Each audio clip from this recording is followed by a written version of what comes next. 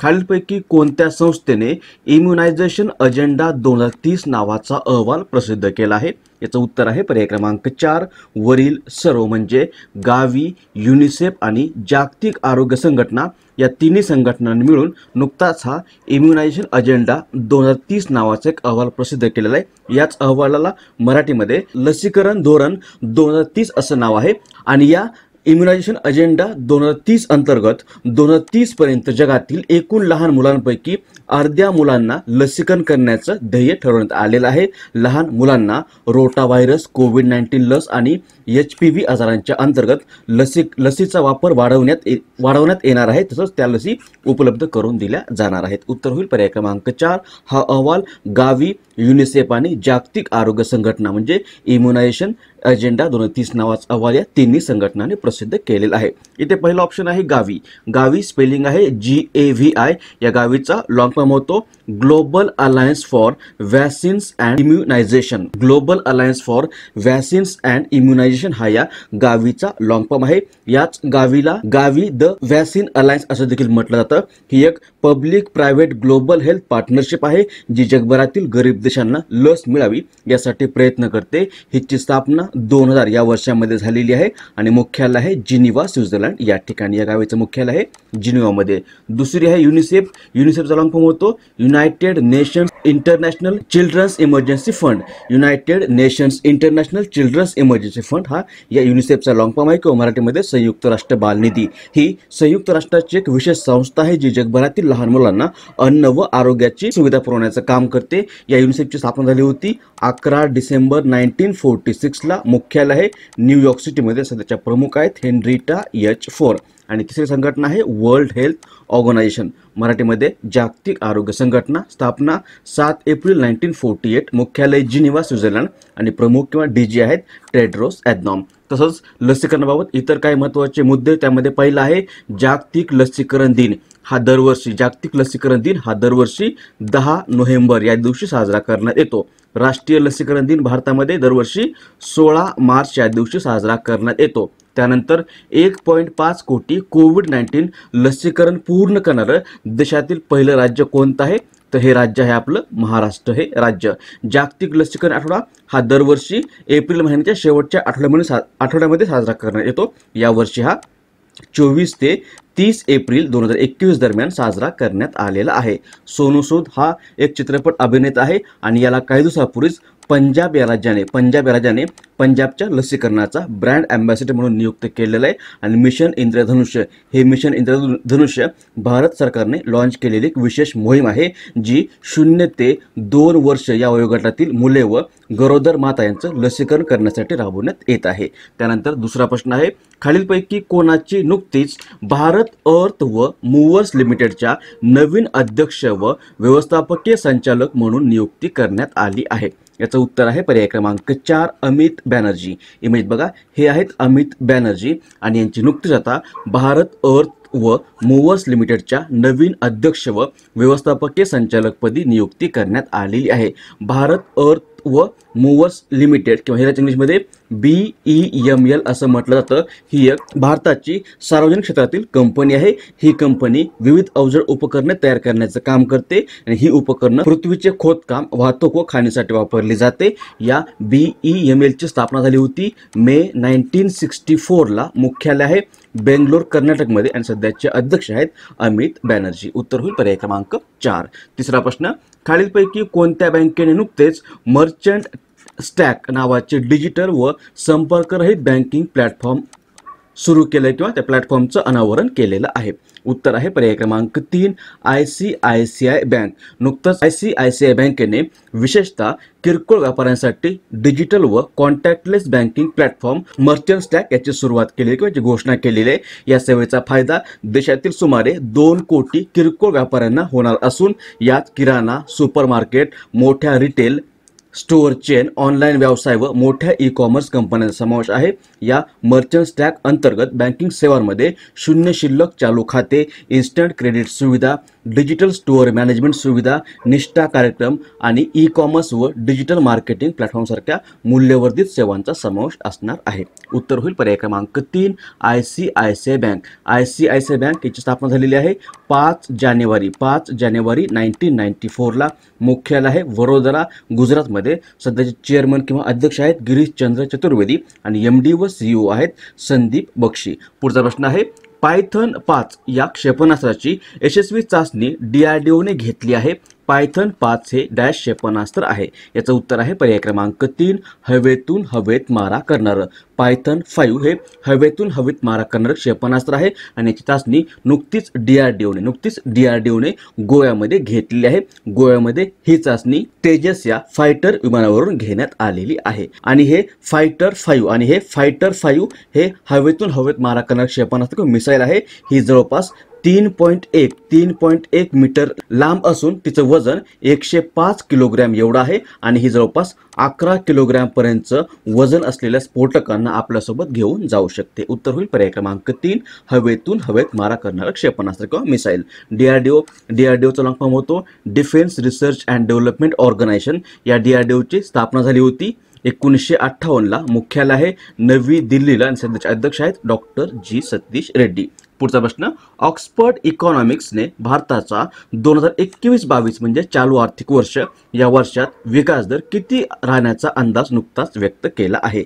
Oxford economics Oxford economics ही एक जगातील लिडिंग फोरकास्टिंग व ॲनालिसिस कंपनी ह्याची स्थापना झाली होती नाईन्टीन एटी वनला आणि याच ऑक्सफर्ड इकॉनॉमिक्सने भारताचा चालू आर्थिक वर्षामध्ये विकास दर हा दहा पूर्णांक दोन टक्के राहील असा अंदाज व्यक्त केलेला आहे. यापूर्वी हाच अंदाज अकरा पूर्णांक आठ टक्के व्यक्त केला होता. आता व्यक्त केला आहे दहा पूर्णांक दोन टक्के. त्यामुळे उत्तर होईल पर्याय क्रमांक तीन.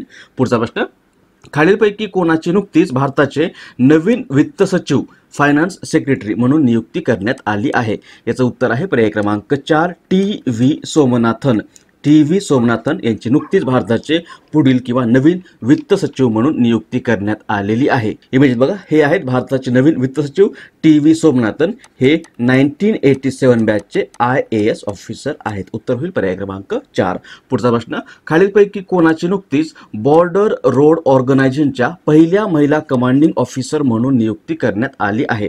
उत्तर आहे पर्याय क्रमांक दोन वैशाली हिवसे. इमेज बघा हे आहेत वैशाली हिवसे. ह्या महाराष्ट्रातील वर्धा महाराष्ट्रातील वर्धा जिल्ह्यातील रहिवासी असून यांची नुकतीच बी आर ओ म्हणजे बॉर्डर रोड ऑर्गनायझेशनच्या पहिल्या महिला कमांडिंग ऑफिसर म्हणून नियुक्ती करण्यात आलेली आहे. त्यामुळे उत्तर होईल पर्याय क्रमांक दोन. बॉर्डर रोड ऑर्गनायझेशन हिलाच बी आर ओ असं म्हटलं जातं.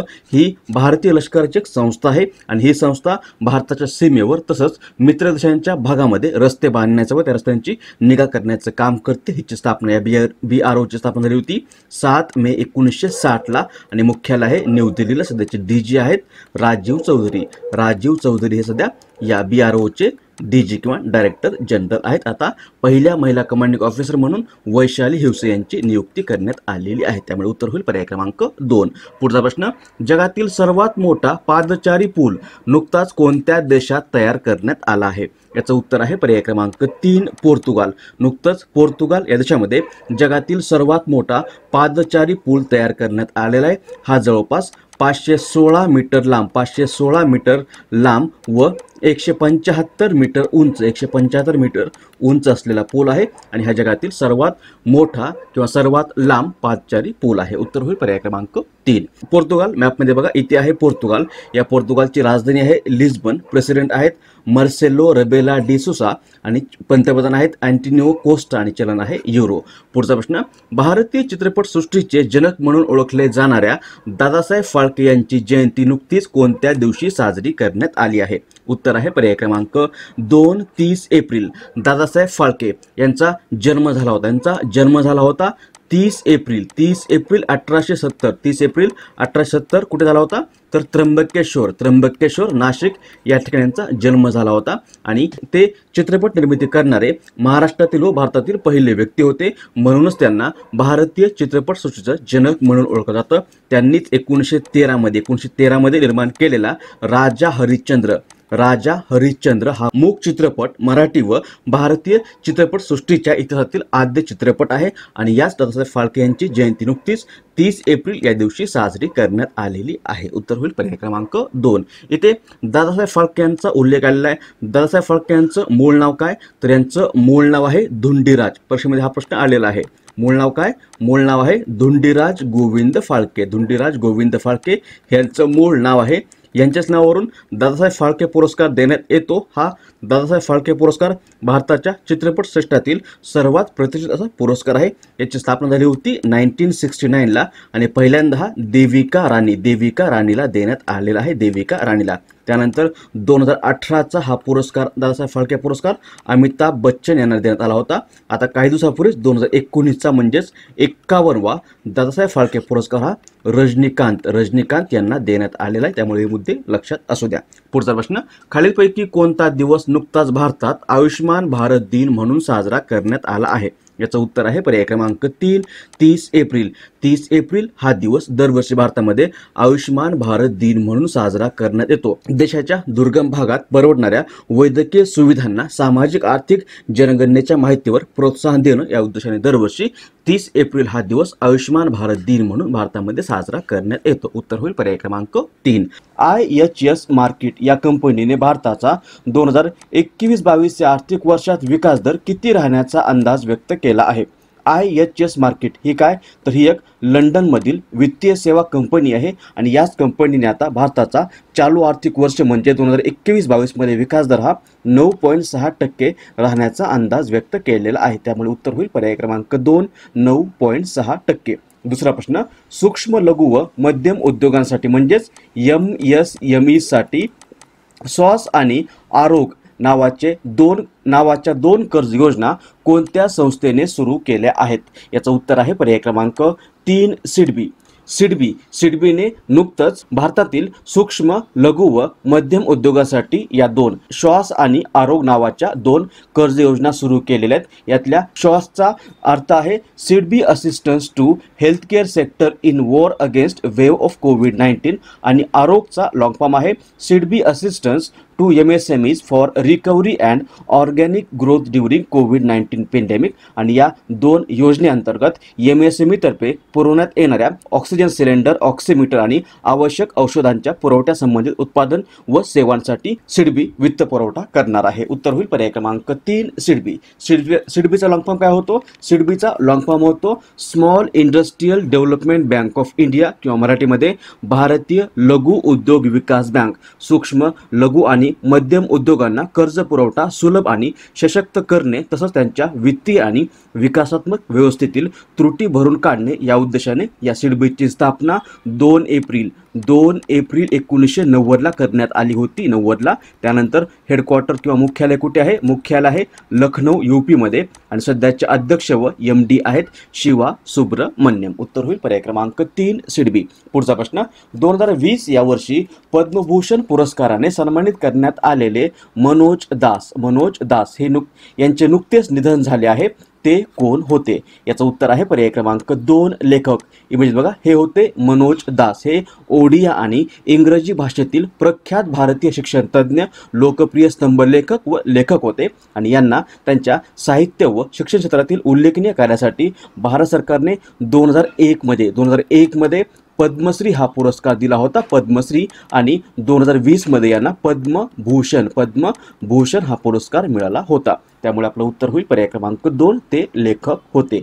पुढचा प्रश्न कॉर्निवॅक कोव ही प्राण्यांसाठीची जगातील पहिली कोरोना लस कोणत्या देशाने विकसित केली आहे? याचं उत्तर आहे पर्याय क्रमांक तीन रशिया. रशिया या देशाने नुकतीच जगां जगातील प्राण्यांसाठी पहिली कोविड नाईन्टीन लस जिचं नाव आहे कॉर्निवॅक को ही नुकतीच तयार केलेली आहे. या लसीचे जवळपास सतरा हजार डोस सतरा हजार डोस रशियाने तयार केले असून रशियाने प्राण्यांसाठी बनवलेल्या या लसी या लसीचा मार्च दोन हजार एकवीसमध्ये फायनल ट्रायल घेण्यात आला होता.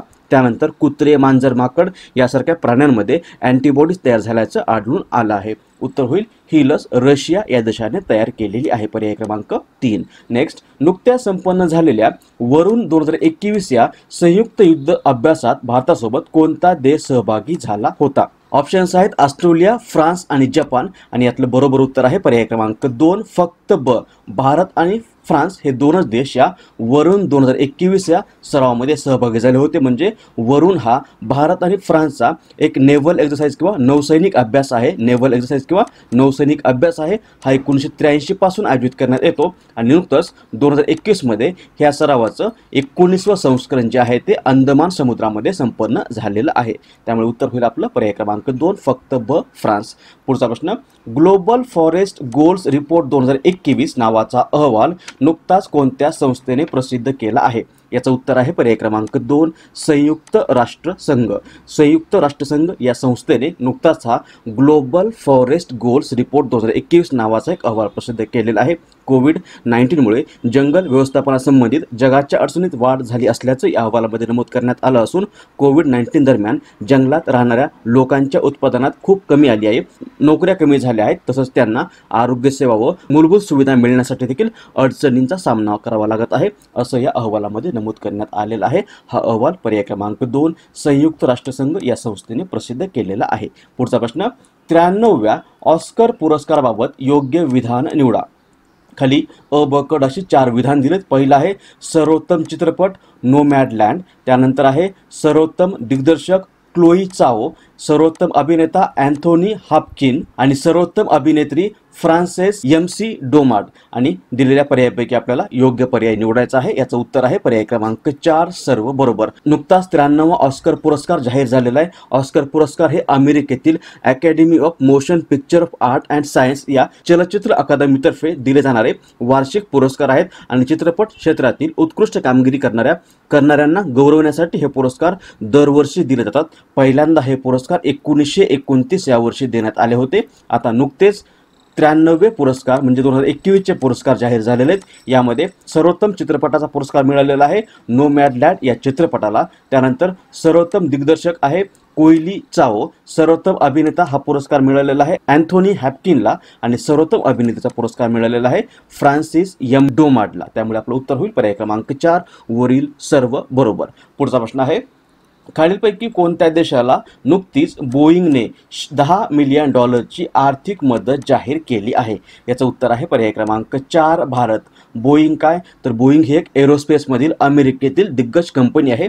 हिची स्थापना झाली होती. या बोईंगची स्थापना झालेली आहे पंधरा जुलै पंधरा जुलै एकोणीसशे सोळाला. आणि याच बोईंगने आता भारताला कोविड नाईन्टीन सामना करण्यासाठी दहा मिलियन डॉलरची आपत्कालीन मदत जाहीर केलेली आहे. त्यामुळे उत्तर होईल पर्याय क्रमांक चार. नेक्स्ट ॲक्सिस बँकेचे नवीन व्यवस्थापकीय संचालक व मुख्य कार्यकारी अधिकारी म्हणून कोणाची नियुक्ती करण्यात आली आहे? याचं उत्तर आहे पर्याय क्रमांक एक अमिताभ चौधरी. इमेज बघा हे आहेत अमिताभ चौधरी. हे सध्या ॲक्सिस बँकेचे एम डी व व्यवस्थापकीय संचालक आहेत आणि पुन्हा पुढील तीन वर्षासाठी यांची ॲक्सिस बँकेचे एम डी व सीईओ म्हणून पुनर्नियुक्ती करण्यात आलेली आहे. उत्तर होईल पर्याय क्रमांक एक. ॲक्सिस बँक ॲक्सिस बँक ही भारताची एक प्रायव्हेट सेक्टर बँक आहे. हिची स्थापना झालेली आहे एकोणीसशे त्र्याण्णवला. मुख्यालय आहे मुंबईला. त्रिपुरारी शरण यांची नुकतीच खालीलपैकी कोणत्या राज्याच्या मुख्य सचिवपदी नियुक्ती करण्यात आली आहे? याचं उत्तर आहे पर्याय क्रमांक एक बिहार. इमेज बघा हे आहेत त्रिपुरारी शरण. हे नाईन्टीन एटी फाईव्ह बॅचचे आय ए एस ऑफिसर आहेत आणि याची नुकतीच आता बिहारच्या मुख्य सचिवपदी नियुक्ती करण्यात आलेली आहे. बिहारचे यापूर्वीचे मुख्य सचिव होते अरुण कुमार सिंग. अरुण कुमार सिंग हे बिहारचे यापूर्वीचे मुख्य सचिव होते. परंतु यांचं काही दिवसापूर्वीच कोविड नाईन्टीनमुळे निधन झालेलं आहे. त्यामुळे यांची जागा आता आहे त्रिपुरारी शरण हे घेणार आहेत. उत्तर होईल पर्याय क्रमांक एक बिहार. बिहार मॅपमध्ये बघा इथे आहे बिहार. बिहारची राजधानी आहे पटना. राज्यपाल आहेत फगू चव्हाण. मुख्यमंत्री आहेत नितीश कुमार. बिहारच्या विधानसभेमध्ये टू फोर्टी थ्री सदस्य असून बिहारच्या विधान परिषदेमध्ये पंच्याहत्तर सदस्य आहेत. बिहारमधून लोकसभेवर चाळीस आणि राज्यसभेवर सोळा सदस्य निवडून दिले जातात. बिहारच्या सीमा नेपाळ यूपी झारखंड पश्चिम बंगालशी संलग्न असून क्षेत्रफळानुसार बिहारचा भारतामध्ये बारावा आणि लोकसंख्येनुसार तिसरा क्रमांक आहे. सोबतच गंगा बागमती कोसी घागरा गंडक महानंदा सोन्या बिहारच्या प्रमुख नद्या आहेत.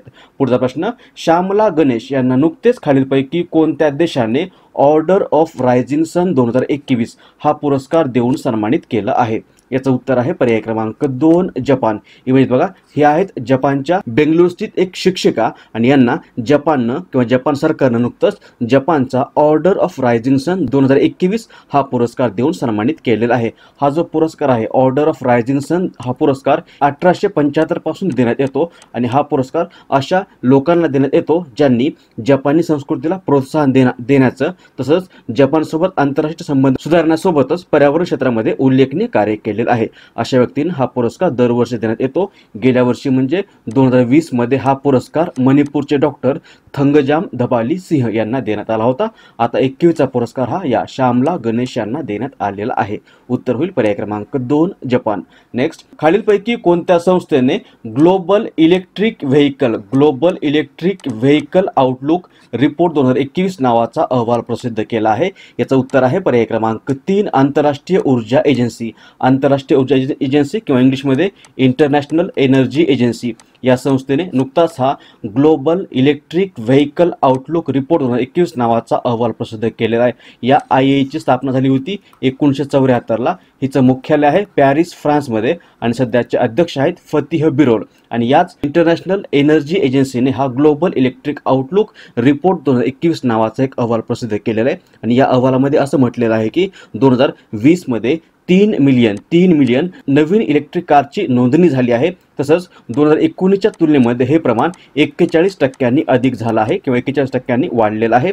तसंच दोन हजार तीसपर्यंत दोन हजार तीस या वर्षापर्यंत जगभरात इलेक्ट्रिक व्हेकलची संख्या ही दोनशे तीस मिलियनपर्यंत पोहोचेल. यासोबतच या अहवालामध्ये असंही म्हटलेलं आहे की भारतामध्ये भारतामध्ये दोन हजार तीसमध्ये नवीन वाहनांच्या विक्रीमध्ये एकूण तीस टक्के वाहने ही इलेक्ट्रिक वाहने असणार आहेत. यामध्ये टू व्हीलरची आणि थ्री व्हीलरची संख्या जास्त असणार आहे. उत्तर होईल हा अहवाल आंतरराष्ट्रीय ऊर्जा एजन्सी या संस्थेने प्रसिद्ध केलेला आहे. पर्याय क्रमांक तीन.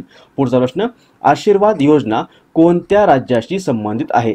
याचं उत्तर आहे पर्याय क्रमांक चार पंजाब. आशीर्वाद योजना ही पंजाब सरकारची योजना आहे आणि या योजनेअंतर्गत मुलींना लग्नासाठी आर्थिक मदत केली जाते. आतापर्यंत या योजनेअंतर्गत एकवीस हजार रुपये एवढी मदत केली जायची. परंतु नुकतीच पंजाब सरकारने या योजनेमध्ये देण्यात येणारी आर्थिक मदत वाढवून ही एक्कावन्न हजार रुपये एवढी केलेली आहे. त्यामुळे सुद्धा ही योजना चर्चेमध्ये आहे. उत्तर होईल आशीर्वाद योजना ही पंजाब सरकारची योजना आहे. पर्याय क्रमांक चार. पंजाब मॅपमध्ये बघा इथे आहे पंजाब याची राजधानी आहे चंदीगड. राज्यपाल आहेत व्ही पी सिंग बदनोर मुख्यमंत्री आहेत कॅप्टन अमरिंदर सिंग. या पंजाबच्या विधानसभेमध्ये एकशे सतरा सदस्य असून पंजाबमधून लोकसभेवर तेरा आणि राज्यसभेवर सात सदस्य निवडून दिले जातात. पंजाबचा भारत भारतामध्ये क्षेत्रफळानुसार विसावा आणि लोकसंख्येनुसार सोळावा क्रमांक आहे. सीमा जम्मू काश्मीर हिमाचल प्रदेश हरियाणा राजस्थान आणि पाकिस्तानी संलग्न असून सतलज व्यास रावी चिलाब झेलम या पंजाबच्या प्रमुख नद्या आहेत आणि भांगडा गिद्दा डफ आणि दमानी पंजाबचे प्रमुख लोकनृत्य आहेत.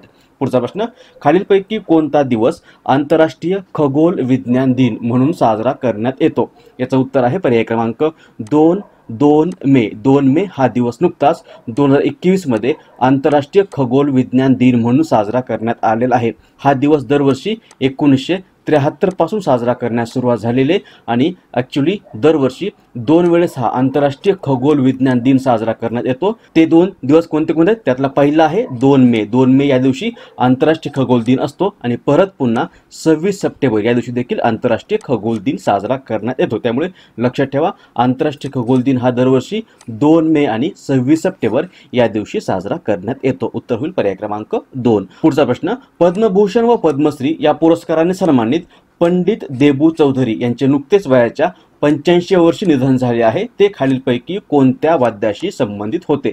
याचं उत्तर आहे पर्याय क्रमांक दोन सतार. इमेज बघा हे होते पंडित देबू चौधरी. हे एक सतार किंवा सितार वादक होते आणि यांचं नुकतंच वयाच्या पंच्याऐंशी वर्षी निधन झालेलं आहे. यांना भारत शासनाने यापूर्वी पद्मभूषण आणि पद्मश्री या दोन पुरस्कारांनी देखील सन्मानित केलेला आहे. उत्तर होईल पर्याय क्रमांक दोन. पुढचा प्रश्न समुद्र सेतू द्वितीय किंवा समुद्र सेतू दोन ही मोहीम कशाशी संबंधित आहे? याचं उत्तर आहे पर्याय पर्याय क्रमांक दोन द्रवरूप ऑक्सिजनची वाहतूक. समुद्र सेतू मोहीम. सध्या कोरोनामुळे निर्माण झालेली ऑक्सिजन ऑक्सिजनची कमतरता किंवा तुटवडा या पार्श्वभूमीवर भारतीय नौदलाने ऑपरेशन समुद्र सेतू दोन नावाची मोहीम सुरू केलेली आहे आणि या मोहिमेअंतर्गत भारतीय नौदलाने इतर देशांमधून समुद्रमार्गे ऑक्सिजन भारतामध्ये आणण्यास सुरुवात केलेली आहे किंवा द्रवरूप ऑक्सिजन भारतामध्ये आणण्यास सुरुवात केलेली आहे समुद्रमार्गे. त्यामुळे ही समुद्र सेतू दोन किंवा समुद्र सेतू द्वितीय ही द्रवरूप ऑक्सिजन वाहतूक या संबंधित मोहीम आहे. उत्तर होईल पर्याय क्रमांक दोन. पुढचा प्रश्न खालीलपैकी कोणता देश रस्त्यावर ड्रायव्हरलेस कारला किंवा चालक विरहित कारला परवानगी देणारा जगातील पहिला देश बनला आहे? याचं उत्तर आहे पर्याय क्रमांक एक युके युनायटेड किंगडम हा देश नुकताच जगामध्ये आता रस्त्यावर ड्रायव्हरलेस कारला परवानगी देणारा जगातील पहिला देश बनलेला आहे. यासोबतच ब्रिटन सरकारने असंही म्हटलेलं आहे की त्यांच्या देशामध्ये दोन हजार तेवीस पर्यंत दोन हजार तेवीस या वर्षापर्यंत जवळपास चाळीस टक्के कार या ड्रायव्हरलेस कार निर्माण करण्यात येणार आहेत किंवा एकूण कारपैकी दोन हजार तेवीस पर्यंत चाळीस टक्के कार या ड्रायव्हरलेस कार तयार करण्यात येणार असून या माध्यमातून युकेमध्ये नवीन अडोतीस हजार नोकऱ्या देखील निर्माण होणार आहेत. उत्तर होईल पर्याय क्रमांक एक युके नेक्स्ट जागतिक वृत्तपत्र स्वातंत्र्य दिन किंवा वर्ल्ड प्रेस फ्रीडम डे कधी साजरा करतात? याचं उत्तर आहे पर्याय क्रमांक तीन तीन मे. तीन मे हा दिवस दरवर्षी जगभरात जागतिक वृत्तपत्र स्वातंत्र्य दिन म्हणून साजरा करण्यात येतो. पत्रकारांच्या स्वातंत्र्याच्या महत्त्वासंदर्भात जन जनजागृती निर्माण करण्याच्या उद्देशाने हा दिवस साजरा करण्यात येतो. तसंच यावर्षीच्या या दिनाची थीम होती माहिती एक सार्वजनिक हिताची गोष्ट. माहिती एक सार्वजनिक हिताची गोष्ट ही यावर्षीच्या म्हणजे दोन हजार एकवीसच्या जागतिक वृत्तपत्र स्वातंत्र्य दिनाची थीम होती. जो नुकताच तीन मे या दिवशी साजरा करण्यात आलेला आहे. उत्तर होईल पर्याय क्रमांक तीन. नेक्स्ट दोन मे दोन हजार एकवीस या दिवशी भारताचे प्रसिद्ध चित्रपट निर्माते सत्यजित रे यांचा शंभरवा जन्मदिवस साजरा करण्यात आला आहे. त्यांना खालीलपैकी कोणत्या वर्षी भारतरत्न पुरस्कार देऊन सन्मानित करण्यात आले आहे? याचं उत्तर आहे पर्याय क्रमांक दोन एकोणीसशे ब्याण्णव. म्हणजे बघा हे होते सत्यजित रे. हे भारताचे प्रसिद्ध लेखक पटकथा लेखक संगीतकार निर्माते व दिग्दर्शक होते. आणि यांचा जन्म झाला होता दोन मेला दोन मे एकोणीसशे एकवीसला दोन मे एकोणीसशे एकवीसला यांचा जन्म झाला होता. आणि नुकतीच दोन मे दोन हजार एकवीस या दिवशी यांचा शंभरवा जन्मदिवस साजरा करण्यात आलेला आहे. आणि चित्रपट जगतातील त्यांच्या कामगिरीबद्दल त्यांना एकोणीसशे ब्याण्णव एकोणीसशे ब्याण्णव या वर्षामध्ये जीवनगौरव ऑस्कर पुरस्कार जीवनगौरव ऑस्कर पुरस्कार देण्यात आला होता. आणि एकोणीसशे ब्याण्णव याच वर्षामध्ये त्यांना भारतरत्न भारताचा सर्वोच्च नागरिक पुरस्कार भारतरत्न हा देखील देण्यात आला होता. त्यामुळे उत्तर होईल पर्याय क्रमांक दोन एकोणीसशे ब्याण्णव. नुकतीच आपल्या निवृत्तीची घोषणा केलेला थिसारा परेरा हा खेळाडू खालीलपैकी कोणत्या देशाचा आहे? याचं उत्तर आहे पर्याय क्रमांक एक श्रीलंका. इमेज म्हणजे बघा हा आहे श्रीलंकेचा माजी अष्टपैलू खेळाडू आणि माजी कर्णधार थिसारा परेरा. आणि नुकतंच यानं आता सर्व प्रकारच्या आंतरराष्ट्रीय क्रिकेटमधून निवृत्त होण्याचा निर्णय घेतलेला आहे. याने श्रीलंकेकडून जवळपास दोन हजार नऊ या वर्षापासून सहा टेस्ट मॅचेस सहा टेस्ट मॅसेज मॅचेस त्या त्यानंतर एकशे सहासष्ट ओ डी आय सामने किंवा मॅचेस आणि चौऱ्याऐंशी टी ट्वेंटी सामने खेळलेले आहेत आणि आता याने आंतरराष्ट्रीय क्रिकेटमधून आपल्या निवृत्तीची घोषणा केलेली आहे. त्यामुळे उत्तर होईल पर्याय क्रमांक एक श्रीलंका.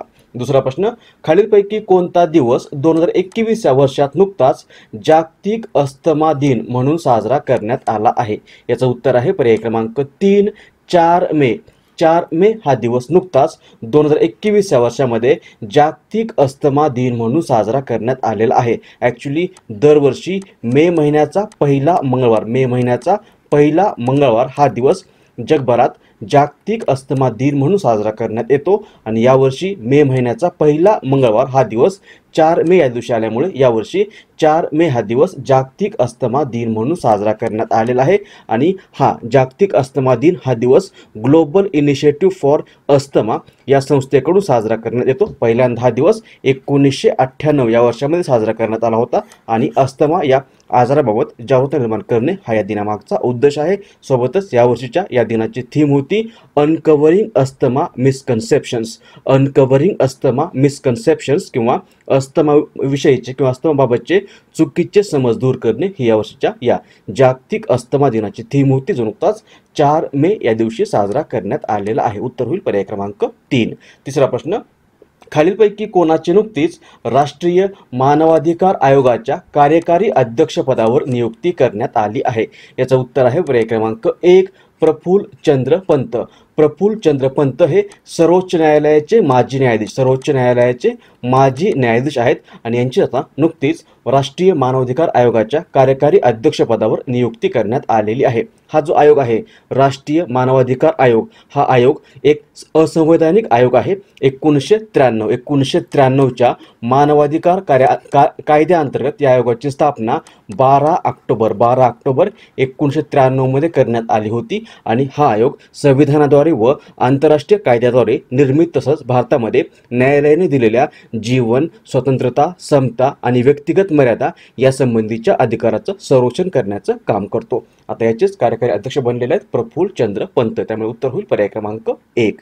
त्यानंतर चौथा प्रश्न नुकतेच वयाच्या एक्क्याण्णव्या वर्षी निधन झालेले जगमोहन खालीलपैकी कोणत्या राज्याचे माजी राज्यपाल होते? याचं उत्तर आहे पर्याय क्रमांक दोन जम्मू काश्मीर. हे म्हणजे बघा हे होते जगमोहन. हे जम्मू काश्मीरचे माजी राज्यपाल होते. आणि यांचं नुकतंच आता वयाच्या एक्क्याण्णव्या वर्षी निधन झालेलं आहे. त्यामुळे उत्तर होईल पर्याय क्रमांक दोन जम्मू काश्मीर. नेक्स्ट भारतीय वैज्ञानिकांनी नव्याने विकसित केलेल्या एम ए सी एस चौदा झिरो सेवन हा खालीलपैकी कोणत्या पिकाचा वाण आहे किंवा कोणत्या पिकाची जात आहे? याचं उत्तर आहे पर्याय क्रमांक तीन सोयाबीन. भारतीय वैज्ञानिकांनी नुकतंच हे M A C S one four seven zero नावाचं नवीन वाण शोधून काढलेलं आहे आणि हे सोयाबीनचं नवीन वाण आहे. ही सोयाबीनची अधिक उत्पन्न देणारी व कीड विरोधी जात किंवा वाण असून ही आसाम पश्चिम बंगाल झारखंड छत्तीसगड व पूर्वोत्तर राज्यांमध्ये शेतीसाठी उपयुक्त ठरणार आहे. उत्तर होईल पर्याय क्रमांक दोन. हा सोयाबीनचा वाण आहे. त्यानंतर सहावा प्रश्न. खालील विधानांच्या आधारे योग्य पर्याय निवडा. खाली दोन विधान आहेत अ आणि ब. खाली दोन विधान आहेत अ आणि ब. अ विधान आहे तृणमूल काँग्रेसच्या ममता बॅनर्जी यांनी पश्चिम बंगालच्या मुख्यमंत्रीपदाची तिसऱ्यांदा शपथ घेतली आहे आणि ब विधान आहे. सध्या त्या देशातील एकमेव महिला मुख्यमंत्री आहेत आणि वरीलपैकी कोणतं विधान बरोबर आहे ते आपल्याला निवडायचं आहे. याचं उत्तर आहे पर्याय क्रमांक तीन दोन्ही बरोबर.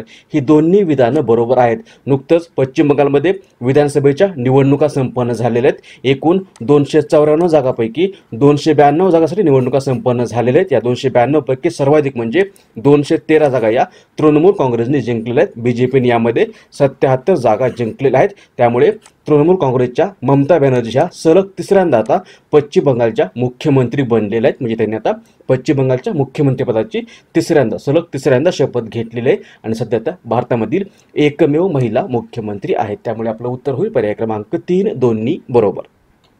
पुढचा प्रश्न भारताचा युवा यष्टी रक्षक आणि आक्रमक फलंदाज ऋषभ पंत नुकताच आय सी सी कसोटी क्रमवारीत फलंदाजाच्या यादीमध्ये सहाव्या क्रमांकावर राहिला आहे. या क्रमवारीत म्हणजे आय सी सीच्या कसोटी क्रमवारीत टॉप टेनमध्ये पोहोचणारा तो भारताचा कितवा भारतीय यष्टीरक्षक बनला आहे? याचं उत्तर आहे पर्याय क्रमांक एक पहिला. नुकतंच आय सी सीने आय सी सी म्हणजे काय? I C C long form आहे. इंटरनॅशनल क्रिकेट काउन्सिल स्थापना झालेली आहे पंधरा जून एकोणीसशे नऊला. स्थापना झालेली आहे पंधरा जून एकोणीसशे नऊला. मुख्यालय आहे दुबईमध्ये आणि सध्याचे अध्यक्ष आहेत ग्रेक बार्कले. आणि याच आय सी सीने नुकतीच आय सी सीची ताजी कसोटी क्रमवारी जाहीर केलेली आहे. यामध्ये भारताचा युवा यष्टीरक्षक आणि आक्रमक फलंदाज हा ऋषभ पंत हा सहाव्या क्रमांकावर राहिलेला आहे. यासह तो आता आय सी सी कसोटी क्रमवारीमध्ये टॉप टेनमध्ये सहभागी होणारा पहिलाच भारतीय यष्टीरक्षक ठरलेला आहे. त्यामुळे आपलं उत्तर होईल पर्याय क्रमांक एक पहिला. पुढचा प्रश्न संयुक्त राष्ट्राने नुकतंच प्रसिद्ध केलेल्या जागतिक वन लक्ष रिपोर्ट दोन हजार एकवीस या अहवालाच्या अनुषंगाने खालीलपैकी कोणतं विधान किंवा विधाने बरोबर आहे किंवा आहेत हे आपल्याला निवडायचं आहे खाली तीन विधान आहेत अ ब क आणि खाली परत चार पर्याय दिले त्यातला आपल्याला बरोबर पर्याय निवडायचा आहे. बघा अ पर्याय आहे. जागतिक लोकसंख्येपैकी एकूण पंचवीस टक्के लोक आपल्या जीवनासाठी वनांवर अवलंबून आहेत. ब आहे जगात ग्रामीण क्षेत्रातील जवळपास चाळीस टक्के लोक वनक्षेत्रात राहतात. आणि क आहे जगात एकूण वनक्षेत्र जवळपास चार पॉईंट झिरो सहा बिलियन हेक्टर आहे जे एकूण क्षेत्रफळाच्या जवळपास एकतीस टक्के आहे. आणि यातलं बरोबर उत्तर आपल्याला शोधायचं उत्तर आहे पर्याय क्रमांक चार वरील तिन्ही विधाने बरोबर आहेत. संयुक्त राष्ट्राने नुकताच हा जागतिक वन लक्ष रिपोर्ट दोन हजार एकवीस किंवा global forest goals report twenty twenty one प्रसिद्ध केलेला आहे. आणि या अहवालामध्ये असं म्हटलेलं आहे की जागतिक लोकसंख्येपैकी एकूण पंचवीस टक्के लोक म्हणजे जगामध्ये जेवढे लोक आहेत त्यांच्या एकूण पंचवीस टक्के लोक हे आपल्या जीवनासाठी म्हणजे आपली आजीविका असेल रोजगार असेल किंवा उत्पन्न असेल यासाठी वनांवर अवलंबून आहेत. आणि जगामध्ये ग्रामीण क्षेत्रातील जवळपास चाळीस टक्के लोक हे वन क्षेत्रावर अवलंबून असून ही लोकसंख्या जगाच्या एकूण वीस टक्के असल्याचं या अहवालामध्ये नमूद करण्यात आलेलं आहे. आणि पुढे असं म्हटलं आहे की जगामध्ये एकूण वनक्षेत्र जवळपास चार पॉईंट झिरो सहा बिलियन हेक्टर आहे आणि जे त्याच्या जवळपास एकतीस टक्के आहे. त्यामुळे आपलं उत्तर होईल पर्याय क्रमांक चार वरील तिन्ही विधाने बरोबर आहेत. नवा प्रश्न आहे खालीलपैकी कोणती I T company H C L टेक्नॉलॉजीजला मागे टाकून नुकतीच देशातील तिसरी सर्वात मोठी आय टी कंपनी बनली आहे. याचं उत्तर आहे पर्याय क्रमांक तीन विप्रो. विप्रो विप्रो ही भारताची एक आय टी कंपनी आहे. या विप्रोची स्थापना झाली होती एकोणतीस डिसेंबर. एकोणतीस डिसेंबर नाईन्टीन फोर्टी फाईव्हला मुख्यालय आहे बेंगलोर या ठिकाणी. आणि सध्याचे अध्यक्ष आहेत रिषद अध्यक्ष आहेत रिषद प्रेमजी. आणि हीच विप्रो कंपनी आता एच सी एल टेक्नॉलॉजीज या कंपनीला मागे टाकून दोन पॉईंट सहा पाच दोन पॉईंट सहा पाच ट्रिलियन रुपयांच्या बाजार भांडवलासह सर्वाधिक बाजार भांडवल असणारी देशातील तिसऱ्या क्रमांकाची सर्वात मोठी आय टी कंपनी बनलेली आहे. पहिली कोणती आहे मग? पहिली आहे टी सी एस दुसरी आहे इन्फोसिस. आता तिसरी बनलेली आहे विप्रो. त्यामुळे उत्तर होईल पर्याय क्रमांक तीन विप्रो. दवा प्रश्न खालीलपैकी कोणता दिवस जागतिक स्वच्छता दिन म्हणून साजरा करण्यात येतो?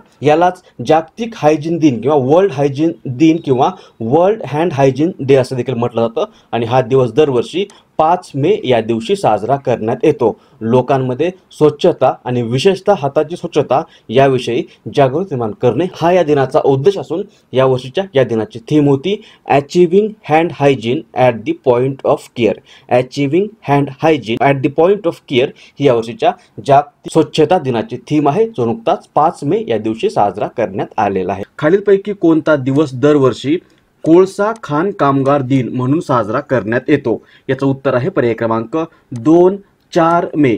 चार मे हा दिवस दरवर्षी जगभरात कोल मायनस डे किंवा कोळसा खाण कामगार दिन म्हणून साजरा करण्यात येतो. कोळसा खाणीत काम करणे ही एक अतिशय कठीण गोष्ट आहे किंवा एक कठीण व्यवसाय आहे आणि याच कोळसा खाणीत काम करणाऱ्या लोकांचं त्याग त्यांचं हार्डवर्क त्यांच्यासोबत घडलेल्या ट्रॅजेडीज याबद्दल जागृती निर्माण करायच्या उद्देशाने दरवर्षी चार मे हा दिवस कोळसा खाण कामगार दिन म्हणून साजरा करण्यात येतो. त्यामुळे उत्तर होईल पर्याय क्रमांक दोन चार मे. दुसरा प्रश्न आहे एस अँड पी ग्लोबल रेटिंग्जने भारताचा दोन हजार एकवीस बावीस म्हणजे चालू आर्थिक वर्षात विकास दर किती राहण्याचा अंदाज नुकताच व्यक्त केला आहे? याचं उत्तर आहे पर्याय क्रमांक दोन नऊ पॉईंट सहा टक्के. काही दिवसापूर्वीच याच एस अँड पीने भारताचा चालू आर्थिक वर्षामध्ये विकास दर अकरा टक्के राहील असा अंदाज व्यक्त केला होता. परंतु आता कोविड नाईन्टीनमुळे निर्माण झालेल्या परिस्थितीमुळे यामध्ये कमी करून हा आता नऊ पॉईंट सहा टक्के एवढा व्यक्त करण्यात आलेला आहे. S and P global रेटिंग्सकडून S and P global ratings ही एक अमेरिकेची क्रेडिट रेटिंग एजन्सी आहे. पुढचा प्रश्न भारतीय सैन्याने खालीलपैकी कोणत्या राज्यात नुकताच पहिला ग्रीन सौर ऊर्जा हार्नेसिंग प्रकल्प सुरू केला आहे. याचं उत्तर आहे पर्याय क्रमांक दोन सिक्कीम. नुकतंच भारतीय सैन्यानं सिक्कीम या राज्यामध्ये आपला पहिला ग्रीन सौर ऊर्जा हार्नेसिंग प्रकल्प सुरू केलेला आहे. हार्नेसिंग हार्नेसिंगची स्पेलिंग आहे H A R N E double S I N G आणि हार्नेसचा अर्थ होतो उपयोगात आणणे. हार्नेसिंग म्हणजे उपयोगात आणण्याजोगा आणि हा जो प्रकल्प आहे. पहिला ग्रीन सौर ऊर्जा प्रकल्प हा भारतीय सैन्यासाठीच उपयोगात आणला जाणार आहे. हा भारतीय सैन्याद्वारे नुकताच सिक्कीम या राज्यामध्ये उभारण्यात आलेला आहे. उत्तर होईल पर्याय क्रमांक दोन सिक्कीम. सिक्कीम मॅपमध्ये पाहिलं तर इथं आहे सिक्कीम. या सिक्कीमची राजधानी आहे गंगटोक. गंगटोक ही सिक्कीमची राजधानी आहे. सध्याचे राज्यपाल आहेत गंगाप्रसाद. गंगाप्रसाद राज्यपाल आहेत. गंगाप्रसाद आणि मुख्यमंत्री आहेत प्रेम सिंग तमांग. पुढचा प्रश्न खालीलपैकी कोणता दिवस आंतरराष्ट्रीय सुईनी दिन आंतरराष्ट्रीय सुईनी दिन किंवा इंटरनॅशनल मिडवाईफ्स डे म्हणून साजरा करण्यात येतो? याचं उत्तर आहे पर्याय क्रमांक तीन पाच मे. पाच मे हा दिवस दरवर्षी जगभरात आंतरराष्ट्रीय सुईनी दिन म्हणून साजरा करण्यात येतो. हा दिवस आय सी एम म्हणजे इंटरनॅशनल कॉन्फेडरेशन ऑफ मिडवाईफ्स या संघटनेच्या पुढाकाराने साजरा करण्यात येत असून माता व नवजात बाळ यांची काळजी घेण्यामध्ये मिडवाईफ्स किंवा सुईनी किंवा आया यांच्या महत्त्वपूर्ण भूमिकेचा सन्मान करण्याच्या उद्देशाने दरवर्षी हा पाच मे हा दिवस आंतरराष्ट्रीय सुईनी दिन म्हणून साजरा करण्यात येतो. तसंच यावर्षीच्या या आंतरराष्ट्रीय सुईनी दिनाची थीम होती follow the data invest in midwives यासोबतच लक्षात ठेवा की दोन हजार वीस हे वर्ष डब्ल्यू एच ओ म्हणजे वर्ल्ड हेल्थ ऑर्गनायझेशनने आंतरराष्ट्रीय सुईनी वर्ष म्हणून साजरं केलेलं आहे. उत्तर होईल पर्याय क्रमांक तीन. पाचवा प्रश्न आहे कोणता देश दोन हजार एकवीसच्या जी सेवन समूहाच्या परराष्ट्र मंत्र्याच्या बैठकीचा आयोजक आहे किंवा आयोजक देश आहे? जी सेवन. जी सेवन म्हणजे काय? यालाच ग्रुप ऑफ सेवन यालाच ग्रुप ऑफ सेवन असं म्हटलं जातं. ही जगातील सात सर्वात प्रगत देशांचा समूह आहे किंवा प्रगत अर्थव्यवस्थांचा समूह आहे. यामध्ये एकूण सदस्य देश आहेत सात. त्यातला पहिला आहे कॅनडा दुसरा आहे फ्रान्स तिसरा आहे जर्मनी चौथा आहे इटली पाचवा आहे जपान त्यानंतर आहे युके युनायटेड किंगडम आणि यू एस युनायटेड स्टेट्स. हे एकूण सात देश याचे सदस्य देश आहेत. आणि नुकतीच जी सेवन समूहाच्या परराष्ट्र मंत्र्यांची बैठक ब्रिटन या देशाने आयोजित केलेली आहे. त्यामुळे आपलं उत्तर होईल पर्याय क्रमांक चार ब्रिटन. आणि या परिषदेला भारतातर्फे भारताचे परराष्ट्र मंत्री एस जयशंकर एस जयशंकर हे उपस्थित होते. भारत जरी या जी सेवनचा सदस्य देश नसला तरी ब्रिटनने भारताला या परिषदेमध्ये पाहुणा म्हणून आमंत्रित केलं होतं. त्यामुळे भारताचे परराष्ट्र मंत्री एस जयशंकर हे या परिषदे या हे या बैठकीमध्ये सहभागी झाले होते. उत्तर होईल पर्याय क्रमांक चार ब्रिटन. पुढचा प्रश्न नेहरू झुलॉजिकल पार्कमधील आठ आशियाई सिंहांना कोरोनाची लागण झाली असल्याची बाब नुकतीच समोर आली आहे. हे पार्क खालीलपैकी कोणत्या शहरामध्ये आहे? याचं उत्तर आहे पर्याय क्रमांक दोन हैदराबाद. हे नेहरू झुलॉजिकल पार्क हे हैदराबाद या शहरामध्ये असलेलं पार्क आहे. हैदराबादमध्ये म्हणजे जवळपास हे तीनशे ऐंशी एकर परिसरामध्ये पसरलेलं एक पार्क आहे. आणि यामध्ये जवळपास दोन हजार प्राणी राहतात किंवा आहेत. आणि सध्या मनुष्यासह प्राण्यांमध्येही कोरोनाचा शिरकाव झालेला आहे. हैदराबाद येथील या नेहरू झुलॉजिकल पार्कमधील आठ आशियाई सिंहांना कोरोनाची लागण झाल्याची बाब नुकतीच समोर आलेली आहे आणि सिंहांना कोरोनाची लागण होण्याची ही भारतातील पहिलीच घटना आहे. गेल्या वर्षी एप्रिल महिन्यामध्ये अमेरिकेतील न्यूयॉर्क या शहरामध्ये एका प्राणी संग्रहालयामध्ये आठ वाघ आणि सिंहांना कोरोनाची लागण झाली असल्याची बाब समोर आली होती. त्यानंतर कुठेही प्राण्यांना कोरोनाची लागण झाली असल्याचं आढळून आलं नव्हतं. परंतु आता भारतामध्ये आठ आशियाई सिंहांना कोरोनाची लागण झाल्याची बाब समोर आलेली आहे. ते आठ आशियाई सिंह नेहरू झुलॉजिकल पार्कमधले आहेत. हे पार्क आहे हैदराबाद या शहरामध्ये. त्यामुळे आपलं उत्तर होईल पर्याय क्रमांक दोन. हे आहे ते नेहरू झुलॉजिकल पार्क पुढचा प्रश्न सातवा. बीसीसीआयने कोविड नाईन्टीनच्या वाढत्या प्रादुर्भावामुळे दोन हजार एकवीसची आय पी एल अनिश्चित काळासाठी स्थगित केली आहे. दोन हजार एकवीसमध्ये आय पी एलचे कितवे संस्करण आहे? I P L I P L म्हणजे काय? लॉंग फॉर्म होतो. इंडियन प्रीमियर लीग ही बी सी सी आयची एक professional T twenty cricket league आहे. ह्याची स्थापना बी सी सी आयने दोन हजार सात या वर्षामध्ये केली होती आणि पहिली आय पी एल दोन हजार आठ या वर्षामध्ये आयोजित करण्यात आली होती. पहिल्यांदा ही I P L Rajasthan Royals या संघाने जिंकलेली आहे. त्यानंतर गेल्या वेळेस म्हणजे तेरावी आय पी एल जी होती तेरावी आय पी एल ती दोन हजार वीसमध्ये दुबई या शहरामध्ये संपन्न झालेली आहे आणि ही जिंकली होती मुंबई इंडियन्स संघाने अंतिम सामन्यामध्ये अंतिम सामन्यामध्ये दिल्ली कॅपिटल्सला नमून. आता दोन हजार एकवीसमध्ये नऊ एप्रिल नऊ एप्रिल ते तीस मे तीस मे दोन हजार एकवीस या कालावधीमध्ये भारतामध्येच आयोजित करण्यात आली होती. परंतु खेळाडू आणि सपोर्ट स्टाफना कोरोनाची लागण झाल्यामुळे बी सी सी आयने आता दोन हजार एकवीसची आय पी एल अनिश्चित काळासाठी स्थगित करण्याचा निर्णय घेतलेला आहे. दोन हजार एकवीसमध्ये आय पी एलचं हे चौदावं संस्करण होतं म्हणजे पर्याय क्रमांक तीन. पुढचा प्रश्न आंतरराष्ट्रीय ऑलिम्पिक समितीने खालीलपैकी कोणाची नुकतीच बिलीव्ह इन स्पोर्ट्स मोहिमेच्या ॲथलीट दूत म्हणून नियुक्ती केली आहे? नियुक्ती केली आहे. याचं उत्तर आहे पर्याय क्रमांक दोन पी व्ही सिंधू. अगोदर आपण आंतरराष्ट्रीय ऑलिम्पिक समिती काय ते पाहूयात. आंतरराष्ट्रीय ऑलिम्पिक समिती हिलाच इंग्लिशमध्ये I O C international Olympic committee असं म्हटलं जातं. या आय ओ सीची स्थापना झाली होती तेवीस जून तेवीस जून अठराशे चौऱ्याण्णवला आय ओ सीची स्थापना झालेली आहे. हिचं मुख्यालय आहे लोझान या ठिकाणी. मुख्यालय आहे लोझान या ठिकाणी. लोझान आहे स्वित्झर्लंड या देशामध्ये. आणि या आय ओ सीचे सध्याचे अध्यक्ष आहेत थॉमस बाग थॉमस बाग हे सध्या आय ओ सीचे अध्यक्ष आहेत. आणि ही जी आय ओ सी आहे ही दर चार वर्षांनी भरवल्या जाणाऱ्या उन्हाळी आणि हिवाळी ऑलिम्पिक खेळाचं आयोजन करण्याचं काम पाहते. आणि याच आय ओ सीनं ही मोहीम सुरू केली होती. बिलीव्ह इन स्पोर्ट्स नावाची ही मोहीम या आय ओ सीने दोन हजार अठरामध्ये सुरू केलेली आहे. आय ओ सीने दोन हजार अठरापासून या ऑलिम्पिक स्पर्धेमध्ये भ्रष्टाचार रोखण्यासाठी ही बिलीव्ह इन स्पोर्ट्स नावाची मोहीम सुरू केली आहे. आणि या मोहिमेच्या माध्यमातून खेळाडू प्रशिक्षक व अधिकारी यांच्यात भ्रष्टाचार विरोधी जागृती निर्माण केली जाते. आणि याच मोहिमेच्या ॲथलीट दूत म्हणून नुकतीच भारताची पी व्ही सिंधू आणि कॅनडाची मिशेल ली ही आहे कॅनडाची मिशेल ली मिशेल ली या दोघींना नियुक्त केलेलं आहे. ॲथलीट दूत म्हणून. त्यामुळे आपलं उत्तर होईल पर्याय क्रमांक दोन पी व्ही सिंधू. ही आहे पी व्ही सिंधू. मग ही पी व्ही सिंधू कोण आहे? तर ही भारताची एक professional badminton professional badminton player आहे. याच पी व्ही सिंधूला दोन हजार वीसमध्ये भारत शासनाने पद्मभूषण त्यानंतर दोन हजार सोळामध्ये राजीव गांधी खेलरत्न पुरस्कार दोन हजार पंधरामध्ये पद्मश्री आणि दोन हजार तेरामध्ये अर्जुन पुरस्कार हे पुरस्कार देऊन सन्मानित केलेला आहे. पी व्ही सिंधू आहे बॅडमिंटनपटू हिला दोन हजार वीसमध्ये पद्मभूषण दोन हजार सोळामध्ये राजीव गांधी खेलरत्न दोन हजार पंधरामध्ये पद्मश्री आणि दोन हजार तेरामध्ये अर्जुन पुरस्कार हे पुरस्कार मिळालेले आहेत. पुढचा प्रश्न आहे नववा आय सी सीच्या लाचलुचपत प्रतिबंधक कायद्याच्या कायद्याचा भंग केल्याबद्दल नुआन जोयसा या क्रिकेटपटूवर आय सी सीने सहा वर्षाची बंदी घातली आहे. तो कोणत्या देशाचा क्रिकेटपटू आहे? आपल्याला माहिती आहे आय सी सी म्हणजे काय? आय सी सी म्हणजे इंटरनॅशनल क्रिकेट काउन्सिल हिची स्थापना झालेली आहे पंधरा जून पंधरा जून एकोणीसशे नऊला या आय सी सीचं मुख्यालय आहे दुबई या ठिकाणी. दुबई आहे यू एमध्ये आणि सध्याचे अध्यक्ष आहेत ग्रेक बार्कले. ग्रेक बार्कले सध्याचे अध्यक्ष आहेत आणि सीईओ आहेत मनु सहानी. मनू सहानी हे आय सी सीईओ आहेत. आणि याच आय सी सीने नुकतीच या नुआन झोयसा या क्रिकेटपटूवर सहा वर्षाची बंदी घातलेली आहे. याने आय सी सीच्या लाचलुचपत प्रतिबंध कायद्याचा भंग केल्यामुळे हा खेळाडू जो आहे तो श्रीलंका या देशाचा माजी क्रिकेटपटू व प्रशिक्षक आहे. त्यामुळे आपलं उत्तर होईल पर्याय क्रमांक चार श्रीलंका.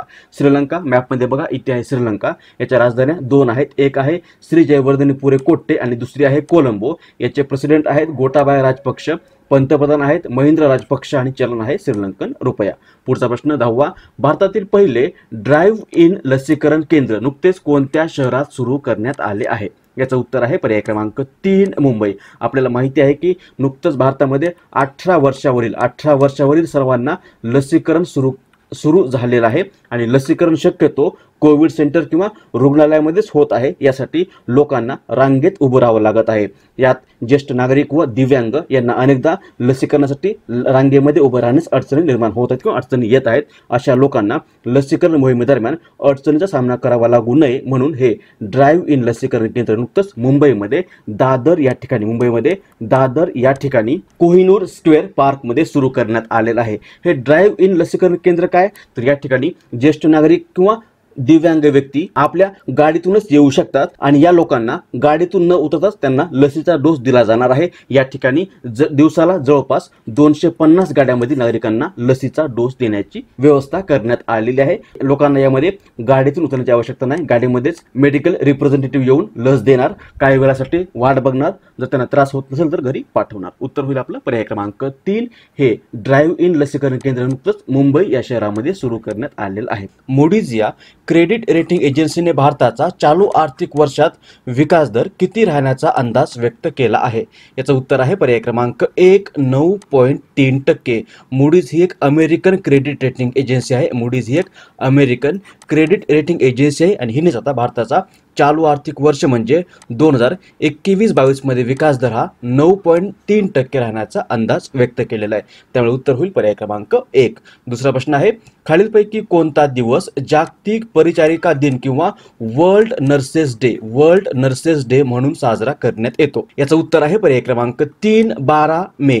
बारा मे हा दिवस दरवर्षी जगभरात इंटरनॅशनल नर्सेस डे किंवा जागतिक परिचारिका दिन म्हणून साजरा करण्यात येतो. रुग्णांची सेवा करणाऱ्या परिचारिकांबद्दल कृतज्ञता व्यक्त करण्यासाठी एकोणीसशे पासष्ट एकोणीसशे पासष्ट या वर्षापासून हा बारा मे हा दिवस जागतिक परिचारिका दिन म्हणून साजरा करण्यात येतो. आणि हा बारा मे हा दिवस फ्लॉरेन्स नायटिंगल ज्यांना आधुनिक नर्सिंगच्या फाउंडर लेडी म्हणून ओळखलं जातं यांचा जन्मदिवस आहे. फ्लॉरेन्स नायटिंगल यांचा जन्म बारा मे अठराशे वीसमध्ये झाला होता. उत्तर होईल बारा मे हा दिवस दरवर्षी जागतिक परिचारिका दिन म्हणून साजरा करण्यात येतो. पर्याय क्रमांक तीन. नेक्स्ट खालीलपैकी कोणाला नुकतेच शेख जायद पुस्तक पुरस्कार दोन हजार एकवीस जाहीर झाला आहे. उत्तर आहे पर्याय क्रमांक एक. डॉक्टर ताहेरा कुतुबुद्दीन. बघा हे आहेत डॉक्टर ताहेरा कुतुबुद्दीन. या शिकागो विद्यापीठात अरब साहित्याच्या प्रोफेसर आहेत आणि या भारतीय वंशाच्या व्यक्ती आहेत. भारतीय वंशाच्या व्यक्ती आहेत. यांचा जन्म आपल्या भारतातील मुंबई या ठिकाणी झाला होता. आणि यांचं हे पुस्तक आहे Arabic oration art and function नावाचं. याच पुस्तकासाठी त्यांना हा दोन हजार एकवीसचा शेख जायद पुरस्कार जाहीर झालेला आहे. हा जो पुरस्कार आहे शेख जायद पुरस्कार हा पुरस्कार यू ए म्हणजे युनायटेड अरब अमिरात किंवा संयुक्त अरब अमिरात या देशाचा एक साहित्यिक साहित्यिक पुरस्कार आहे. अरब जगतातील हा एक प्रतिष्ठित असा पुरस्कार असून याची सुरुवात दोन हजार सात या वर्षापासून झालेली आहे आणि या पुरस्काराला जगातील सर्वात श्रीमंत पुरस्कारामध्ये गणलं जातं. उत्तर होईल. हा पुरस्कार दोन हजार एकवीस या वर्षासाठी नुकताच डॉक्टर ताहेरा कुतुबुद्दीन यांना जाहीर झाला आहे. पर्याय क्रमांक एक. त्यानंतर पुढचा प्रश्न आहे खालीलपैकी कोणता केंद्रशासित प्रदेश जलजीवन अभियान मोहिमेअंतर्गत प्रत्येक ग्रामीण घरात नळ पुरवठा देणारा दुसरा केंद्रशासित प्रदेश ठरला आहे. याचं उत्तर आहे पर्याय क्रमांक चार पदुचेरी हे जल जीवन अभियान. हे अभियान काय? तर हे अभियान भारत सरकारने पंधरा ऑगस्ट पंधरा ऑगस्ट दोन हजार एकोणीस या दिवशी सुरू कर सुरू केलेलं आहे. भारत सरकारने या अभियानाच्या किंवा या मोहिमेच्या अंतर्गत देशातील सर्व भागात दोन हजार चोवीस या वर्षापर्यंत दोन हजार चोवीस या वर्षापर्यंत स्वच्छ पाणी पुरवठा करण्याचा उद्देश निर्धारित केलेला आहे. आणि या अभियानाच्या अंमलबजावणीची जबाबदारी भारताच्या जलशक्ती जलशक्ती मंत्रालयाकडे देण्यात आलेली आहे. आणि पदुचेरी या युनियन टेरिटरीने जलजीवन अभियानाच्या अंतर्गत प्रत्येक ग्रामीण घरामध्ये नळ पुरवठा देण्याचा आपला संकल्प पूर्ण केलेला आहे. आणि अशी कामगिरी करणारं पदुचेरी हे गोवा तेलंगणा अंदमान व निकोबार द्वीपसमूह या पाठोपाठ आता चौथं राज्य किंवा युनियन टेरिटरी बनलेलं आहे आणि फक्त युनियन टेरिटरीमध्ये हे दुसरं युनियन टेरिटरी बनलेलं आहे. पहिलं आहे अंदमान व निकोबार. त्यामुळे आपलं उत्तर होईल पर्याय क्रमांक चार पुडुच्चेरी. पुढचा प्रश्न आहे कृषी क्षेत्रातील नोबेल पुरस्कार म्हणून ओळखला जाणारा जागतिक अन्न पुरस्कार दोन हजार एकवीस कोणाला जाहीर झाला आहे? याचं उत्तर आहे पर्याय क्रमांक दोन डॉक्टर शकुंतला थिलस्टेड इमेज बघा हे आहेत डॉक्टर शकुंतला थिलस्टेड ह्या भारतीय वंशाच्या व्यक्ती आहेत आणि या एक जागतिक स्तरावरील पोषण तज्ज्ञ आहेत आणि यांना नुकताच दोन हजार एकवीसचा जागतिक अन्न पुरस्कार हा पुरस्कार जाहीर झालेला आहे. हा जो पुरस्कार आहे जागतिक अन्न पुरस्कार किंवा वर्ल्ड फूड अवॉर्ड हा पुरस्कार कृषी क्षेत्रातील नोबेल पुरस्कार म्हणून ओळखला जातो. याची सुरुवात झालेली नाईन्टीन एट्टी सेवनमध्ये नोबेल पुरस्कार विजेते नॉर्मन बोरलॉग ज्यांना आपण हरित क्रांतीचे जनक म्हणून देखील ओळखतो यांनी या पुरस्काराची सुरुवात केली होती आणि हा पुरस्कार दरवर्षी वर्ल्ड फूड प्राईज फाउंडेशन या संस्थेकडून देण्यात येतो. पहिल्यांदा हा पुरस्कार डॉक्टर एम एस स्वामीनाथन यांना नाईन्टीन एट्टी सेवनमध्ये देण्यात आला होता आणि लास्ट टाइम म्हणजे दोन हजार वीसमध्ये हा पुरस्कार डॉक्टर रतनलाल यांना देण्यात आला होता. आता दोन हजार एकवीसचा हा जागतिक अन्न पुरस्कार नुकताच पर्याय क्रमांक तीन डॉक्टर शकुंतला थिलस्टेड यांना जाहीर झालेला आहे. उत्तर होईल पर्याय क्रमांक तीन. तसंच मग जागतिक अन्न दिन. जागतिक अन्न दिन असतो का? जागतिक अन्न दिन असतो. कधी असतो? तर हा दरवर्षी सोळा ऑक्टोबर या दिवशी साजरा करण्यात येतो. त्यानंतर अजून एक महत्त्वाचा मुद्दा अन्नासंबंधित दोन हजार वीसचा नोबेल शांतता पुरस्कार नोबेल शांतता पुरस्कार कोणाला मिळाला आहे तर हा वर्ल्ड फूड प्रोग्राम किंवा जागतिक अन्न कार्यक्रम या संघटनेला देण्यात आलेला आहे. त्यामुळे हे दोन मुद्दे आपण इथे लक्षात ठेवूयात. पुढचा प्रश्न आहे रवींद्रनाथ टागोर यांच्याबाबत खालीलपैकी योग्य विधान निवडा. खाली चार विधान आहेत त्यातलं आपल्याला योग्य विधान निवडायचं आहे. बघा पहिलं आहे नऊ मे दोन हजार एकवीस या दिवशी रवींद्रनाथ टागोर यांची एकशे साठवी जयंती साजरी करण्यात आली आहे. दुसरं आहे ते म्हणजे रवींद्रनाथ टागोर नोबेल पुरस्कार प्राप्त करणारे पहिले भारतीय व्यक्ती आहेत. त्यांची रचना दोन देशांचे राष्ट्रगीत आहे आणि चौथं आहे सर्व बरोबर. याचं बरोबर उत्तर आहे पर्याय क्रमांक चार सर्व बरोबर. ही तीनही विधाने बरोबर आहेत. हे आहेत रवींद्रनाथ टागोर. यांची नुकतीच नऊ मे दोन हजार एकवीस या दिवशी एकशे साठवी जयंती साजरी करण्यात आलेली आहे. आणि यांना एकोणीसशे तेरामध्ये एकोणीसशे तेरामध्ये त्यांच्या गीतांजली त्यांच्या गीतांजली या काव्यसंग्रहासाठी त्यांना साहित्यातील नोबेल पुरस्कार देण्यात आलेला आहे. ते असे एकमेव भारतीय साहित्यिक आहेत ज्यांना आतापर्यंत नोबेल पुरस्कार मिळालेला आहे. तसंच हा पुरस्कार प्राप्त करणारे ते आशियातील पहिले व्यक्ती आणि साहित्याचा नोबेल मिळवणारे पहिले गैर युरोपियन व्यक्ती देखील आहेत आणि जगातील असे एकमेव कवी आहेत ज्यांची रचना दोन देशांचे राष्ट्रगीत आहे. दोन देश कोणते? एक आहे आपला भारत जनगण मन आणि दुसरा आहे बांगलादेश. दुसरा आहे बांगलादेश अमार सोना बांगला. त्यामुळे आपलं उत्तर होईल पर्याय क्रमांक चार सर्व बरोबर. पुढचा प्रश्न आहे मॅड्रिड ओपन दोन हजार एकवीस या स्पर्धेत महिला एकेरी गटात खालीलपैकी कोणी विजय मिळवला आहे? ही मॅड्रिड ओपन काय? तर मॅड्रिड ओपन ही स्पेनमधल्या मॅड्रिड या ठिकाणी आयोजित करणारे करण्यात येणारी एक joint men's and women's professional tennis tournament आहे जी दरवर्षी मे महिन्याच्या सुरुवातीला मे महिन्याच्या सुरुवातीला स्पेनमधल्या मॅड्रिड या ठिकाणी आयोजित करण्यात येते. आणि दोन हजार एकवीसमध्ये ही स्पर्धा नुकतीच एकोणतीस एप्रिल एकोणतीस एप्रिल ते नऊ मे दोन हजार एकवीस या कालावधीमध्ये संपन्न झालेले. हे या स्पर्धेचं एकोणीसवं संस्करण होतं. एकोणीसवं संस्कार होतं आणि यामध्ये महिला एकेरी गटामध्ये विजय मिळवलेला आहे. पर्याय क्रमांक दोन एरिना संबालेका हिने एरिना संभालेका ही बेलारूस ही बेलारूस या देशाची बेलारूस या देशाची टेनिसपटू आहे. आणि हिनेच नुकतंच या मॅड्रिड ओपन दोन हजार एकवीस या स्पर्धेमध्ये महिला एकेरी गटामध्ये विजय मिळवलेला आहे. महिला एकेरी गटामध्ये एरिना संभालेका हिने विजय मिळवलेला आहे. जर पुरुष एकेरी विचारलं तर पुरुष एकेरीमध्ये जर्मनीच्या अलेक्झांडर वेरेव याने विजय मिळवलेला आहे. त्यामुळे आपलं उत्तर होईल. पर्याय क्रमांक दोन. त्यानंतर पुढचा प्रश्न आहे खालीलपैकी कोणत्या संस्थेने टू डिऑक्सी डी ग्लुकोज या नावाने कोविड नाईन्टीन प्रतिबंधक औषध विकसित केले आहे? याचं उत्तर आहे पर्याय क्रमांक दोन D R D O. D R D O म्हणजे काय? डी आर डी ओचा लॉंग फॉर्म होतो defence research and development organisation स्थापना झालेली एकोणीशे अठ्ठावन्नमध्ये मुख्यालय हे नवी दिल्लीला आणि सध्या अध्यक्ष आहेत डॉक्टर जी सतीश रेड्डी. आणि याच डी आर डी ओच्या I N M A S I N M S म्हणजे institute of nuclear medical and allied sciences या प्रयोगशाळेने doctor Reddy's laboratories doctor Reddy's laboratories Hyderabad यांच्या सहकार्याने कोविड नाईन्टीन प्रतिबंधक औषधाचं नाव आहे डिऑक्सी डी ग्लुकोज हे विकसित केलेलं आहे. ग्लोबल मिथेन असेसमेंट नावाचा अहवाल नुकताच खालीलपैकी कोणत्या संस्थेने प्रसिद्ध केला आहे? हा मिथेन काय? तर मिथेन हा एक वायुरूप कार्बनी संयुग आहे. या मिथेनचं रेणुसूत्र आहे C H four.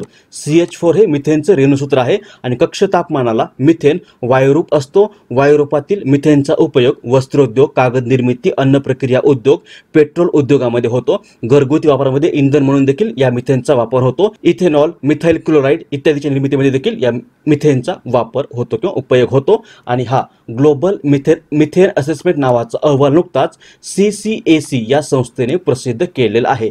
या सी सी ए सीचा लॉंग फॉर्म होतो climate and clean air coalition coalition म्हणजे युती. कोएलिशन म्हणजे युती. आणि ही C C A C he U N E P. U N E P म्हणजे युनायटेड नेशन्स एन्व्हायरमेंटल प्रोग्राम आणि इतर सहा देशांनी मिळून तयार केलेली युती आहे. या सहा देशामध्ये Bangladesh Canada Ghana Mexico Sweden आणि युएचा समावेश समावेश आहे. ही युती सोळा फेब सोळा फेब दोन हजार बाराला तयार करण्यात आली होती आणि याच सी सी ए सीने नुकताच हा ग्लोबल मिथेन असेसमेंट नावाचा अहवाल प्रसिद्ध केलेला आहे. यामध्ये असं म्हटलेलं आहे की दोन हजार वीस ते तीस या कालावधीमध्ये मानवी कृतींमुळे निर्माण होणारे मिथेन पंचेचाळीस टक्क्यांनी कमी केले जाऊ शकते आणि यामुळं दोन हजार पंचेचाळीस या वर्षापर्यंत जागतिक तापमानवाढीमध्ये शून्य पॉईंट थ्री डिग्री सेल्सिअस वाढ होण्याचं टाळलं जाऊ शकतं. उत्तर होईल हा अहवाल सी सी ए सी या संस्थेने प्रसिद्ध केलेला आहे. दहावा प्रश्न आहे the world economic situation and prospect नावाचा अहवाल नुकताच खालीलपैकी कोणत्या संघटनेने प्रसिद्ध केला आहे? हा अहवाल नुकताच पर्याय क्रमांक एक संयुक्त राष्ट्रसंघ या संस्थेने प्रसिद्ध केलेला आहे.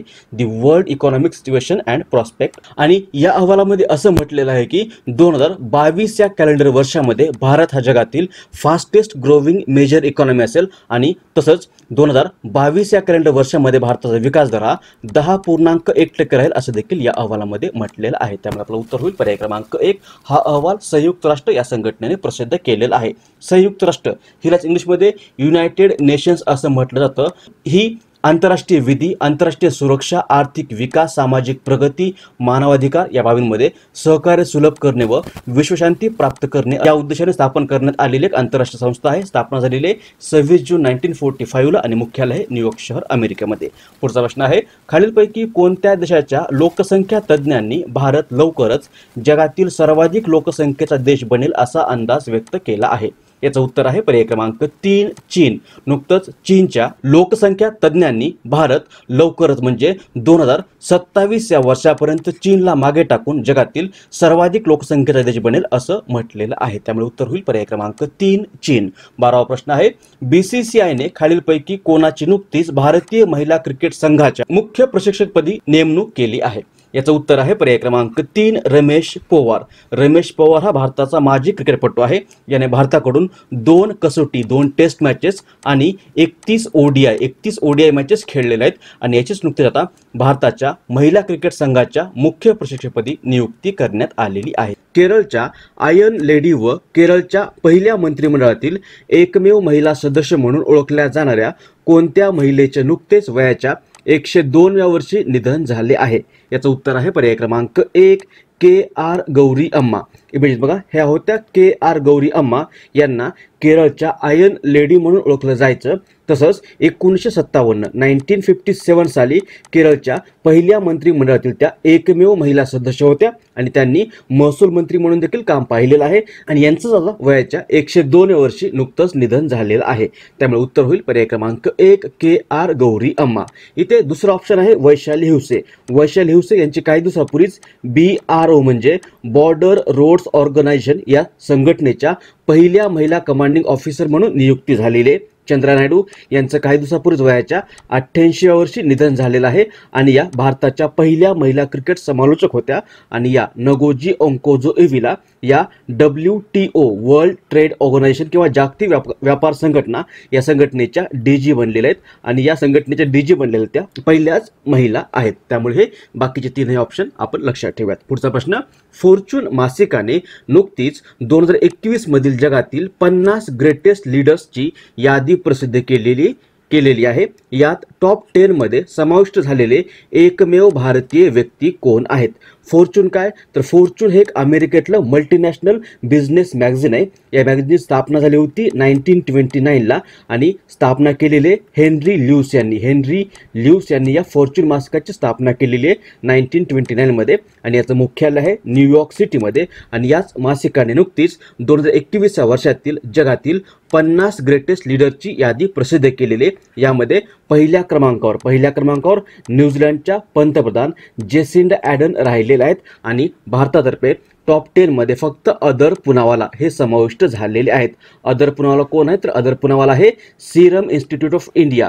या कंपनीचे सीईओ आहेत मुख्य कार्यकारी अधिकारी आहेत. त्यामुळे आपलं उत्तर होईल पर्याय क्रमांक दोन अदर पुनावाला. हे आहेत अदर पुनावाला आणि हे आहेत जेसिन डायडर न्यूझीलंडच्या पंतप्रधान. पुढचा प्रश्न नोमोरा या जपानी वित्तीय कंपनीने भारताचा चालू आर्थिक वर्षात विकास दर किती राहण्याचा अंदाज नुकताच व्यक्त केला आहे? याचं उत्तर आहे पर्याय क्रमांक चार दहा पॉईंट आठ टक्के. नोमुरा काय? तर नोमुरा ही एक जपानची वित्तीय सेवा कंपनी आहे किंवा फायनान्शियल होल्डिंग कंपनी आहे. या नोमुराची स्थापना झालेली आहे नाईन्टीन ट्वेंटी फाईव्हला आणि या नोमुराचं मुख्यालय आहे ओसाका. ओसाका जपान या ठिकाणी. आणि याच नोमोरा या कंपनीने काही दिवसापूर्वीच भारताचा विकास दर बारा पूर्णांक सहा टक्के राहील असा अंदाज व्यक्त केला होता चालू आर्थिक वर्षामध्ये. परंतु सध्या कोरोनामुळे लागू असलेल्या लॉकडाऊनमुळे हा विकास दर आता दहा पॉईंट आठ आठ टक्के असा व्यक्त केलेला आहे. त्यामुळे आपलं उत्तर होईल पर्याय क्रमांक चार दहा पॉईंट आठ टक्के. नेक्स्ट सुरिनाम या देशात भारताचे नवीन राजदूत म्हणून कोणाची नियुक्ती करण्यात आली आहे? उत्तर आहे पर्याय क्रमांक एक यस बालचंद्रन. इमेज बघा हे आहेत यस बालचंद्रन. आणि नुकतंच आता सुरिनाम या देशामध्ये भारताचे नवीन राजदूत म्हणून नियुक्त झालेले आहेत. सुरिनाम मॅपमध्ये पाहिलं तर इतिहाय आहे हा सुरिनाम देश. याची राजधानी या सुरिनामची राजधानी आहे प्यारामारिबो. पंतप्रधान आहेत चान सांतोकी आणि चलन आहे सुरिमानीज डॉलर. पुढचा प्रश्न नुकतीच मे दोन हजार एकवीसमध्ये ब्रिक्स रोजगार कार्यकारी गटाची पहिली आभासी बैठक कोणत्या देशाच्या अध्यक्षतेखाली संपन्न झाली आहे? ब्रिक्स स्पेलिंग आहे B R I C S. हे ब्रिक्स काय? तर ब्रिक्स हे ब्राझील रशिया इंडिया चायना आणि साऊथ आफ्रिका या देशांच्या शिखर संघटनेचं संक्षिप्त नाव आहे. या देशातील अर्थव्यवस्था वृद्धिगत होण्यासाठी निधी उपलब्ध करणे परस्परातील आर्थिक सहकार्य वाढवणे आर्थिक सुरक्षता मजबूत करणे या उद्देशाने या ब्रिक्सची स्थापना करण्यात आली होती. आणि याच ब्रिक्सच्या रोजगार कार्यकारी गटाची पहिली आभासी बैठक आपल्या भारताच्या अध्यक्षतेखाली संपन्न झालेली आहे. त्यामुळे आपलं उत्तर होईल पर्याय क्रमांक तीन भारत. आणि या परिषदेचं अध्यक्षपद भारताचे कामगार व रोजगार सचिव श्री अपूर्व चंद्रा. अपूर्व चंद्रा श्री अपूर्व चंद्रा यांनी भूषवलेलं आहे. त्यामुळे आपलं उत्तर होईल पर्याय क्रमांक तीन भारत. तसंच या बैठकीमध्ये सदस्य देशांमध्ये सामाजिक सुरक्षा कराराला प्रोत्साहन देणं कामगारांसाठी बाजारपेठा निर्माण करणं कामगार शक्तीत महिलांचा सहभाग वाढवणं घड्याळी तासावर काम करणाऱ्या कामगारांना व्यासपीठ उपलब्ध करून देणं या विषयांवर चर्चा करण्यात आलेली आहे. पुढचा प्रश्न आहे भारतीय वन्यजीव संस्थेने भारतीय वन्यजीव गणना दोन हजार एक एकवीस या कार्यक्रमाच्या अंतर्गत खालीलपैकी कोणत्या राज्यात पहिल्यांदाच माकडांची गणना केली आहे? माकडांची गणना केली आहे. याचं उत्तर आहे पर्याय क्रमांक दोन हरियाणा. हे काय? भारतीय वन्यजीव संस्था किंवा हिलाच इंग्लिशमध्ये wild life institute of India असं म्हटलं जातं. वनजीवांचा शास्त्रशुद्ध अभ्यास करून त्यांच्या शाश्वत जीवनाच्या संवर्धनासाठी प्रयत्न करणं या उद्देशाने या भारतीय वन्यजीव संस्थेची स्थापना नाईन्टीन एटी टूमध्ये झाली होती आणि हिचं मुख्यालय आहे डेहराडून. डेहराडून या ठिकाणी आणि याच संस्थेनं भारतीय वन्यजीव गणना दोन हजार एकवीस या कार्यक्रमाच्या अंतर्गत हरियाणा या राज्यामध्ये नुकतीच माकडांची गणना केलेली आहे. त्यामुळे आपलं उत्तर होईल. पर्याय क्रमांक दोन. हरियाणा. हरियाणा मॅपमध्ये पाहिलं तर इथे आहे हा हरियाणा. याची राजधानी आहे चंदीगड. चंदीगड ही पंजाब देखील राजधानी आहे. राज्यपाल आहेत सत्यदेव नारायण आर्य मुख्यमंत्री आहेत मनोहर लाल खट्टर. विधानसभेमध्ये नव्वद सदस्य असून हरियाणामधून लोकसभेवर दहा आणि राज्यसभेवर पाच सदस्य निवडून दिले जातात. सीमा पंजाब हिमाचल प्रदेश राजस्थान व युपीशी संलग्न असून प्रमुख पिके आहेत गहू ज्वारी जव आणि ऊस आणि महाभारतामध्ये कौरव पांडवाचं युद्ध झालं होतं कुरुक्षेत्र या ठिकाणी. हे कुरुक्षेत्र देखील याच हरियाणा या राज्यामध्ये आहे. नेक्स्ट ॲक्झिओम या अमेरिकेतील एका स्पेस कंपनीने आंतरराष्ट्रीय अंतराळ स्थानकाकडे अंतराळवीरांना पाठवण्यासाठी कोणत्या अंतराळ संस्थेसोबत एक सामंजस्य करार केला आहे? याचं उत्तर आहे पर्याय क्रमांक दोन नासा. नासा काय? तर नासा ही अमेरिकेची अंतराळ संशोधन संस्था आहे. या नासाचा लॉंग फॉर्म होतो. The national aeronautics and space administration the national aeronautics and space administration हा या नासाचा लॉंग फॉर्म आहे. या नासाची स्थापना झालेली एकोण एकोणतीस जुलै नाईन्टीन फिफ्टी एटला मुख्यालय आहे वॉशिंग्टन डी सीला आणि काही दिवसापूर्वीच बिल नेल्सन बिल नेल्सन यांची नासाच्या ॲडमिनिस्ट्रेटरपदी नियुक्ती करण्यात आलेली आहे. आणि ही ॲक्झिओम स्पेलिंग आहे A X I O N he Axiom ही अमेरिकेतील एक प्रायव्हेटली फंडेड स्पेस कंपनी आहे. हिची स्थापना झाली होती दोन हजार सोळा या वर्षामध्ये. आणि याच ॲक्झिओम या स्पेस कंपनीने आंतरराष्ट्रीय अंतराळ स्थानकाकडे अंतराळवीरांना पाठवण्यासाठी आपली पहिली खासगी मोहीम राबवण्यासाठी नुकतंच नासा या अंतराळ संस्थेसोबत करार केलेला आहे. त्यामुळे आपलं उत्तर होईल पर्याय क्रमांक दोन नासा. आणि या कराराअंतर्गत A X one A X one किंवा त्यालाच ॲक्झिओम मिशन वन असं म्हटलं जातं. या मिशनचं प्रक्षेपण दोन हजार बावीस या वर्षापर्यंत करण्यात येणार आहे. पुढचा प्रश्न आहे खालीलपैकी कोणता दिवस जागतिक कुटुंब दिन म्हणून साजरा करण्यात येतो? उत्तर आहे. पर्याय क्रमांक तीन पंधरा मे. कुटुंबाचं महत्त्व अधोरेखित करण्याच्या उद्देशाने दरवर्षी पंधरा मे हा दिवस युनायटेड नेशन्स किंवा संयुक्त राष्ट्रसंघाकडून नाईन्टीन नाईन्टी फोरपासून जागतिक कुटुंब दिन किंवा इंटरनॅशनल डे ऑफ फॅमिलीज म्हणून साजरा करण्यात येतो. आणि यावर्षी हा दिवस socially just transition towards sustainable development the role of digital technologies on social development and wellbeing of all या थीमखाली साजरा करण्यात आलेला आहे. पुढचा प्रश्न आहे प्रसिद्ध साहित्यिक आणि पत्रकार होमे बोरगोहेन यांचे नुकतेच निधन झाले आहे. त्यांना खालीलपैकी कोणत्या भाषेसाठी एकोणीसशे अष्ट्याहत्तरमध्ये साहित्य अकादमी पुरस्काराने सन्मानित करण्यात आले आहे? याचं उत्तर आहे पर्याय क्रमांक एक आसामी. इमेज बघा. हे होते प्रसिद्ध आसामी साहित्यिक व पत्रकार होमे बोरगोहेन आणि यांचं नुकतंच वयाच्या अठ्ठ्याऐंशी वर्षी निधन झालेलं आहे. ते प्रसिद्ध आसामी साहित्यिक व पत्रकार होते. ते बऱ्याच वृत्तपत्रांशी संबंधित होते.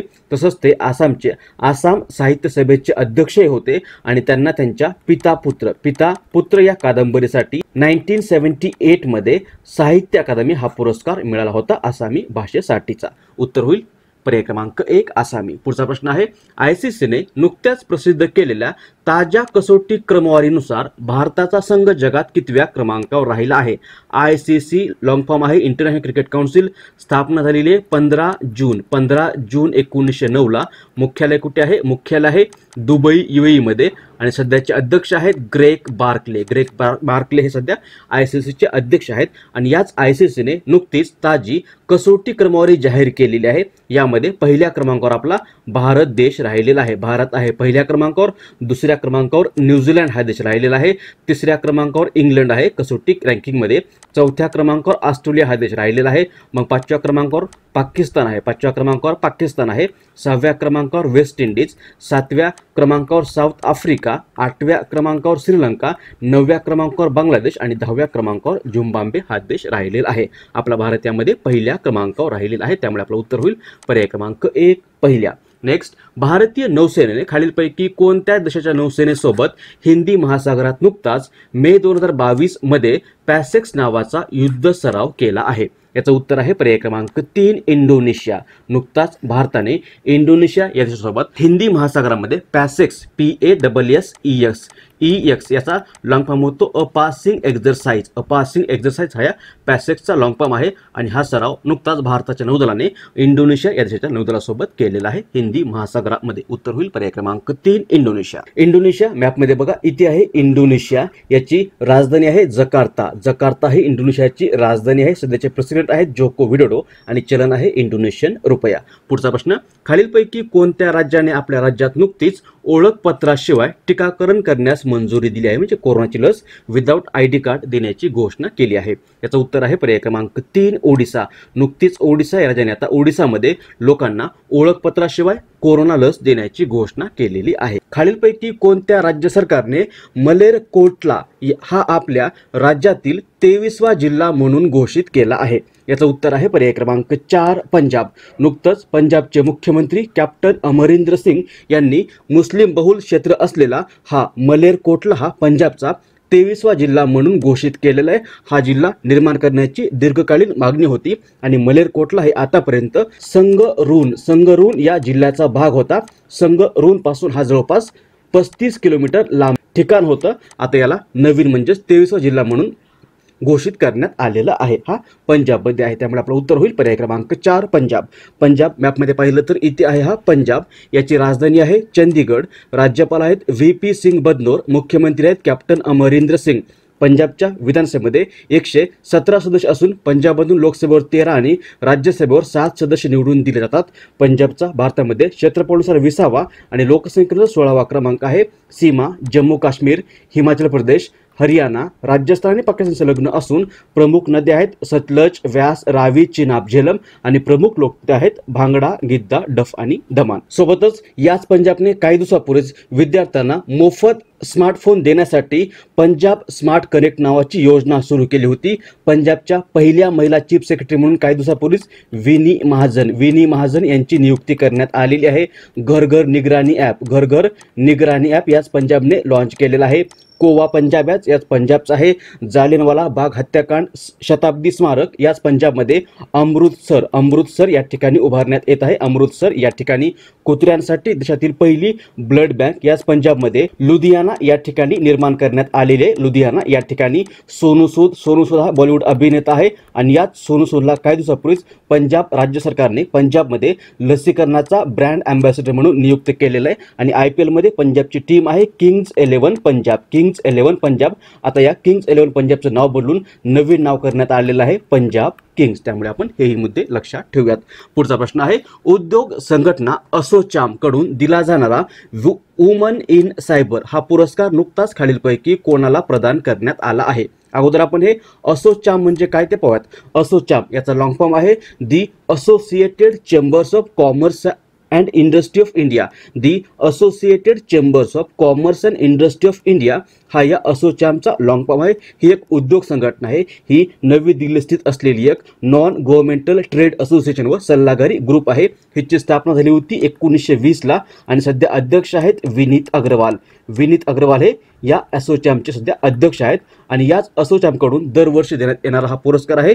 वुमन इन सायबर नावाचा हा पुरस्कार असोचॅमकडून देण्यात येणारा एक राष्ट्रीय पातळीवरचा पुरस्कार आहे आणि दोन हजार एकवीसमध्ये हा पुरस्कार नुकताच पर्याय क्रमांक एक स्वाती पांडे यांना देण्यात आलेला आहे.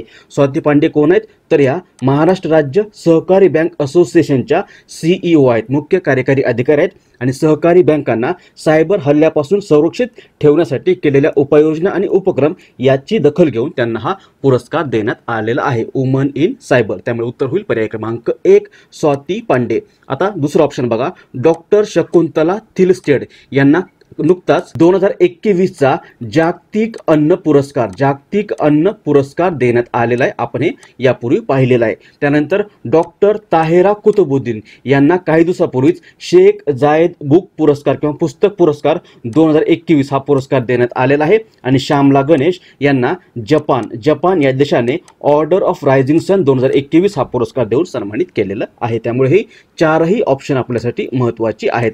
तिसरा प्रश्न आहे खालीलपैकी योग्य विधान निवडा.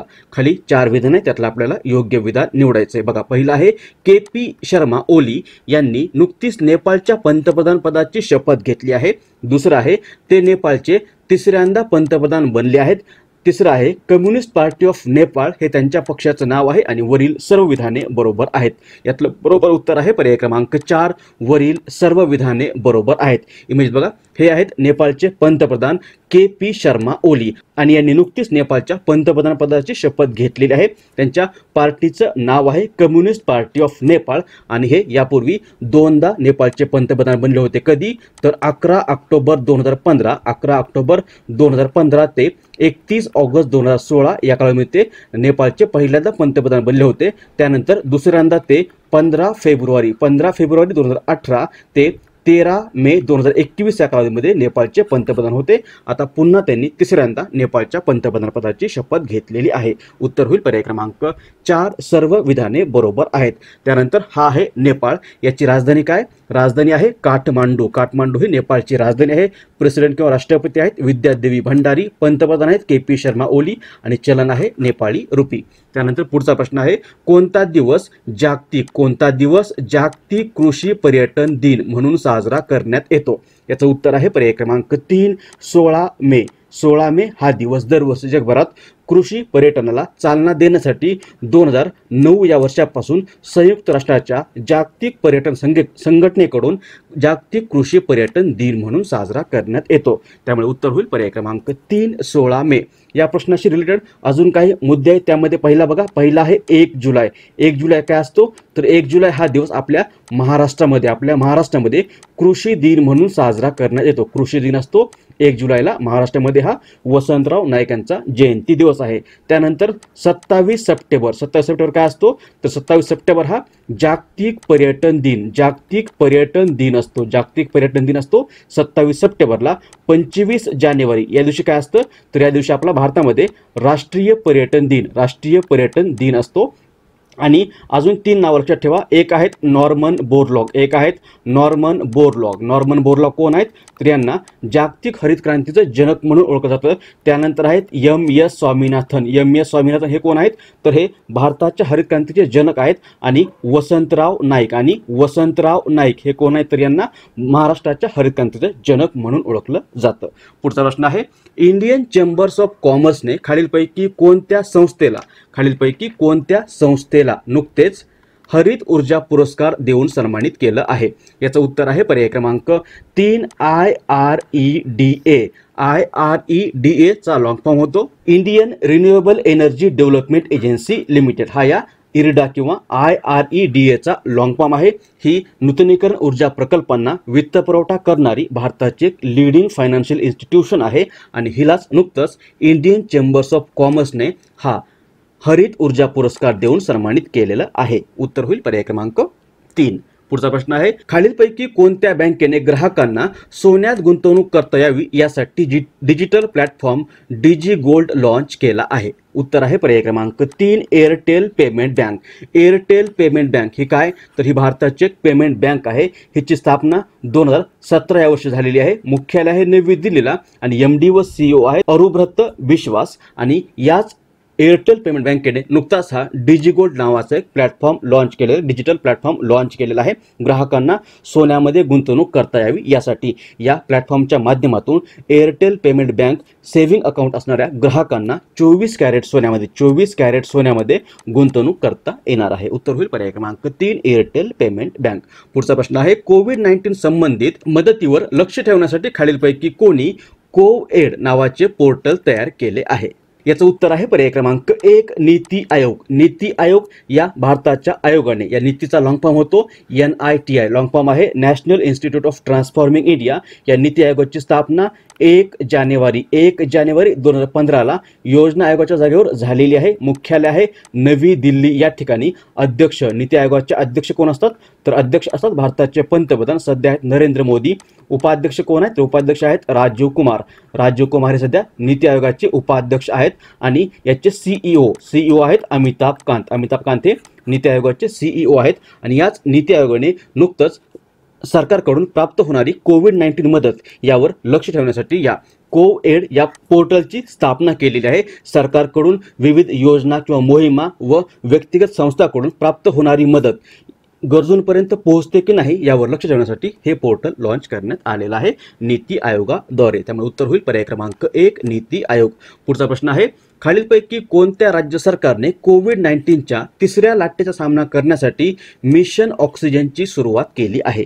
उत्तर आहे पर्याय क्रमांक चार महाराष्ट्र.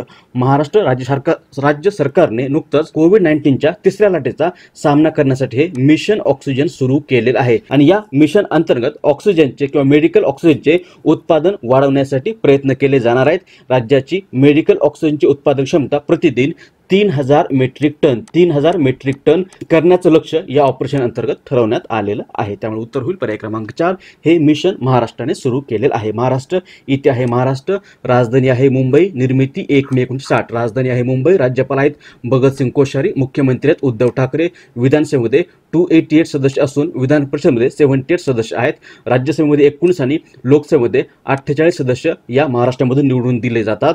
क्षेत्रफळानुसार महाराष्ट्राचा भारतामध्ये तिसरा क्रमांक आहे आणि लोकसंख्येनुसार दुसरा क्रमांक आहे सीमा गोवा कर्नाटक तेलंगणा छत्तीसगड एम पी आणि गुजरातचे संलग्न असून राज्य वृक्ष आहे राम आंबा राज्य फूल आहे तामन राज्य पक्षी आहे हरावत राज्य प्राणी आहे शेकरू प्रमुख लोकनृत्य आहे लावणी आणि एकूण जिल्हे आहेत छत्तीस. पुढचा प्रश्न आहे मायग्रेशन अँड डेव्हलपमेंट ब्रीफ नावाचा अहवाल नुकताच खालीलपैकी कोणत्या संस्थेने प्रसिद्ध केला आहे? याचं उत्तर आहे पर्याय क्रमांक दोन जागतिक बँक किंवा वर्ल्ड बँक. या जागतिक बँकेने नुकताच हा मायग्रेशन अँड डेव्हलपमेंट ब्रीफ नावाचा अहवाल प्रसिद्ध केलेला आहे आणि या अहवालानुसार जागतिक वित्त प्रेषणाच्या बाबतीमध्ये म्हणजेच रेमिटन्स म्हणजेच रेमिटन्सच्या बाबतीमध्ये. रेमिटन्स किंवा वित्त प्रेषण काय? तर परदेशामध्ये राहणाऱ्या कामगाराने त्याच्या किंवा तिच्या मायदेशी पाठवलेला पैसा म्हणजे त्यालाच रेमिटन्स किंवा वित्त प्रेषण असं म्हटलं जातं. आणि यामध्ये जगामध्ये भारत दोन हजार वीसमध्ये पहिल्या क्रमांकावर राहिलेला आहे. म्हणजे भारताला जगामध्ये सर्वात जास्त वित्त प्रेषण प्राप्त झालेलं आहे. भारताला दोन हजार वीसमध्ये जवळपास त्र्याऐंशी अब्ज डॉलर त्र्याऐंशी अब्ज डॉलरपेक्षा जास्त रक्कम या माध्यमातून मिळालेली आहे. भारत यामध्ये पहिल्या क्रमांकावर आहे. जगामध्ये पैसे परदेशातून भारतामध्ये येण्याच्या बाबतीमध्ये. भारत आहे पहिल्या क्रमांकावर. मग दुसऱ्या क्रमांक कोण आहे? दुसऱ्या क्रमांकावर चीन आहे. चीनला दोन हजार वीसमध्ये एकूण एकोणसाठ पॉईंट पाच अब्ज डॉलर एवढी रक्कम परदेशांमधून प्राप्त झालेली आहे. आणि तिसऱ्या क्रमांकावर आहे मेक्सिको हा देश. तिसऱ्या क्रमांकावर आहे मेक्सिको हा देश. रिमिटन्सच्या बाबतीमध्ये मेक्सिकोला दोन हजार वीसमध्ये बेचाळीस पूर्णांक आठ अब्ज डॉलर एवढी रक्कम प्राप्त झालेली आहे परदेशामध्ये राहणाऱ्या नागरिकांकडून किंवा कामगारांकडून. हे आहेत परदेशाकडून प्राप्त होणारी रक्कम किंवा इनफ्लो रेमिटन्स इनफ्लो आहे.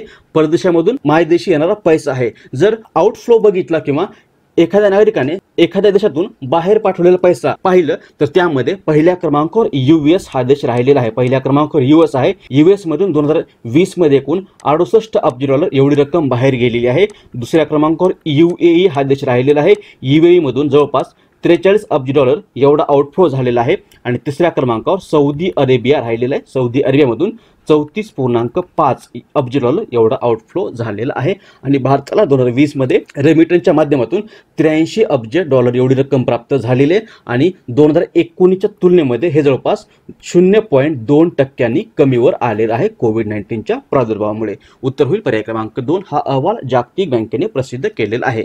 जागतिक बँक तिलाच इंग्लिशमध्ये वर्ल्ड बँक असं म्हटलं जातं. स्थापना झालेली जुलै नाईन्टीन फोर्टी फोरला मुख्यालय आहे वॉशिंग्टन डी सीला अध्यक्ष आहेत डेव्हिड जवळपास सी एफ ओ आहेत भारताचे अंशुलाकांत आणि जागतिक बँकेचा मोटो आहे working for a world free of poverty next Joe Biden प्रशासनाने खालीलपैकी कोणाची नुकतीच अमेरिकेच्या व्हाईट हाऊसमध्ये वरिष्ठ सल्लागार म्हणून नियुक्ती केली आहे?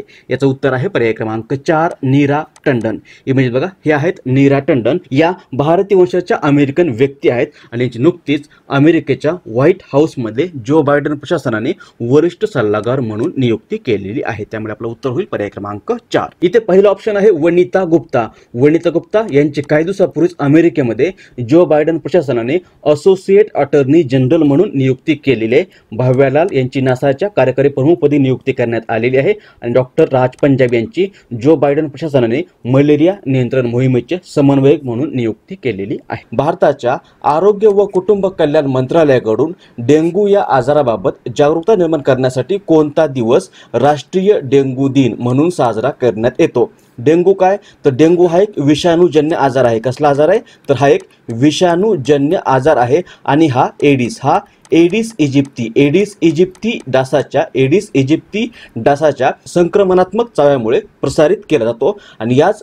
डेंग्यू या आजाराबाबत जागरूकता निर्माण करण्याच्या उद्देशाने दरवर्षी भारतामध्ये भारताच्या आरोग्य व कुटुंब कल्याण मंत्रालयाकडून पर्याय क्रमांक दोन सोळा मे हा दिवस भारतामध्ये राष्ट्रीय डेंगू दिन म्हणून साजरा करण्यात येतो. त्यामुळे उत्तर होईल पर्याय क्रमांक दोन सोळा मे. पुढचा प्रश्न आहे दोन हजार एकवीसची पुरुष बॉक्सिंग चॅम्पियनशिप स्पर्धा खालीलपैकी कोणत्या देशात आयोजित करण्यात येणार आहे? वर्ल्ड बॉक्सिंग चॅम्पियनशिप मेन्स दोन हजार एकवीसची. याचं उत्तर आहे पर्याय क्रमांक दोन सर्बिया. सर्बियाची राजधानी आहे बेलग्रेड. राजधानी आहे बेलग्रेड आणि याच बेलग्रेडमध्ये दोन हजार एकवीसची पुरुषांची बॉक्सिंग चॅम्पियनशिप ही स्पर्धा सव्वीस ऑक्टोबर ते सहा नोव्हेंबर दोन हजार एकवीस या कालावधीमध्ये आयोजित करण्यात येणार आहे. त्यामुळे उत्तर होईल पर्याय क्रमांक दोन सर्बिया. सर्बिया मॅपमध्ये पाहिलं तर इथे आहे हा सर्बिया देश हा आहे सर्बिया. याची राजधानी आहे बेलग्रेड. राजधानी आहे बेलग्रेड. सध्याचे प्रेसिडेंट आहेत अलेक्झांडर व्ह्युसिस पंतप्रधान आहेत एना बर्नॅबिक आणि करन्सी कमिशनर आहे सर्बियन दिनार. पुढचा प्रश्न सध्या चर्चेत असलेली ताशी यांगजोम कोण आहे? याचं उत्तर आहे पर्याय क्रमांक एक गिर्यारोहक. इमेज बघा ही आहे अरुणाचल प्रदेश या राज्यातील महिला गिर्यारोहक आणि हे सध्या चर्चेमध्ये आहे कारण नुकतंच हिने दोन हजार एकवीस या वर्षामध्ये माउंट एव्हरेस्ट शिखर सर केलेलं आहे आणि दोन हजार एकवीस या वर्षामध्ये माउंट एव्हरेस्ट शिखर सर करणारी ती पहिलीच भारतीय महिला गिर्यारोहक बनलेली आहे. त्यामुळे सध्या ही चर्चेमध्ये आहे. नाव आहे तांगशी यांगजोम ही आहे गिर्यारोहक पर्याय क्रमांक एक. हे आपलं उत्तर झालं. आणि हिने माउंट एव्हरेस्ट माउंट एव्हरेस्ट सर केलेलं आहे. माउंट एव्हरेस्ट कुठे आहे? तर हे माउंट एव्हरेस्ट नेपाळमध्ये आहे. याची उंची किती आहे? याची उंची आहे आठ हजार आठशे अठ्ठेचाळीस पॉईंट शहाऐंशी मीटर आणि नेपाळमध्ये याला सागर माथा सागर माथा या नावाने ओळखलं जातं. सोबतच याला तिबेटमध्ये तिबेटमध्ये काय म्हटलं होतं तिबेटमध्ये याला चोमो लुंगमा असं म्हटलं जातं. पुढचा प्रश्न आहे खालीलपैकी कोणता दिवस दरवर्षी आंतरराष्ट्रीय प्रकाश दिन इंटरनॅशनल डे ऑफ लाइट म्हणून साजरा करण्यात येतो? याचं उत्तर आहे पर्याय क्रमांक तीन सोळा मे. आपल्या दैनंदिन जीवनामध्ये प्रकाशावर आधारित असलेल्या तंत्रज्ञानाद्वारे पार पाडल्या जाणाऱ्या महत्त्वपूर्ण भूमिकेविषयी लोकांमध्ये जागृती निर्माण करण्याच्या उद्देशाने दरवर्षी सोळा मे हा दिवस आंतरराष्ट्रीय प्रकाश दिन म्हणून साजरा करण्यात येतो. एकोणीसशे साठ एकोणीसशे साठ या वर्षी सोळा मे याच दिवशी थिओडोर मॅमन थिओडोर मॅमन या भौतिकशास्त्रज्ञाने केलेल्या लेझर प्रकाशाच्या पहिल्या यशस्वी प्रयोगाच्या वर्धापन दिनानिमित्त दरवर्षी सोळा मे हाच दिवस जगभरात आंतरराष्ट्रीय प्रकाश दिन म्हणून साजरा करण्यात येतो. त्यामुळे उत्तर होईल पर्याय क्रमांक तीन. नेक्स्ट खालीलपैकी कोणता दिवस दरवर्षी जागतिक दूरसंचार दिन म्हणून साजरा करण्यात येतो? उत्तर आहे पर्याय क्रमांक चार सतरा मे. सतरा मे हा दिवस दरवर्षी जगभरात जागतिक दूरसंचार दिन म्हणून साजरा करण्यात येतो. यालाच world telecommunication and information society day असं देखील म्हटलं जातं. टेलिफोनच्या आधी तारेने संदेश दिला जात होता. त्याचा विस्तार करण्यासाठी सतरा मे अठराशे पासष्ट सतरा मे अठराशे पासष्ट या दिवशी इंटरनॅशनल टेलिकम्युनिकेशन युनियनची स्थापना झाली होती. यामुळेच एकोणीसशे त्र्याहत्तर या वर्षापासून संचाराच्या महत्त्वाविषयी जागरूकता वाढवण्यासाठी आणि जगभरात त्याचं महत्त्व वाढवण्यासाठी सतरा मे हा दिवस जागतिक दूरसंचार दिन म्हणून साजरा करण्यात येतो. उत्तर होईल पर्याय क्रमांक चार सतरा मे.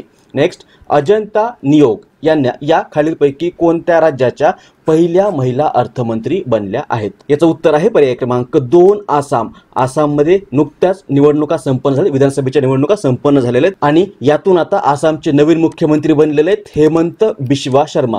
हेमंत बिश्वा शर्मा हे आसामचे नवीन मुख्यमंत्री बनलेले आहेत. आणि यांनीच नुकतंच अजंता नियोग यांना आता आसामच्या पहिल्या अर्थमंत्री म्हणून पदभार दिलेला आहे. आसामच्या त्या पहिल्याच अर्थमंत्री बनल्या असून त्या पूर्वोत्तर राज्यातील पूर्वोत्तर राज्यातील देखील पहिल्याच अर्थमंत्री बनलेले आहेत. उत्तर होईल पर्याय क्रमांक दोन आसाम. सोबतच या आसाममध्ये चौथ्यांदा विधानसभेच्या सदस्य देखील बनलेले आहेत. आसाम मॅपमध्ये बघा इथे आहे आसाम राजधानी आहे दिसपूर राज्यपाल आहेत जगदीश मुखी मुख्यमंत्री यापूर्वी होते सर्बानंद सोनोवाल आता आहेत हेमंत बिश्वा शर्मा. हे सध्या आसामचे नवीन मुख्यमंत्री आहेत. विधानसभेमध्ये एकशे सव्वीस सदस्य असून आसाममधून लोकसभेवर चौदा आणि राज्यसभेवर सात सदस्य निवडून दिले जातात. आसामच्या सीमा भूतान बांगलादेश अरुणाचल प्रदेश नागालँड मणिपूर मिझोराम मेघालय त्रिपुराशी संलग्न असून प्रमुख भाषा आहे असमिया. प्रमुख नृत्य आहे बिहू प्रमुख नदी आहे ब्रह्मपुत्रा. भारतामध्ये चहाचं सर्वाधिक उत्पादन आसाममध्ये घेतलं जातं. काझिरंगा नॅशनल पार्क याच आसाममध्ये आहे आणि नदीपात्रातील सर्वात मोठं बेट ज्याचं नाव आहे माजुली हे देखील याच आसाममध्ये आहे. पुढचा प्रश्न सातवा. दोन हजार बावीसचा महिलांचा रग्बी विश्वकप कोणत्या देशात आयोजित करण्यात येणार आहे? याचं उत्तर आहे पर्याय क्रमांक तीन न्यूझीलंड. रग्बी हा एक फुटबॉल या खेळाचा प्रकार आहे आणि महिलांचा दोन हजार बावीस या वर्षामध्ये आयोजित करण्यात येणारा रग्बी विश्वकप हा आठ ऑक्टोबर हा आठ ऑक्टोबर ते बारा नोव्हेंबर दोन हजार बावीस या कालावधीमध्ये न्यूझीलंड या देशामध्ये आयोजित करण्याची घोषणा नुकतीच वर्ल्ड रग्बीने केलेली आहे. वर्ल्ड रुग्बी काय? तर वर्ल्ड रुग्बी ही रग्बी या खेळाचं व्यवस्थापन करणारी जगातील हायेस्ट गव्हर्निंग बॉडी आहे आणि याच वर्ल्ड रग्बी या संघटनेकडून दर चार वर्षांनी दर चार वर्षांनी हा महिलांचा रग्बी विश्वकप आयोजित करण्यात येतो. यापूर्वी हा वर्ल्ड कप दोन हजार सतरामध्ये आयर्लंड या देशामध्ये संपन्न झाला होता. आता बावीसचा होत आहे न्यूझीलंड या देशामध्ये. त्यामुळे उत्तर होईल पर्याय क्रमांक तीन न्यूझीलंड न्यूझीलंड मॅपमध्ये पाहिलं तर इथे आहे न्यूझीलंड याची राजधानी आहे वेलिंग्टन. पंतप्रधान आहेत जेसिंडा ॲडन आणि चलन आहे न्यूझीलंड डॉलर. पुढचा प्रश्न यम यस नरसिंहम यांचे नुकतेच वयाच्या अठ्ठ्याऐंशी वर्षी निधन निधन झाले आहे. ते कोण होते? याचं उत्तर आहे पर्याय क्रमांक चार गणितज्ञ. इमेज बघा हे होते यम एस नरसिंहम आणि हे भारताचे ज्येष्ठ गणितज्ञ होते. त्यांना त्यांनी सी एस शेषाद्री यांच्या सोबतीने बनवलेल्या नरसिंहम शेषाद्री थेरमसाठी विशेषतः ओळखलं जातं. आणि यांनाच भारत सरकारने एकोणीसशे नव्वद एकोणीसशे नव्वद या वर्षामध्ये पद्मभूषण पद्मभूषण हा पुरस्कार देऊन सन्मानित केलेला आहे. यांना किंग फैजल इंटरनॅशनल प्राईज देखील प्राईज हा पुरस्कार देखील मिळाला होता आणि हा पुरस्कार प्राप्त करणारे ते एकमेव भारतीय व्यक्ती होते आणि यांचं आता वयाच्या अठ्ठ्याऐंशी वर्षी निधन झालेलं आहे. त्यामुळे आपलं उत्तर होईल हे भारताचे प्रसिद्ध गणितज्ञ होते. पर्याय क्रमांक चार. नेक्स्ट खालीलपैकी कोणत्या राज्य सरकारने कोविड पॉझिटिव्ह होम क्वारंटाईन रुग्णांना स्वस्थ ठेवण्यासाठी आयुष घर द्वार आयुष घर द्वार नावाचा कार्यक्रम सुरू केला आहे. याचं उत्तर आहे पर्याय क्रमांक दोन हिमाचल प्रदेश. हिमाचल प्रदेशात राज्य सरकारने नुकतंच योगाचा अभ्यास करून home quarantine covid nineteen positive रुग्णांना स्वस्थ ठेवण्यासाठी हा आयुष घर द्वार नावाचा कार्यक्रम सुरू केलेला आहे. हा कार्यक्रम आयुष विभागद्वारे आर्ट ऑफ लिव्हिंग संघटनेच्या मदतीने सुरू करण्यात आला असून या अंतर्गत सोशल मीडिया प्लॅटफॉर्मवरून जवळपास एक हजार जवळपास एक हजार ऑनलाईन किंवा व्हर्च्युअल ग्रुप बनवण्यात आलेले असून याद्वारे कोविड पॉझिटिव्ह रुग्णांना योगाभ्यास करण्यासाठी मार्गदर्शन करण्यात येणार आहे. उत्तर होईल पर्याय क्रमांक दोन हा कार्यक्रम हिमाचल प्रदेश या राज्याने सुरू केलेला आहे. हिमाचल प्रदेश मॅपमध्ये पाहिलं तर इथे आहे हिमाचल प्रदेश राजधानी आहे शिमला राज्यपाल आहेत बंडारू दत्तात्रय मुख्यमंत्री आहेत जयराम ठाकूर. पुढचा नुकत्याच प्रसिद्ध झालेल्या all time favourites for children या पुस्तकाचे लेखक कोण आहेत? याचे लेखक आहेत रश्किन बॉन्ड. रश्किन बॉन्ड यांनीच हे पुस्तक लिहिलेलं आहे. All time favourite for children नावाचं. त्यामुळे उत्तर होईल पर्याय क्रमांक एक रश्किन बॉन्ड. इथे दुसरं ऑप्शन आहे दीप हाडलर. यांनी काही दिवसापूर्वीच बेंगाल दोन हजार एकवीस अँड इलेक्शन डायरी नावाचं पुस्तक लिहिलेलं आहे. जुम्पा लिहिरी यांनी वेअर अबाउट्स नावाचं पुस्तक लिहिलेलं आहे. आणि आकाश रणसेन यांनी लिहिलेलं climate change explained for one and all हे पुस्तक सध्या चर्चेमध्ये आहे. त्यामुळे हे चारही नाव आपण लक्षात ठेवू. दोन हजार एकवीसची मिस युनिव्हर्स ही स्पर्धा खालीलपैकी कोणी जिंकली आहे? याचं उत्तर आहे पर्याय क्रमांक एक अँड्रिया मेजा. इमेज बघा ही आहे अँड्रिया मेजा. ही मॅक्सिको ही मॅक्सिको या देशाची सौंदर्यवती आहे. मॅक्सिको या देशाची सौंदर्यवती आहे. आणि हिनेच नुकतीच ही दोन हजार एकवीसची मिस युनिव्हर्स ही स्पर्धा जिंकलेली आहे. ही जी स्पर्धा आहे मिस युनिव्हर्स ही स्पर्धा दरवर्षी घेतली जाणारी एक जागतिक सौंदर्य स्पर्धा आहे. जागतिक सौंदर्य स्पर्धा आहे. जागतिक सौंदर्य स्पर्धा आणि सरासरी साठ कोटी दूरचित्रवाणी प्रेक्षक असलेल्या साठ कोटी दूरचित्रवाणी प्रेक्षक असलेल्या या स्पर्धेला जगातील सर्वात लोकप्रिय सौंदर्य स्पर्धा म्हणून गणलं जातं. आणि ही स्पर्धा मिस युनिव्हर्स ऑर्गनायझेशन ही अमेरिकेच्या न्यूयॉर्क या शहरामध्ये असलेली एक कंपनी आयोजित करते. कोणती कंपनी आहे? कंपनीचं नाव आहे मिस युनिव्हर्स ऑर्गनायझेशन. हीच कंपनी दरवर्षी ही स्पर्धा आयोजित करते.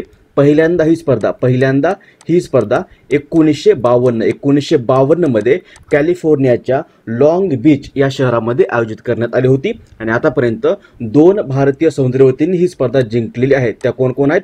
तर पहिली आहे नाईन्टीन नाईन्टी फोरमध्ये सुष्मिता सेन. पहिल्यांदा ही स्पर्धा भारताच्या सुष्मिता सेनने जिंकली होती. आणि दुसरी आहे लारा दत्ता. लारा दत्ताने मिस युनिव्हर्स ही स्पर्धा दोन हजार या वर्षामध्ये जिंकली होती. लारा दत्ताने आतापर्यंत फक्त भारताच्या दोनच सौंदर्यवतींनी ही स्पर्धा जिंकलेली आहे. आता दोन हजार एकवीसची स्पर्धा जी आतापर्यंतची एकोणसत्तरवी स्पर्धा आहे ही नुकतीच फ्लोरिंडा नुकतीच फ्लोरिंडा या ठिकाणी संपन्न झालेली आहे. आणि या स्पर्धेमध्ये मेक्सिकोच्या अँड्रिया मेजा हिने विजय मिळवलेला आहे. किंवा ही आता मिस युनिव्हर्स दोन हजार एकवीस ठरलेली आहे. आणि दोन हजार वीसमध्ये ही स्पर्धा आयोजित करण्यात आलीच नव्हती कोविड नाईन्टीनमुळे यासोबतच इथे तिसरा ऑप्शन आहे जुलिना गामा. ही कुठली आहे? तर ही पेरू या देशाची आहे आणि ही या स्पर्धेमध्ये यावर्षी दुसऱ्या क्रमांकावर राहिलेली आहे. त्यानंतर जानिक मॅसेटा ही ब्राझीलची आहे. ही ब्राझीलची आहे आणि ही या स्पर्धेमध्ये तिसऱ्या क्रमांकावर राहिलेली आहे. आणि आपल्यासाठी चौथा ऑप्शन देखील महत्त्वाचा आहे. ॲडलाईन कॅस्टिलिना. ही आपल्या भारताची आहे. ही आपल्या भारताची आहे आणि ही या स्पर्धेमध्ये चौथ्या क्रमांकावर राहिलेली आहे. चौथ्या क्रमांकावर राहिलेली आहे भारताची ॲडलिना कॅस्टेलिनो. म्हणजे बघा ही आहे भारताची ॲडलिना कॅस्टेलिनो. पुढचा प्रश्न आहे खालीलपैकी कोणता दिवस जागतिक म्युझियम दिन किंवा यालाच मराठीमध्ये जागतिक संग्रहालय जागतिक संग्रहालय दिन म्हणून साजरा करण्यात येतो. याचं उत्तर आहे पर्याय क्रमांक तीन अठरा मे. अठरा मे हा दिवस दरवर्षी जगभरात वर्ल्ड म्युझियम डे किंवा जागतिक संग्रहालय दिन म्हणून साजरा करण्यात येतो. हा दिवस युनेस्को हा दिवस युनेस्को या संघटनेकडून दरवर्षी साजरा करण्यात येत असून संग्रहालय ही सांस्कृतिक देवाणघेवाण समृद्धीकरण तसंच लोकांमध्ये परस्पर समन्वय सहकार्य आणि शांतता विकास करण्याचं महत्त्वाचं साधन आहे. यामुळे या संग्रहालयांबद्दल जागरूकता जागरूकता निर्माण करणे या उद्देशाने दरवर्षी अठरा मे हा दिवस जागतिक संग्रहालय दिन म्हणून साजरा करण्यात येतो. आणि यावर्षी हा दिवस the future of museums recover and reimagine the future of museums recover and reimagine या थीमखाली साजरा करण्यात आलेला आहे. पर्याय क्रमांक तीन. पुढचा प्रश्न आहे. खालीलपैकी कोणी नुकतीच अष्ट्याहत्तरवी इटालियन ओपन टेनिस स्पर्धा जिंकली आहे. इटालियन ओपन टेनिस स्पर्धा ही इटलीची राजधानी रोम या शहरामध्ये दरवर्षी आयोजित करण्यात येणारी एक टेनिस स्पर्धा आहे. ही स्पर्धा दोन हजार एकवीस या वर्षामध्ये नुकतीच नऊ ते सोळा मे दोन हजार एकवीस या कालावधीमध्ये संपन्न झालेले. आणि हे या स्पर्धेचं अष्ट्याहत्तरवं संस्करण होतं. आणि या स्पर्धेमध्ये नुकतंच पुरुष एकेरी गटामध्ये राफेल नदालने विजय मिळवलेला आहे. इमेज बघा हा आहे राफेल नदाल. हा कुठल्या देशाचा आहे? तर हा स्पेन. हा स्पेन या देशाचा आहे. आणि यानेच ही इटालियन ओपन दोन हजार एकवीस या स्पर्धेमध्ये पुरुष एकेरी गटामध्ये विजय मिळवलेला आहे.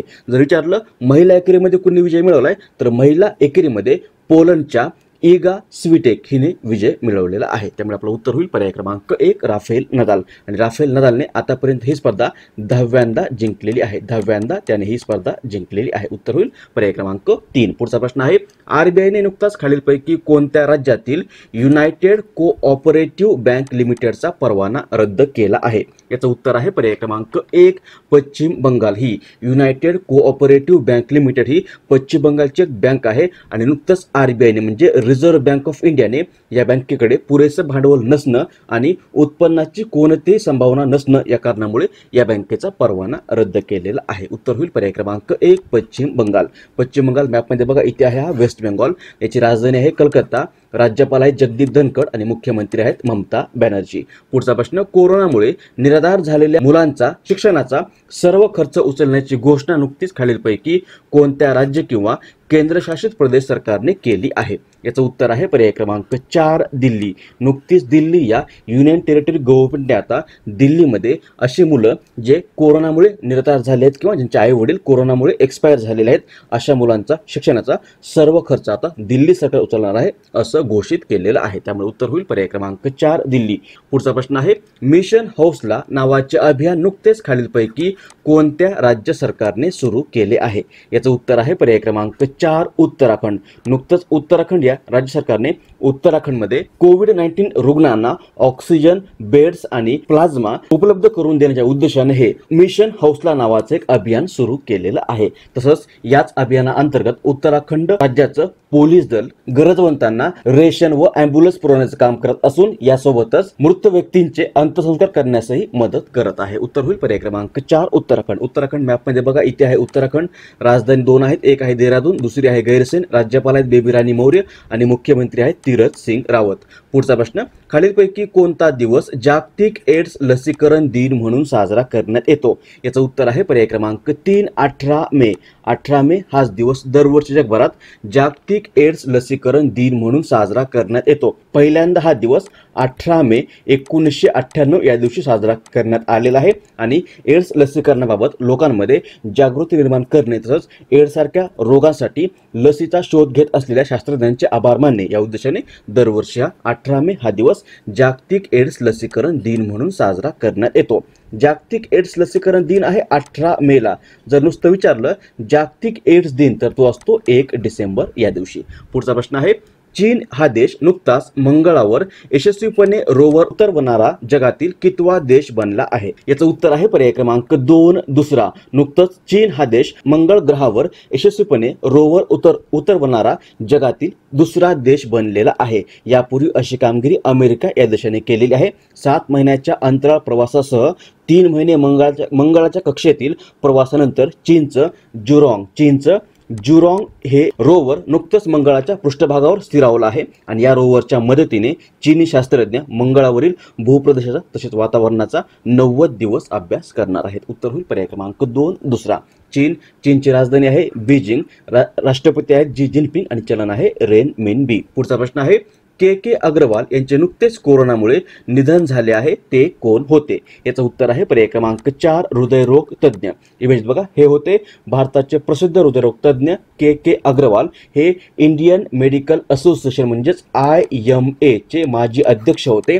आणि ते भारताचे प्रसिद्ध हृदयरोग तज्ज्ञ होते आणि यांच्या आणि यांनाच भारत सरकारने त्यांच्या आरोग्य क्षेत्रातील कामगिरीसाठी दोन हजार दहा दोन हजार दहा या वर्षामध्ये पद्मश्री हा पुरस्कार देऊन देखील सन्मानित केलं होतं. आणि यांचं आता नुकतंच कोरोनामुळे निधन झालेलं आहे. पर्याय क्रमांक चार.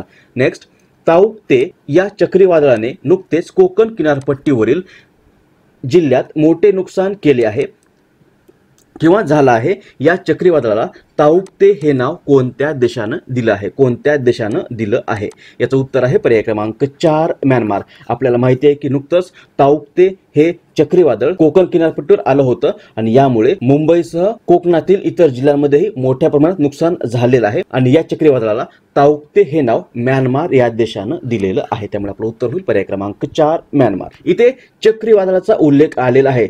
चक्रीवादळ यालाच इंग्लिशमध्ये सायक्लॉनिक स्टॉम असं म्हटलं जातं. हे एक प्रकार प्रकारचं विध्वंसक वादळ आहे. हे समुद्राच्या कमी दाबाच्या प्रदेशाभोवती गोल गोल फिरणाऱ्या हवेमुळे बनतं किंवा निर्माण होतं. आणि आणि हिंदी महासागरामध्ये हिंदी महासागरामध्ये निर्माण होणाऱ्या चक्रीवादळाला इथे आहे हिंदी महासागर. आणि हिंदी महासागरामध्ये निर्माण होणाऱ्या चक्रीवादळाला सायक्लॉन. सायक्लॉन असं म्हटलं जातं. त्यानंतर अटलांटिक महासागरामध्ये निर्माण होणाऱ्या चक्रीवादळाला हरिकेन असं म्हटलं जातं. आणि प्रशांत महासागर किंवा पॅसिफिक ओशियनमध्ये निर्माण होणाऱ्या चक्रीवादळांना टायफून असं म्हटलं जातं. आणि चक्रीवादळांना नाव देण्याची प्रथा का सुरू झाली तेही आपण पाहूयात. चक्रीवादळाला नाव देण्याचं काम ही वर्ल्ड मेट्रोलॉजिकल ऑर्गनायझेशन किंवा जागतिक हवामान संघटना करते. वादळ पुढे पुढे सरकताना देशादेशामध्ये माहितींची दे माहितींची देवाणघेवाण होत असते आणि ही देवाणघेवाण होत असताना एकाच वादळाला जर वेगवेगळ्या प्रकारच्या नावानं संबोधलं गेलं तर घोळ निर्माण होऊ शकतो किंवा अफवा निर्माण होऊ शकतात. हे सगळं टाळण्यासाठी वादळ निर्माण होणाऱ्या व त्याच्या प्रभावाखाली येणाऱ्या भौगोलिक प्रदेशातील देश एखादं सांकेतिक नाव त्या चक्रीवादळाला देतात. आणि भारतामध्ये चक्रीवादळाला नाव देण्याची प्रथा ही दोन हजार चार या वर्षापासून सुरुवात झालेली आहे. भारतासोबतच पाकिस्तान बांगलादेश श्रीलंका मालदीव म्यानमार ओमान आणि थायलंड या आठ देशांनी मिळून वादळांना नाव देण्याचा एक फॉर्म्युला तयार केलेला आहे. या आठ देशाकडून आठ नावं सुचवली जातात. म्हणजे प्रत्येकी आठ असे एकूण चौसष्ट नावं ऑलरेडी सुचवलेली आहेत आणि एक नाव साधारणतः पुढील सहा वर्ष वापरलं जात नाही. आणि ही नाव कशी दिली जातात? तर या नावांच्या पहिल्या अक्षरावरून त्या नावांचा क्रम ठरवला जातो आणि त्याच क्रमाने ही चौसष्ट नावे चक्रीवादळांना वापरली जातात. भारताने देखील आठ नावं चक्रीवादळांना सुचवलेली आहेत. त्यामध्ये अग्नी आकाश बाजी जल लेहर मेघ सागर आणि वायू या नावांचा समावेश आहे. हे जे नाव आहे ताऊकते हे म्यानमारचं नाव आहे. त्यामुळे आपलं उत्तर होईल पर्याय क्रमांक चार म्यानमार. सध्या चर्चेत असलेला तेजस्विनी शंकर हा खेळाडू खालीलपैकी कोणत्या खेळाशी संबंधित आहे? याचं उत्तर आहे पर्याय क्रमांक चार उंचवडी. इमेज बघा. हा आहे भारताचा उंच उडी या खेळाशी संबंधित खेळाडू तेजस्विनी शंकर आणि हा चर्चेमध्ये आहे कारण नुकतंच याने अमेरिकेतील मॅनहॅटन या ठिकाणी झालेल्या big twelve outdoor track and field championship या स्पर्धेमध्ये उंच उडी या क्रीडा प्रकारामध्ये विजेतेपद मिळवलेलं आहे. ही जी स्पर्धा आहे big twelve indoor track and field championship ही स्पर्धा यू एस ए किंवा अमेरिकेमधली एक अत्यंत आव्हानात्मक अशी स्पर्धा आहे. उत्तर होईल हा तेज तेजस्विनी शंकर हा उंच उडी या खेळाशी संबंधित खेळाडू आहे. पर्याय क्रमांक चार. पुढचा प्रश्न आहे खालीलपैकी कोणत्या राज्य सरकारने नुकतेच MOMA M O M A market नावाचे ॲप लॉन्च केले आहे? याचं उत्तर आहे पर्याय क्रमांक दोन मणिपूर. नुकतंच मणिपूर राज्य सरकारने मणिपूरमध्ये हे मोमा मार्केट नावाचं ॲप्लिकेशन लॉन्च केलेलं आहे. या मोमाचा लॉंग फॉर्म आहे Manipur organic mission agency. Manipur organic mission agency हा या मोमा मार्केट या ॲपचा लॉंग आहे. आणि कोविड नाईन्टीनच्या प्रादुर्भावामुळे लागू लॉकडाऊनमध्ये ताजा भाजीपाला घरपोच मिळावा या उद्देशाने मणिपूर सरकारने हे ॲप लॉन्च केलेलं आहे. त्यामुळे उत्तर होईल पर्याय क्रमांक दोन मणिपूर. मणिपूर मॅपमध्ये बघा इथे आहे मणिपूर. मणिपूरची राजधानी आहे इम्पाळ गव्हर्नर किंवा राज्यपाल आहेत नजमा हेपतुल्ला आणि चीफ मिनिस्टर किंवा मुख्यमंत्री आहेत एन बिरेन सिंग. पुढचा प्रश्न आहे खालीलपैकी कोणता दिवस जागतिक उच्च रक्तदाब दिन? जागतिक उच्च रक्तदाब दिन म्हणून साजरा करण्यात येतो किंवा यालाच इंग्लिशमध्ये वर्ल्ड हायपरटेन्शन डे असं म्हटलं जातं. आणि हा दिवस दरवर्षी सतरा मे या दिवशी साजरा करण्यात येतो. आपल्या रक्तवाहिन्यांमधून वेगाने रक्त पुढे जाताना रक्तवाहिन्यांच्या आवरणावर पडणारा दाब म्हणजेच रक्तदाब होय. उत्तर होईल उच्च रक्तदाब दिन हा दरवर्षी सतरा मे या दिवशी साजरा करण्यात येतो. वर्ल्ड हायपरटेन्शन डे त्यानंतर खालीलपैकी कोणत्या राज्याच्या मंत्रिमंडळाने त्यांच्या राज्यात विधान परिषद निर्माण करण्याच्या प्रस्तावाला नुकतीच मंजुरी दिली आहे. याचं उत्तर आहे पर्याय क्रमांक तीन पश्चिम बंगाल. पश्चिम बंगालच्या नवीन मुख्यमंत्री बनलेले आहेत ममता बॅनर्जी आणि यांच्याच मंत्रिमंडळाने नुकतंच आता पश्चिम बंगाल राज्यामध्ये विधान परिषद निर्माण करण्याच्या प्रस्तावाला मंजुरी दिलेली आहे. हा आता प्रस्ताव राज्यपालाकडे जाणार आहे. त्यानंतर राज्यपालांनी मंजुरी दिल्यानंतर परत हा प्रस्ताव विधानसभेमध्ये मांडला जाणार असून त्यानंतर विधानसभेमध्ये एकूण सदस्य संख्येच्या बहुमताने आणि सभागृहात उपस्थित राहून मतदान करणाऱ्या सदस्यांच्या दोन तृतीयांश दोन तृतीयांश एवढ्या बहुमताने हा ठराव संमत झाल्यानंतर संसदेच्या कायद्यानुसार आता पश्चिम बंगालमध्ये विधान परिषद निर्माण होणार आहे. त्यामुळे उत्तर होईल पर्याय क्रमांक तीन पश्चिम बंगाल. इथे विधान परिषदेचा उल्लेख काढलेला आहे. आपल्याला घटकराज्याचं कायदेमंडळ माहिती आहे. या कायदेमंडळाची तरतूद भारतीय राज्यघटनेतील भाग सहा प्रकरण तीन आणि कलम एकशे अडुसष्ट ते दोनशे बारामध्ये करण्यात आलेली आहे. गटराज्याच्या कायदेमंडळामध्ये राज्यपाल विधानसभा आणि असेल तर विधान परिषद याचा समावेश होतो. यातली जी विधानसभा आहे विधानसभा या विधानसभेमध्ये कमीत कमी साठ आणि जास्तीत जास्त पाचशे सदस्य असू शकतात. सर्वाधिक सदस्य यूपीच्या विधानसभेमध्ये आहेत. एकूण चारशे चार सदस्य. त्यानंतर दुसऱ्या क्रमांकावर महाराष्ट्र आहे. महाराष्ट्राच्या विधानसभेमध्ये दोनशे अठ्ठ्याऐंशी सदस्य आहेत. तिसऱ्या क्रमांकावर वेस्ट बेंगॉल आहे. दोनशे पंच्याण्णव सदस्य. आणि चौथ्या क्रमांकावर बिहार आहे. दोनशे त्रेचाळीस सदस्य. विधानसभेमध्ये कमीत कमी साठ सदस्य असू शकतात. असं असलं तरी गोव्यामध्ये चाळीस सदस्य आहेत. मिझोराममध्ये चाळीस सदस्य आहेत. आणि सिक्कीममध्ये बत्तीस सदस्य आहेत. हे कसं काय? तर संसदेच्या विशेष कायद्याने अपवाद म्हणून या तीन राज्यांमध्ये साठपेक्षा कमी सदस्य ठेवण्यात आलेले आहेत. तसंच जर युनियन टेरिटरी किंवा केंद्रशासित प्रदेशाचा विचार केला तर भारतामध्ये दोन युनियन टेरिटरी त्यामध्ये पहिला आहे दिल्ली पहिला आहे दिल्ली आणि दुसरा आहे पुडुचेरी दुसरा आहे पुडुचेरी या दोन युनियन टेरिटरीमध्ये देखील विधानसभा निर्माण झालेल्या आहेत किंवा अस्तित्वामध्ये आहेत. यातल्या दिल्लीच्या विधानसभेची स- आहे सत्तर आणि पुडुच्चेरीच्या विधानसभेची सदस्यसंख्या आहे तीस. त्यानंतर विधान परिषद. विधान परिषद या विधान परिषदेची तरतूद भारतीय राज्यघटनेतील कलम वन सिक्स नाईन किंवा कलम एकशे एकोणसत्तरमध्ये करण्यात आलेली आहे. कलम एकशे एकोणसत्तरनुसार विधानसभेची निर्मिती व बरखास्ती करण्याचे अधिकार हे संबंधित राज्याच्या विधानसभेला आहेत. सध्या भारतामध्ये एकूण अठ्ठावीस राज्य आहेत. त्या अठ्ठावीस पैकी फक्त सहा राज्यामध्येच विधान परिषद अस्तित्वामध्ये आहे. ती सहा राज्य कोणते कोणते आहेत? तर पहिलं आहे आंध्र प्रदेश. पहिला आहे आंध्र प्रदेश. त्यानंतर दुसरं आहे कर्नाटक. दुसरं राज्य आहे कर्नाटक. त्यानंतर तिसरं आहे तेलंगणा. तिसरं आहे तेलंगणा. चौथं आहे आपलं महाराष्ट्र. त्यानंतर पाचवा आहे बिहार आणि सहावा आहे युपी. या सहाच राज्यामध्ये सध्या विधान परिषदा अस्तित्वामध्ये आहेत. आता नुकतंच पश्चिम बंगाल या राज्याच्या मंत्रिमंडळाने त्यांच्या राज्यामध्ये विधान परिषद निर्मितीचा प्रस्ताव मंजूर केलेला आहे. पश्चिम बंगालचं पहिल्या मॅपमध्ये तर इथे आहे पश्चिम बंगाल. याची राजधानी आहे कलकत्ता. राज्यपाल आहे जगदीप धनखड आणि मुख्यमंत्री आहेत ममता बॅनर्जी. त्यानंतर पुढचा प्रश्न आहे खालीलपैकी कोणता दिवस शांततेत एकत्र राहण्याचा आंतरराष्ट्रीय दिन म्हणून साजरा करण्यात येतो? याचं उत्तर आहे पर्याय क्रमांक एक सोळा मे. सोळा मे हा दिवस दरवर्षी जगभरात international day of living together in peace किंवा शांततेमध्ये एकत्र राहण्याचा आंतरराष्ट्रीय दिन म्हणून साजरा करण्यात येतो. हा दिवस दोन हजार अठरा या वर्षापासून संयुक्त राष्ट्र किंवा युनायटेड नेशन्सकडून साजरा करण्यात येतो. शांतता प्रस्थापित करण्यासाठी आंतरराष्ट्रीय समुदायांच्या प्रयत्नांना नियमितपणे एकत्रित करण्याचे साधन म्हणून पाहणे या उद्देशाने दरवर्षी हा दिवस साजरा करण्यात येतो. सोळा मे या दिवशी त्यामुळे उत्तर होईल. पर्याय क्रमांक एक सोळा मे. पुढचा प्रश्न आहे नुकत्याच प्रसिद्ध झालेल्या ब्लूमबर्ग बिलिनियर्स इंडेक्सनुसार खालीलपैकी कोण जगातील सर्वात श्रीमंत व्यक्ती ठरले आहेत? याचं उत्तर आहे पर्याय क्रमांक एक जेफ बेझोस. जेफ बेझोस हे अमेझॉनचे संस्थापक आहेत आणि नुकतंच या ब्लूमबर्ग बिलिनियर्स इंडेक्सने प्रसिद्ध केलेल्या यादीनुसार जेफ बेझोस हे जगातील सर्वात श्रीमंत व्यक्ती ठरलेले आहेत. जेफ बेझोस आहेत पहिल्या क्रमांकावर श्रीमंताच्या यादीमध्ये दुसऱ्या क्रमांकावर आहेत बर्नार्ड अर्नॉल्ड तिसऱ्या क्रमांकावर आहेत ॲलन मस स्पेस एक्स आणि टेस्लाचे प्रमुख. त्यानंतर चौथ्या क्रमांकावर आहेत मायक्रोसॉफ्टचे बिल गेट्स आणि पाचव्या क्रमांकावर फेसबुकचे मार्क झुकरबर्ग राहिलेले आहेत. उत्तर होईल पर्याय क्रमांक एक. नेक्स्ट कोविन हे ॲप हिंदीशिवाय किती प्रादेशिक भाषेत लॉन्च करण्याची घोषणा नुकतीच भारत सरकारने केली आहे. हे कोविन काय? तर कोविन हे एक ॲप्लिकेशन आहे एक ॲप आहे आणि हे ॲप कोविड नाईन्टीनसाठीच्या लसीकरण मोहीम राबवण्यासाठीचा डिजिटल प्लॅटफॉर्म आहे.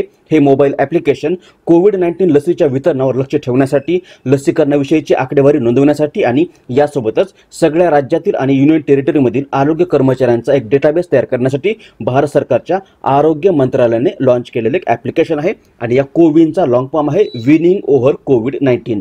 Winning over COVID nineteen हा कोविनचा लॉंग फॉर्म आहे. आणि नुकतंच भारत सरकारने आता हे को विन ॲप हिंदीशिवाय एकूण चौदा प्रादेशिक भाषेमध्ये सुरू करण्याची घोषणा केलेली किंवा चौदा प्रादेशिक भाषेमध्ये लॉन्च करण्याची घोषणा केलेली आहे. त्यामुळे उत्तर होईल पर्याय क्रमांक दोन चौदा.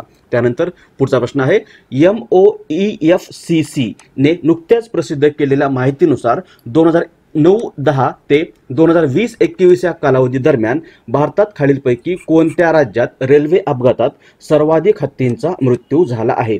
हे M O E F C C म्हणजे काय? लॉंग फॉर्म आहे. The ministry of environment forest and climate change किंवा मराठीमध्ये केंद्रीय पर्यावरण व जलवायू परिवर्तन मंत्रालय. आणि याच मंत्रालयाने नुकतीच एक माहिती प्रसिद्ध केलेली आहे. या माहितीनुसार दोन हजार नऊ दोन हजार नऊ दहा दोन हजार नऊ दहा ते दोन हजार वीस एकवीस या कालावधीमध्ये भारतामध्ये एकूण एकशे शहाऐंशी हत्तींचा मृत्यू हा रेल्वे दुर्घटनेमध्ये किंवा रेल्वेला धडकून झालेला आहे. हे हत्ती रेल्वे प्लॅटफॉर्मवर गेल्यामुळे आणि यामध्ये सर्वाधिक हत्ती हे आसाम या राज्यामध्ये मृत्युमुखी पडलेले आहेत. आसाममध्ये या कालावधीमध्ये जवळपास बासष्ट हत्तींचा मृत्यू झालेला आहे. रेल्वे अपघातामध्ये पहिल्या क्रमांकावर आसाम आहे दुसऱ्या क्रमांकावर वेस्ट बेंगॉल राहिलेला आहे. एकूण सत्तावन्न हत्तीचा मृत्यू अशा घटनेमध्ये झालेला आहे.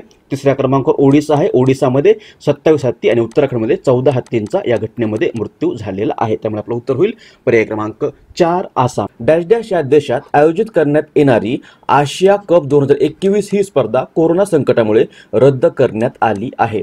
आशिया कप स्पर्धा ही स्पर्धा काय? तर ही स्पर्धा एकोणीसशे चौऱ्याऐंशी पासून एकोणीसशे चौऱ्याऐंशी पासून ए सी सी म्हणजे एशियन क्रिकेट काउन्सिल किंवा आशिया क्रिकेट संघटनेकडून आयोजित करण्यात येणारी एक ओडीआय आणि टी ट्वेंटी सामने असणारी स्पर्धा आहे. याच्यामध्ये ओडीआय आणि टी ट्वेंटी सामने खेळवण्यात येतात आणि आशिया खंडातील क्रिकेट खेळणाऱ्या देशांना प्रोत्साहन मिळावं व एकमेकांसोबत मित्रता वाढावी. या उद्देशाने एकोणीसशे चौऱ्याऐंशीमध्ये हिची स्थापना करण्यात आली. म्हणजे आशिया कप स्पर्धेची स्थापना करण्यात आलेली आहे. पहिल्यांदा ही स्पर्धा नाईन्टीन एटी फोर मध्येच यू ए ई या देशामध्ये आयोजित करण्यात आली होती आणि यावेळेस ही स्पर्धा आपल्या भारताने जिंकली होती. त्यानंतर लास्ट वेळेस ही स्पर्धा दोन हजार अठरामध्ये यू ए ई या देशामध्ये आयोजित करण्यात आली होती आणि जिंकली होती आपल्या भारत याच देशाने. आता दोन हजार वीसमध्ये ही स्पर्धा होणार होती पाकिस्तानमध्ये होणार होती पाकिस्तानमध्ये. परंतु कोविड नाईन्टीनमुळे ही स्पर्धा रद्द करण्यात आली आणि असं ठरलं की दोन हजार एकवीसमध्ये ही स्पर्धा परत श्रीलंका या देशामध्ये आयोजित करण्यात येईल. परंतु आता श्रीलंकामध्ये देखील कोरोनाची प्रकरणं वाढत आहेत. त्यामुळे श्रीलंका क्रिकेट बोर्डानं कोरोनामुळे ही स्पर्धा न घेण्याचा निर्णय घेतलेला आहे. त्यामुळे ही स्पर्धा आता सलग दुसऱ्यांदा रद्द करण्यात आलेली आहे. त्यामुळे आपलं उत्तर होईल ही स्पर्धा श्रीलंका या देशामध्ये आयोजित करण्यात येणार होती जी आता रद्द झालेली आहे. पर्याय क्रमांक चार. श्रीलंका मॅपमध्ये बघा इथे आहे श्रीलंका. याच्या राजधान्या दोन आहेत. एक आहे श्री जयवर्धनपुरा कोट्टे आणि दुसरी आहे कोलंबो. राष्ट्रपती आहेत गोटाबाया राजपक्ष पंतप्रधान आहेत महेंद्र राजपक्ष आणि चलन आहे श्रीलंकन रुपया.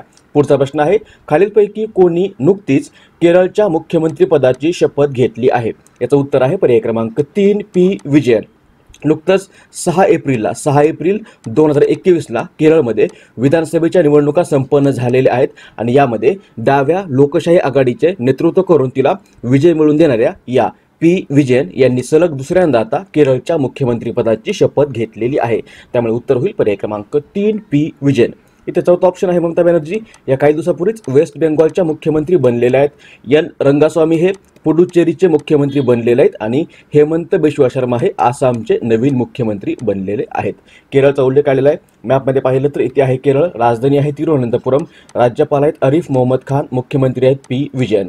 पुढचा प्रश्न आहे जगभरातील ग्राहकांना उच्च गती इंटरनेट सुविधा प्रदान करण्यासाठी खालीलपैकी कोणत्या कंपनीने नुकताच गुगल क्लाउड या कंपनीसोबत एक सामंजस्य करार केला आहे? याचं उत्तर आहे पर्याय क्रमांक तीन space x space x long form होतो. स्पेस एक्सप्लोरेशन टेक्नॉलॉजीज ही अमेरिकेतील एक एरोस्पेस मॅन्युफॅक्चरर व स्पेस ट्रान्सफॉर्मेशन सर्व्हिसेस कंपनी हिची स्थापना एलॉन मस्क स्थापना केलेली आहे. एलॉन मस्क यांनी एलॉन मस्क यांनीची स्थापना केलेली आहे. सहा मे दोन हजार दोन सहा मे दोन हजार दोन या दिवशी हिची स्थापना करण्यात आलेली आहे आणि हिचं मुख्यालय आहे कॅलिफोर्निया या ठिकाणी. कॅलिफोर्निया या ठिकाणी या स्पेस एक्सचं मुख्यालय आहे आणि या स्पेस एक्सने आता ग्राहकांना विनाअडथळा हायस्पीड इंटरनेट सुविधा देण्यासाठी गुगल क्लाउड या कंपनीसोबत एक सामंजस्य करार केलेला आहे आणि या कराराच्या माध्यमातून कोणत्याही ठिकाणी किंवा जगभरातील कोणत्याही ठिकाणी इंटरनेट सुविधा देणं आता शक्य होणार आहे. उत्तर होईल पर्याय क्रमांक तीन स्पेस एक्स पुढचा प्रश्न आहे खालीलपैकी कोणता दिवस मधमाशी दिन म्हणून साजरा करण्यात येतो? उत्तर आहे पर्याय क्रमांक दोन वीस मे. वीस मे हा दिवस दरवर्षी जगभरात जागतिक मधमाशी दिन म्हणून साजरा करण्यात येतो. मधमाशी हा पर्यावरणातील एक अतिशय महत्त्वाचा घटक आहे. मधमाशीला सामाजिक कीटक असंही म्हटलं जातं. मधमाशा एका फुलावरून दुसऱ्या फुलावर परागकणांचं स्थलांतरण करतात. त्यामुळे फुलांची बीजधारणा व फलधारणा होते. यालाच परागीभवन असं म्हटलं जातं. आणि परागीभवनामुळे पीक उत्पादनात पंचवीस ते तीस टक्के पंचवीस ते तीस टक्के वाढ होते असं शास्त्रज्ञांनी आता सिद्ध केलेलं आहे. आणि एक जगप्रसिद्ध मधुमक्षिका पालन तज्ज्ञ होते. नाव होतं अँतोन जोन्सा. नाव होतं अँतोन जोन्सा. अँतोन जोन्सा. याच अँतोन जोन्सा यांनी सतराशे सहासष्टमध्ये युरोपात पहिलं मधमाशी पालन केंद्र सुरू केलं होतं. यांनीच सतराशे एकाहत्तरमध्ये लिहिलेलं मधुमाशी पालनावरील पहिलं पुस्तक प्रकाशित झालं होतं आणि यांच्याच या मधमाशी पालनासंबंधित केलेल्या कार्याची दखल घेऊन युनायटेड नेशन्स किंवा संयुक्त राष्ट्रसंघाकडून यांचा जन्मदिवस दो जो वीस मे आहे हा दिवस दरवर्षी जगभरात जागतिक मधमाशी दिन म्हणून साजरा करण्यात येतो. या दिवशी मधमाशींचे संवर्धन करण्यासह कीटकांचं संवर्धन करण्यासाठी जनजागृती करण्याचं काम करण्यात येतं. त्यामुळे उत्तर होईल पर्याय क्रमांक दोन. जागतिक मधमाशी दिन हा वीस मे या दिवशी साजरा करण्यात येतो. त्यानंतर पुढचा प्रश्न आहे खालीलपैकी कोणत्या शहरात नुकतेच भारतातील पहिले कृषी निर्यात सुविधा केंद्र स्थापन करण्यात आले आहे? याचं उत्तर आहे पर्याय क्रमांक दोन पुणे. नाबार्डच्या मदतीने नुकतंच M double C I A म्हणजे Maharashtra chambers of commerce industries and agriculture या संस्थेने भारतातील पहिलं कृषी निर्यात सुविधा केंद्र हे महाराष्ट्रातील पुणे या शहरामध्ये स्थापन केलेलं आहे. ही नाबार्ड काय आपल्याला माहिती आहे? नाबार्ड म्हणजे national bank for agriculture and rural development किंवा मराठीमध्ये राष्ट्रीय कृषी व ग्रामीण विकास बँक हिची स्थापना झालेली आहे. बावीस जुलै नाईन्टीन एटी टूला मुख्यालय आहे मुंबईला आणि सध्याचे अध्यक्ष आहेत गोविंद राजुलू चिंताला. आणि दुसरी संस्थेचा उल्लेख आलेला आहे? ती आहे M double C I A म्हणजे Maharashtra chambers of commerce industries industries and agriculture. ही स्वातंत्र्यापूर्वी स्थापन झालेल्या उद्योग संघापैकी एक आहे. हिची स्थापना पुणे या ठिकाणी स्थापना पुणे या ठिकाणी सोळा मार्च नाईन्टीन थर्टी फोरला झाली होती आणि ही संस्था महाराष्ट्रातील उद्योगांच्या गरजा पूर्ण करण्याचं काम करते आणि या संस्थेने नुकतंच भारतातील पहिलं कृषी निर्यात केंद्र कृषी निर्यात सुविधा केंद्र हे महाराष्ट्रातील पुणे या शहरामध्ये सुरू केलेले किंवा स्थापन केलेलं आहे. यामुळे महाराष्ट्राच्या कृषी व अन्य निर्यातीला चालना मिळणार असून कृषी क्षेत्रातील निर्यातदारांसाठी एक थांबा केंद्र म्हणून हे केंद्र काम करणार आहे. यासोबतच जागतिक मानकानुसार प्रदेशातील कृषी क्षेत्राला चालना देण्याचं काम देखील हे कृषी निर्यात सुविधा केंद्र करणार आहे. उत्तर होईल पर्याय क्रमांक दोन पुणे. पुढचा प्रश्न आहे केंद्रीय आरोग्य मंत्रालयाने केलेल्या घोषणेनुसार आता कोविशिल्ड लसीचा दुसरा डोस किती दिवसानंतर देण्यात येणार आहे? याचं उत्तर आहे पर्याय क्रमांक दोन चौऱ्याऐंशी. भारताच्या आरोग्य मंत्रालयातर्फे नुकतेच कोविन डिजिटल पोर्टलवर बदल करण्यात आलेले आहेत आणि डॉक्टर एन के अरोरा यांच्या अध्यक्षतेखालील कोविड ग्रुपने कोविशिल्ड लसीच्या दोन डोसची मुदत बारा ते सोळा बारा ते सोळा आठवडे करण्याची शिफारस शासनाकडे केली होती. त्यानुसार आता कोविशिल्डच्या लसीचा दुसरा डोस हा चौऱ्याऐंशी दिवसानंतर मिळणार आहे. म्हणजे बारा आठवड्यानंतर मिळणार आहे. त्यामुळे उत्तर होईल. पर्याय क्रमांक दोन चौऱ्याऐंशी. यासोबतच दुसरी वॅक्सिन आहे कोवॅक्सिन कोवॅक्सिनच्या दुसऱ्या डोसच्या कालावधीमध्ये कोणताही बदल करण्यात आलेला नाही. या लसीचा दुसरा डोस चार ते सहा आठवडे या कालावधीमध्ये देण्यात येणार आहे. त्यानंतर पुढचा प्रश्न आहे कोणता दिवस जागतिक मापनशास्त्र दिन म्हणून साजरा करण्यात येतो? मापनशास्त्र यालाच इंग्लिशमध्ये मेट्रोलॉजी मेट्रोलॉजी असं म्हणतात. सायंटिफिक स्टडी ऑफ मेजरमेंट याचं उत्तर आहे पर्याय क्रमांक दोन वीस मे. वीस मे हाच दिवस दरवर्षी जगभरात जागतिक मापनशास्त्र दिन म्हणून साजरा करण्यात येतो. उत्तम जागतिक व्यापारामधले मापन विज्ञानाचे महत्त्व याविषयी लोकांमध्ये जागृती निर्माण करणे या उद्देशाने दरवर्षी हा वीस मे हा दिवस जागतिक मापनशास्त्र दिन म्हणून साजरा करण्यात येतो. आणि यावर्षी हा दिवस मेजरमेंट फॉर हेल्थ या थीमखाली साजरा करण्यात आलेला आहे. उत्तर होईल पर्याय क्रमांक दोन वीस मे. पुढचा प्रश्न नुकतेच सुंदरलाल बहुगुणा यांचे कोरोनामुळे वयाच्या चौऱ्याण्णव्या वर्षी निधन झाले आहे. ते कोण होते? याचं उत्तर आहे पर्याय क्रमांक दोन पर्यावरणवादी. इमेज बघा. हे होते सुंदरलाल बहुगुणा. हे एक ज्येष्ठ पर्यावरणवादी होते आणि चिपको आणि चिपको आंदोलना आंदोलनाचे प्रणेते म्हणून यांना ओळखलं जातं. हिमालयाच्या वनांच्या संवर्धनासाठी त्यांनी अनेक वर्ष लढा दिला होता आणि यांनीच एकोणीसशे शहात्तर एकोणीसशे शहात्तर या वर्षामध्ये उत्तराखंडमध्ये चिपको आंदोलनाला सुरुवात केली होती. पर्यावरण संरक्षणासाठी केलेल्या कामामुळे त्यांना एकोणीसशे शहाऐंशीमध्ये जमनलाल बजाज पुरस्कार आणि दोन हजार नऊमध्ये पद्मविभूषण पद्म विभूषण पुरस्कार देखील देण्यात आलेले आहेत. आता यांचंच नुकतंच वयाच्या चौऱ्याण्णव वर्षी कोरोना व्हायरसमुळे निधन झालेलं आहे. त्यामुळे उत्तर होईल.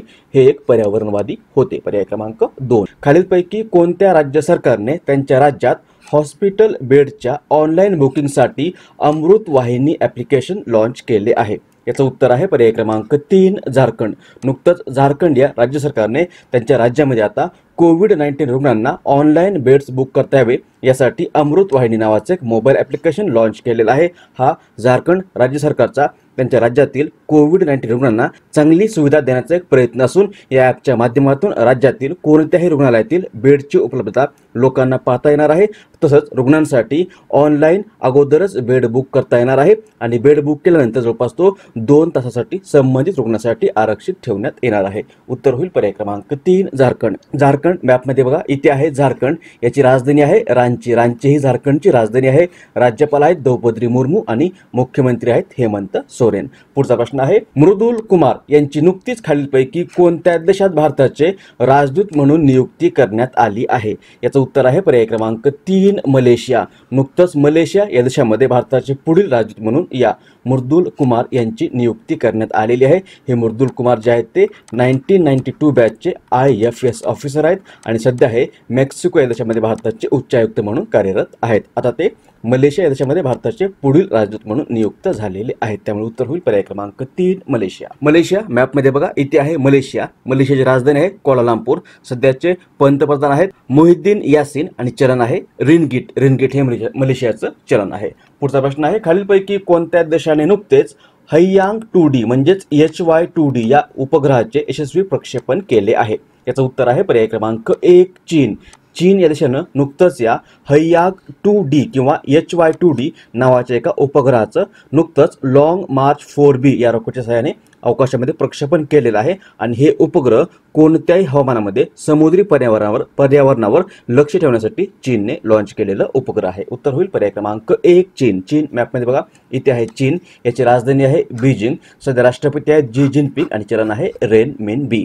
नेक्स्ट एकोणीसशे पंच्याऐंशीमध्ये द्रोणाचार्य पुरस्काराने सन्मानित करण्यात आलेले ओ पी भारद्वाज यांचे नुकतेच वयाच्या ब्याऐंशी वर्षी निधन झाले आहे. ते खालीलपैकी कोणत्या खेळाशी संबंधित होते? याचं उत्तर आहे पर्याय क्रमांक तीन बॉक्सिंग इमेज बघा. हे होते भारताच्या राष्ट्रीय बॉक्सिंग संघाचे प्रशिक्षक ओ पी भारद्वाज हे एकोणीसशे अडुसष्ट एकोणीसशे अडुसष्ट ते एकोणीसशे एकोणनव्वद या कालावधीमध्ये भारताच्या राष्ट्रीय बॉक्सिंग संघाचे प्रशिक्षक होते आणि यांना एकोणीसशे पंच्याऐंशीमध्ये हा द्रोणाचार्य पुरस्कार देऊन सन्मानित करण्यात आलेला आहे आणि बॉक्सिंगमधला पहिला द्रोणाचार्य पुरस्कार याच ओ पी भारद्वाज यांना देण्यात आला होता. त्यामुळे उत्तर होईल हे बॉक्सिंग या खेळाशी संबंधित होते. पर्याय क्रमांक चार. इथे द्रोणाचार्य पुरस्कार याचा उल्लेख आलेला आहे. द्रोणाचार्य पुरस्कार हा भारताचा क्रीडा पुरस्कार आहे. हा पुरस्कार क्रीडा प्रशिक्षकांना देण्यात येणारा एक पुरस्कार आहे. गेल्या तीन वर्षातील कामगिरी लक्षात घेऊन प्रशिक्षकांना हा पुरस्कार देण्यात येतो. याचं स्वरूप आहे एक मानपत्र एक मानचिन्ह आणि पंधरा लाख रुपये रोख रक्कम. त्यानंतर पुढचा प्रश्न आहे खालीलपैकी कोणता दिवस आंतरराष्ट्रीय चहा दिन म्हणून साजरा करण्यात येतो? याचं उत्तर आहे पर्याय क्रमांक दोन एकवीस मे.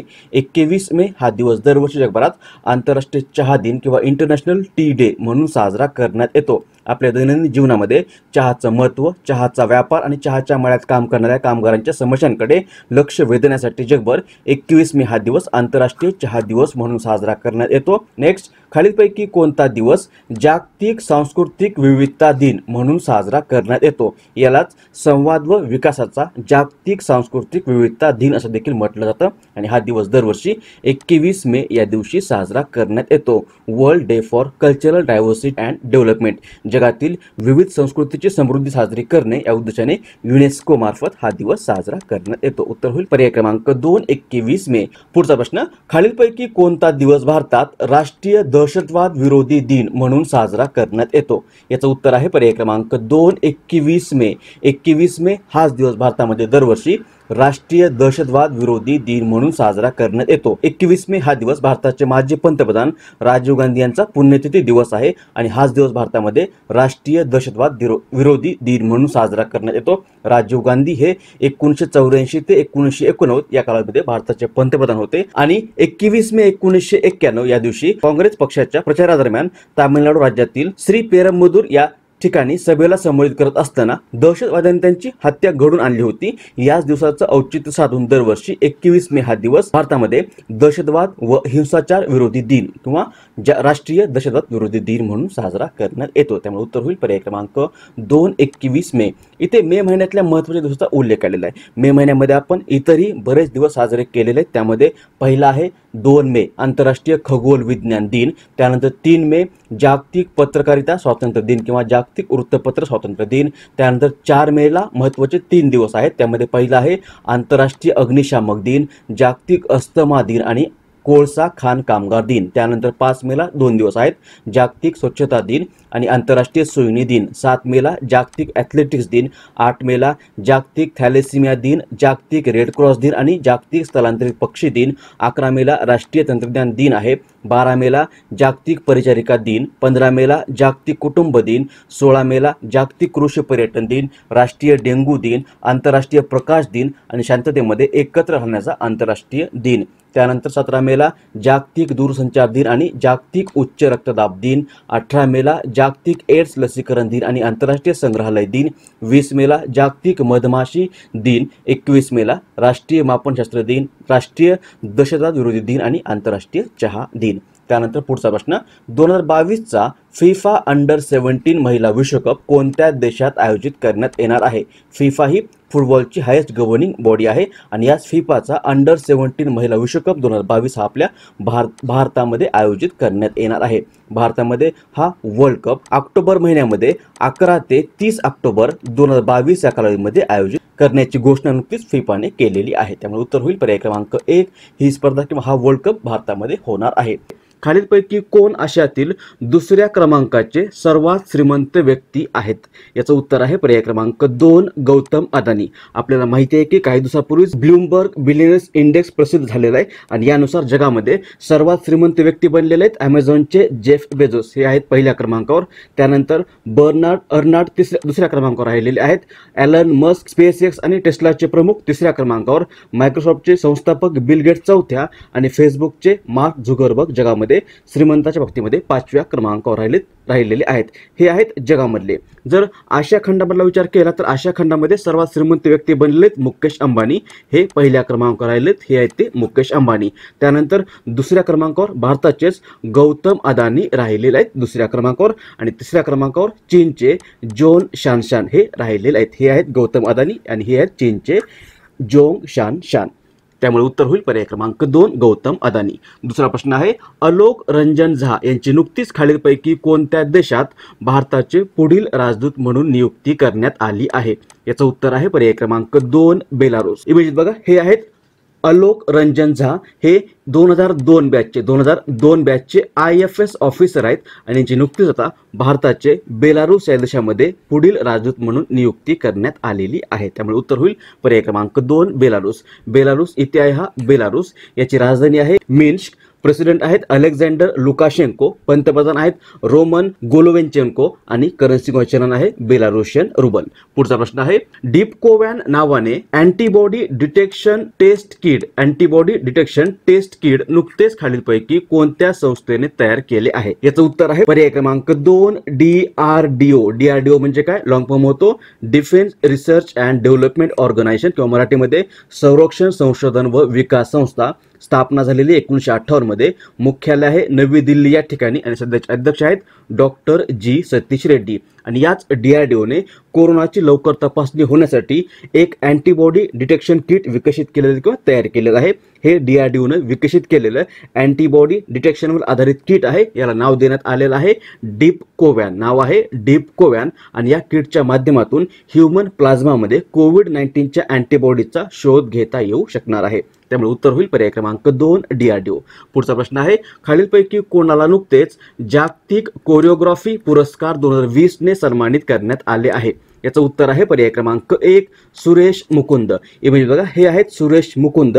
हे भारताचे एक नामवंत कोरिओग्राफर आहेत आणि यांना नुकताच दहावा दहावा जागतिक कोरिओग्राफी पुरस्कार दोन हजार वीस हा पुरस्कार देऊन सन्मानित करण्यात आलेला आहे आणि हा पुरस्कार प्राप्त करणारे पहिलेच भारतीय पहिलेच भारतीय व्यक्ती ठरलेले आहेत हे. पहिलेच भारतीय व्यक्ती आहेत जागतिक कोरिओग्राफी पुरस्कार प्राप्त करणारे. तर आणि यांना हा पुरस्कार American T V reality show world of डान्समधील कामासाठी देण्यात आलेला आहे. आणि हा जो पुरस्कार आहे जागतिक कोरिओग्राफी पुरस्कार हा पुरस्कार दरवर्षी लॉस अँजेलिसमध्ये टी व्ही चित्रपट जाहिराती डिजिटल सामुग्री म्युझिक व्हिडिओमध्ये सर्वोत्कृष्ट कोरिओग्राफी करणाऱ्या व्यक्तींना देण्यात येतो. आणि दोन हजार वीसचा हा पुरस्कार भारताच्या सुरेश मुकुंद यांना देण्यात आलेला आहे. त्यामुळे उत्तर होईल पर्याय क्रमांक एक. नेक्स्ट खालीलपैकी कोणता दिवस जागतिक कासव दिन म्हणून साजरा करण्यात येतो? याचं उत्तर आहे पर्याय क्रमांक तीन तेवीस मे. तेवीस मे हा दिवस दरवर्षी जगभरात लोकांना कासव व कासवाचे अधिवास याबाबत जागृत करण्यासाठी जागतिक कासव दिन म्हणून साजरा करण्यात येतो. हा दिवस दोन हजार दोन हजार या वर्षापासून अमेरिकन टॉर्टॉइज रेस्क्यू या संघटनेकडून साजरा करण्यात येतो. कोणती संघटना आहे? संघटना नाव आहे अमेरिकन टॉर्टॉइज रेस्क्यू किंवा ए टी आर. या संघटनेची स्थापना एकोणीसशे नव्वद या वर्षी झालेली आहे. ही एक एन जी ओ आहे. नॉन गव्हर्नमेंटल ऑर्गनायझेशन आहे. आणि यावर्षी हा दिवस टर्टल्स रॉक्स टर्टल्स रॉक या थीमखाली साजरा करण्यात आलेला आहे. टर्टल रॉक या वर्षीच्या या जागतिक कासव दिनाची थीम होती जो नुकताच तेवीस मे या दिवशी साजरा करण्यात आलेला आहे. पुढचा प्रश्न आहे राज्यभर होम आयसोलेटेड कोविड नाईन्टीन रुग्णावर लक्ष ठेवण्यासाठी खालीलपैकी कोणत्या राज्य सरकारने हिट कोविड ॲप किंवा H I T hit COVID app launch केले आहे? याचं उत्तर आहे पर्याय क्रमांक तीन बिहार. नुकतंच बिहार या राज्याने कोरोना व्हायरसच्या वाढत्या पार्श्वभूमीवर होम आयसोलेटेड रुग्णांवर लक्ष ठेवण्यासाठी आता हे हिट कोविड ॲप नावाचं एक मोबाईल ॲप्लिकेशन लॉन्च केलेलं आहे. आणि या ॲपच्या माध्यमातून होम आयसोलेशनमध्ये असणाऱ्या कोविड नाईन्टीन रुग्णावर बिहारमध्ये लक्ष ठेवण्यात येणार आहे. हिट एच आय टी या हिटचा लॉंग फॉर्म होतो. Home isolation tracing. Home isolation tracing हा या हिटचा लॉंग फॉर्म आहे. उत्तर होईल पर्याय क्रमांक तीन बिहार. बिहार मॅपमध्ये पाहिलं तर इथे आहे हा बिहार. याची स्थापना झाली होती एकोणीसशे पन्नासला. राजधानी आहे पटना. राज्यपाल आहेत फगू चव्हाण आणि मुख्यमंत्री आहेत नितीश कुमार. पुढचा प्रश्न खालीलपैकी कोणता दिवस आंतरराष्ट्रीय जैवविविधता दिन म्हणून साजरा करण्यात येतो? याचं उत्तर आहे पर्याय क्रमांक दोन बावीस मे. बावीस मे हा दिवस दरवर्षी जगभरात संयुक्त राष्ट्र किंवा युनायटेड नेशन्स नेशन्सकडून मानवाच्या हस्तक्षेपामुळे जैवविविधतेमध्ये येणारी कमी याविषयी लोकांमध्ये जागृती निर्माण करणे या उद्देशाने आंतरराष्ट्रीय जैवविविधता दिन म्हणून साजरा करण्यात येतो. आणि यावर्षी हा दिवस we are part of solution या थीमखाली साजरा करण्यात आलेला आहे. पुढचा प्रश्न मिशन ऑक्सिजन सेल्फ रिलायन्स नावाची योजना नुकतीच खालीलपैकी कोणत्या राज्य सरकारने सुरू केली आहे? याचं उत्तर आहे पर्याय क्रमांक चार महाराष्ट्र. आपल्या महाराष्ट्र या राज्य सरकारनं नुकतंच कोविड नाईन्टीनच्या वाढत्या प्रादुर्भावाच्या पार्श्वभूमीवर राज्यामध्ये निर्माण होणारी कम ऑक्सिजनची कमतरता दूर करण्यासाठी हे मिशन ऑक्सिजन सेल्फ रिलायन्स नावाचं एक मोहीम किंवा एक योजना सुरू केलेली आहे. आणि या योजनेअंतर्गत ऑक्सिजन उत्पादन करणाऱ्या उद्योगांना स्पेशल इन्सेंटिव्ह देण्यात येत आहे. उत्तर होईल पर्याय क्रमांक चार. ही योजना महाराष्ट्र सरकारने सुरू केलेली आहे. कॉलिनेट मार्कोस यांची खालीलपैकी कोणत्या देशाच्या पंतप्रधानपदी नियुक्ती झाली आहे किंवा हे कोणत्या देशाचे नवीन पंतप्रधान बनले आहेत? याचं उत्तर आहे पर्याय क्रमांक दोन कांगो. इमेज बघा हे आहेत कॉलिनेस मार्कोस आणि यांची नुकतीच आता या कांगो या देशाच्या पंतप्रधानपदी नियुक्ती झालेली आहे किंवा हे काँगो देशाचे नवीन पंतप्रधान बनलेले आहेत. काँगो मॅपमध्ये पाहिलं तर इथे आहे हा काँगो देश. याची राजधानी आहे ब्राझिविले आणि चलन आहे cent central African franc. Next COVID नाईन्टीनमुळे अनाथ झालेल्या मुलांसाठी वात्सल्य योजना नुकतीच खालीलपैकी कोणत्या राज्य सरकारने सुरू केली आहे? याचं उत्तर आहे पर्याय क्रमांक दोन उत्तराखंड. कोविड नाईन्टीनमुळे अनाथ झालेल्या मुलांना त्यांच्या वयाची एकवीस वर्ष पूर्ण होईपर्यंत प्रतिमहा तीन हजार रुपये देणारी ही वात्सल्य योजना किंवा मुख्यमंत्री वात्सल्य योजना ही नुकतीच उत्तराखंड या राज्य सरकारने सुरू केलेली आहे. या योजनेअंतर्गत या अनाथ झालेल्या मुलांना त्यांच्या वयाची एकवीस वर्ष पूर्ण होईपर्यंत प्रति महिना तीन हजार रुपयांचं आर्थिक सहाय्य दिलं जाणार आहे. तसंच या योजनेअंतर्गत या अनाथ झालेल्या मुलांची प्रॉपर्टी कोणीही विकू नये यासाठी एक विशेष कायदा देखील करण्याची घोषणा उत्तराखंड राज्य सरकारने केलेली आहे. कोविड नाईन्टीन रुग्णांसाठी संजीवनी परियोजना नावाची योजना नुकतीच खालीलपैकी कोणत्या राज्य सरकारने सुरू केली आहे? याचं उत्तर आहे पर्याय क्रमांक दोन हरियाणा. नुकतीच हरियाणा या राज्याने किंवा हरियाणा या राज्य सरकारने हरियाणामध्ये ही संजीवनी परियोजना नावाची योजना सुरू केलेली आहे. ही योजना कोविड नाईन्टीन रुग्णांवर घरी उपचार करण्यासाठी सुरू केलेली योजना असून या योजनेअंतर्गत ग्रामीण भागात राहणाऱ्या कोविड नाईन्टीनची सौम्य व मध्यम लक्षणे असलेल्या लोकांवर घरातच देखरेख व त्वरित वैद्यकीय सेवा त्यांना पुरवण्याचं काम करण्यात येणार आहे. उत्तर होईल पर्याय क्रमांक दोन. ही योजना हरियाणाने सुरू केलेली आहे. दुसरा प्रश्न खालीलपैकी कोणता दिवस जागतिक थायरॉइड दिन म्हणून साजरा करण्यात येतो? याचं उत्तर आहे पर्याय क्रमांक तीन पंचवीस मे. पंचवीस मे हा दिवस दरवर्षी जगभरात जागतिक थायरॉईड दिन म्हणून साजरा करण्यात येतो. जागतिक थायरॉईड असोसिएशन किंवा वर्ल्ड थायरॉईड असोसिएशन या संघटनेकडून दोन हजार आठ या वर्षापासून हा दिवस थायरॉईडचं महत्त्व आणि थायरॉईड रोगांचं प्रतिबंध तसंच उपचार या संबंधित जाणीव निर्माण करणे या उद्देशाने जागतिक थायरॉईड दिन म्हणून साजरा करण्यात येतो. उत्तर होईल पर्याय क्रमांक तीन पंचवीस मे. नेक्स्ट खालीलपैकी कोणत्या संस्थेने नुकताच इकोरॅप नावाचा अहवाल प्रसिद्ध केला आहे? याचं उत्तर आहे पर्याय क्रमांक दोन एस बी आय किंवा state bank of India S B आयने नुकताच हा इकोरॅप नावाचा एक अहवाल प्रसिद्ध केलेला आहे. आणि या अहवालामध्ये असं म्हटलेलं आहे की भारताचं सकल राष्ट्रीय उत्पादन किंवा जी डी पी किंवा जी डी पी दोन हजार वीस एकवीस दोन हजार वीस एकवीस या आर्थिक वर्षाच्या अंतिम तिमाहीमध्ये म्हणजे जानेवारी ते मार्च दोन हजार एकवीस जानेवारी ते मार्च दोन हजार एकवीस या अंतिम तिमाहीमध्ये एक पॉईंट तीन टक्के राहील असं म्हटलेलं आहे. तसंच संपूर्ण आर्थिक वर्ष म्हणजे दोन हजार वीस एकवीस या संपूर्ण आर्थिक वर्षामध्ये भारताचा G D P minus seven point three percent राहील असं देखील या अहवालामध्ये म्हटलेलं आहे. आणि याबाबतची आकडेवारी एकतीस मे एकतीस मे दोन हजार एकवीस या दिवशी भारताच्या राष्ट्रीय सांख्यिक कार्यालय किंवा एन एस ओकडून प्रसिद्ध होणार आहे असं देखील या अहवालामध्ये म्हटलेलं आहे. सोबतच कोरोनाच्या दुसऱ्या लाटेमुळे आर्थिक वर्ष म्हणजे चालू आर्थिक वर्ष. दोन हजार एकवीस बावीस दोन हजार एकवीस बावीस या चालू आर्थिक वर्षामध्ये पहिल्या तिमाहीमध्ये म्हणजे एप्रिल ते जून दोन हजार एकवीस एप्रिल ते जून दोन हजार एकवीस या पहिल्या तिमाहीमध्ये भारताच्या जी डी पीला सहा लाख कोटी सहा लाख कोटी रुपयाचा फटका होऊ शकतो असं देखील या इकोरॅप या अहवालामध्ये एस बी आयने म्हटलेलं आहे. त्यामुळे आपलं उत्तर होईल इकोरॅप नावाचा अहवाल नुकताच स्टेट बँक ऑफ इंडियाने व्यक्त केलेला आहे. स्टेट बँक ऑफ इंडिया ही कशी स्थापन झाली? तर अठराशे सहामध्ये बँक ऑफ बंगाल स्थापन झाली होती. त्यानंतर अठराशे चाळीसमध्ये बँक ऑफ बॉम्बे स्थापन झाली होती आणि अठराशे सेहेचाळीसमध्ये बँक ऑफ मद्रासची स्थापना झाली होती. यांना इलाका बँका किंवा प्रेसिडेन्सी बँका असं म्हटलं जायचं.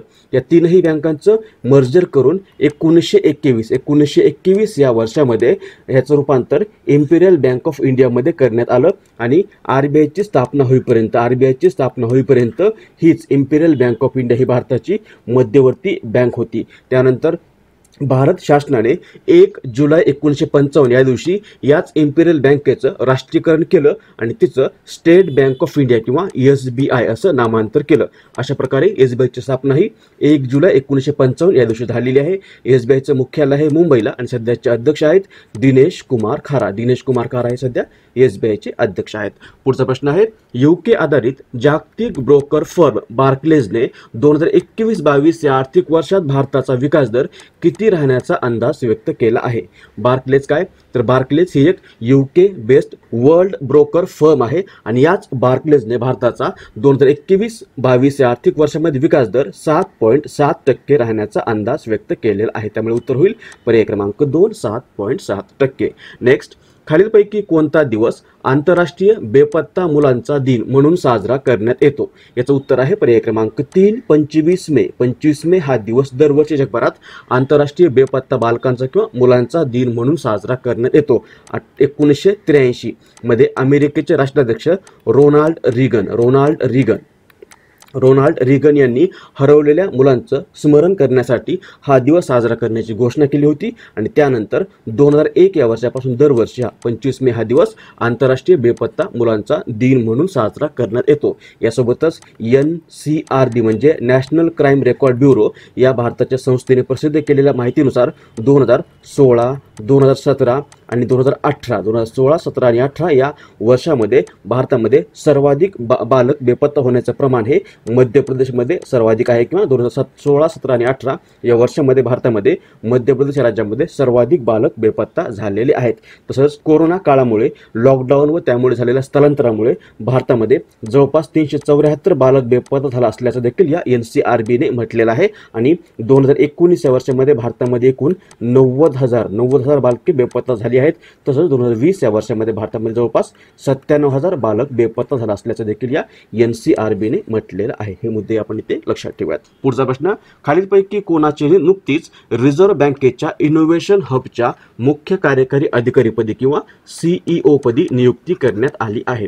याचं उत्तर आहे पर्याय क्रमांक एक राजेश बन्सल. राजेश बन्सल यांची नुकतीच या रिझर्व्ह बँकेच्या इनोव्हेशन हबच्या मुख्य कार्यकारी अधिकारीपदी नियुक्ती करण्यात आलेली आहे. हे रिझर्व्ह बँक इनोव्हेशन हब काय? तर आर बी आयने तंत्रज्ञानाचा फायदा घेऊन नवीन यंत्रणेला चालना देणाऱ्या वातावरणाची निर्मिती करून आर्थिक क्षेत्रातील नवनिर्मितीला चालना देण्यासाठी तसंच वित्तीय क्षेत्रातील संस्था तंत्रज्ञान उद्योग आणि शैक्षणिक संस्थांशी सहकार्य करण्याच्या उद्देशाने ऑगस्ट दोन हजार वीसमध्ये या आर बी आय किंवा रिझर्व्ह बँकेच्या इनोव्हेशन हबची स्थापना केली होती ऑगस्ट दोन हजार वीसमध्ये आता याच इनोव्हेशन हबच्या सीईओपदी राजेश बन्सल यांची नियुक्ती करण्यात आलेली आहे. राजेश बन्सल हे आहेत. राजेश बन्सल हे आधारच्या टीमचे संस्थापक सदस्य होते. यासोबतच त्यांनी इलेक्ट्रॉनिक केवायसीच्या निर्मितीमध्ये महत्त्वाची भूमिका देखील बजावलेली आहे. इथे आरबीआयचा उल्लेख आलेला आहे. आरबीआय म्हणजे काय? रिझर्व्ह बँक ऑफ इंडिया स्थापना झाली होती एक एप्रिल एकोणीशे पस्तीसला मुख्यालय आहे मुंबईला. आणि सध्याचे अध्यक्ष सध्याचे गव्हर्नर आहेत शक्तिकांत दास. शक्तिकांत दास हे आरबीआयचे पंचवीसवे गव्हर्नर आहेत. यासोबतच लक्षात ठेवा आरबीआयची स्थापना ही हिल्टन यंग समितीच्या शिफारशीनुसार एक एप्रिल एकोणीशे पस्तीसला झालेले आहे. आरबीआयचे पहिले गव्हर्नर होते सर ऑसबर्न स्मिथ आणि पहिले भारतीय गव्हर्नर होते सर सी डी देशमुख किंवा सर चिंतामण द्वारकादास देशमुख. पुढचा प्रश्न महाराष्ट्रातील डॅश या जिल्ह्यातील प्रियदर्शनी महिला नागरी सहकारी बँकेला नुकताच एक लाख रुपयाचा दंड आर बी आयने एक लाख रुपयाचा दंड आर बी आयने आकारला आहे. याचं उत्तर आहे पर्याय क्रमांक चार बीड. ही प्रियदर्शनी महिला नागरी सहकारी बँक ही बीडमधली एक बँक आहे. आणि याच बँकेला नुकतंच या बँकेने आर बी आयच्या निर्देशांचं पालन न केल्यामुळे आर बी आयने एक लाख रुपयांचा दंड आकारलेला आहे. उत्तर होईल पर्याय क्रमांक चार बीड. नेक्स्ट खालीलपैकी कोणत्या राज्यात स्थित असलेल्या मोहाली आंतरराष्ट्रीय हॉकी स्टेडियमला दिवंगत बलबीर सिंग सिनियर यांचं नाव देण्यात आलं आहे. याचं उत्तर आहे पर्याय क्रमांक चार पंजाब. इमेज बघा हे आहे ते आंतरराष्ट्रीय मोहाली आंतरराष्ट्रीय हॉकी स्टेडियम. आणि या स्टेडियमला आता बलबीर सिंग सिनियर यांचं नाव देण्याचा निर्णय घेण्यात आलेला किंवा यांचं नाव देण्यात आलेलं आहे. त्यामुळे उत्तर होईल हे स्टेडियम पंजाब या राज्यामध्ये स्थित आहे. आणि हे बलबीर सिंग सिनियर आहेत. हे भारताचे एक हॉकी संघातील महान खेळाडू होते. हॉकी संघातील महान खेळाडू होते. त्यांनी देशाला तीन वेळा ऑलिम्पिक सुवर्णपदक जिंकून दिलेलं आहे. पहिलं नाईन्टीन फोर्टी एटला त्यानंतर नाईन्टीन फिफ्टी टूला आणि त्यानंतर नाईन्टीन फिफ्टी सिक्स असं तीन वेळेस त्यांनी भारताला हॉकीमध्ये सुवर्णपदक मिळवून दिलेलं आहे. यासोबतच एकोणीसशे बावन्न एकोणीसशे बावन्नच्या हेलसिंकी ऑलिम्पिकमध्ये अंतिम सामन्यात नेदरलँड विरुद्ध त्यांनी पाच गोल करण्याची कामगिरी केली होती. आणि हा विक्रम आजही अबाधित आहे. म्हणजे आजही अंतिम सामन्यामध्ये पाच गोल करण्याचा विक्रम यांच्याच नावावर आहे. त्यानंतर याच बलबीर सिंग सिनियर यांना भारत शासनाने नाईन्टीन फिफ्टी सेवनमध्ये पद्मश्री पद्मश्री या पुरस्काराने सन्मानित केलेलं आहे.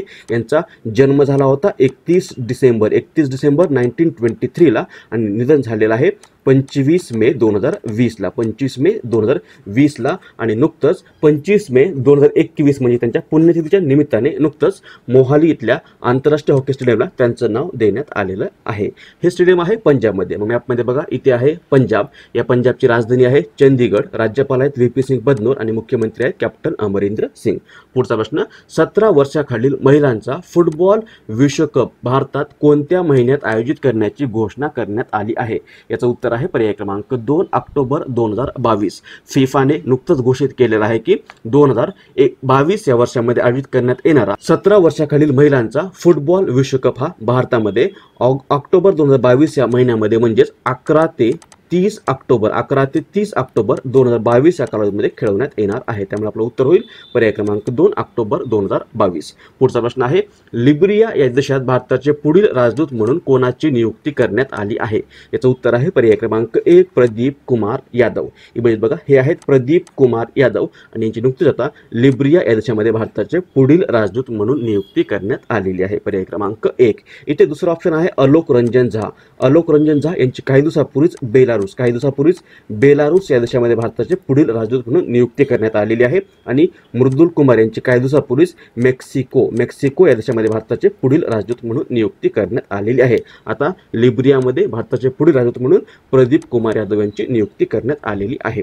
लिब्रिया मॅपमध्ये पाहिलं तर इथे आहे हा लिब्रिया देश. याची राजधानी आहे मोनओरिया पंत प्रेसिडेंट आहेत जॉर्ज व्ही आणि करन्सी किंवा चलन आहे लिब्रियन डॉलर पुढचा प्रश्न डॉक्टर श्रीकुमार बॅनर्जी यांचे नुकतेच वयाच्या पंच्याहत्तरव्या वर्षी निधन झाले आहे. त्यांच्या संबंधित खालीलपैकी योग्य विधान निवडा.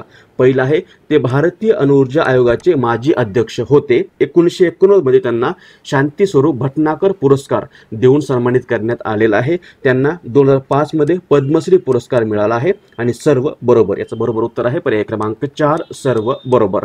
इमेज बघा हे आहेत डॉक्टर श्रीकुमार बॅनर्जी. हे आहेत डॉक्टर श्रीकुमार बॅनर्जी यांचं नुकतंच वयाच्या पंच्याहत्तर वर्षी निधन झालेलं आहे. ते भारताच्या अणुऊर्जा आयोगाचे माजी अध्यक्ष होते. एकोणीसशे एकोणमध्ये त्यांना शांतीस्वरूप भटनागर पुरस्कार मिळाला होता आणि दोन हजार पाचमध्ये पद्मश्री हा पुरस्कार देखील त्यांना मिळालेला आहे. त्यामुळे उत्तर होईल पर्याय क्रमांक चार सर्व बरोबर. खालील विधानांच्या आधारे योग्य पर्याय निवडा. अ आहे पंडित जवाहरलाल नेहरू यांची नुकतीच सत्तावीस मे या दिवशी पुण्यतिथी साजरी करण्यात आली आहे आणि ब आहे त्यांचा पुण्यतिथी दिवस भारतात दरवर्षी राष्ट्रीय बाल दिन म्हणून साजरा करण्यात येतो. आणि या चारपैकी आपल्याला योग्य पर्याय निवडायचा आहे. उत्तर आहे पर्याय क्रमांक एक फक्त अ बरोबर. नुकतीच सत्तावीस मे या दिवशी पंडित जवाहरलाल नेहरू यांची पुण्यतिथी साजरी करण्यात आलेली आहे.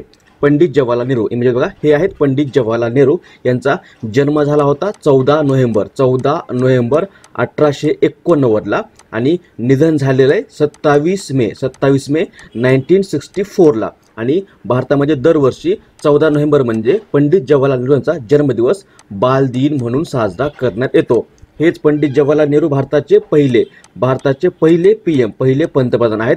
एकोणीसशे एकोणतीसच्या राष्ट्रीय काँग्रेसच्या लाहोर अधिवेशनाचे लाहोर अधिवेशनाचे हे अध्यक्ष होते. याच अधिवेशनामध्ये म्हणजे एकू एकोणीसशे एकोणतीसच्या लाहोर अधिवेशनामध्ये संपूर्ण स्वातंत्र्याचं ध्येय संपूर्ण स्वातंत्र्याचं ध्येय निश्चित करण्यात आलं होतं. हा प्रश्न परीक्षेमध्ये बऱ्याच वेळेस आलेला आहे की संपूर्ण स्वातंत्र्याचं ध्येय कोणत्या अधिवेशनामध्ये निश्चित करण्यात आलेलं आहे? तर हे एकोणीसशे एकोणतीसच्या लाहोर काँग्रेस अधिवेशनामध्ये निश्चित करण्यात आलेलं आहे. आणि याच पंडित जवाहरलाल नेहरू यांनी लिहिलेला ग्रंथ आहे discovery of India discovery of India देखील याच नेहरू नेहरूंनी लिहिलेला ग्रंथ आहे. आणि याच नेहरूंना नाईन्टीन फिफ्टी फाईव्हमध्ये भारतरत्न भारतरत्न हा पुरस्कार देखील मिळालेला आहे.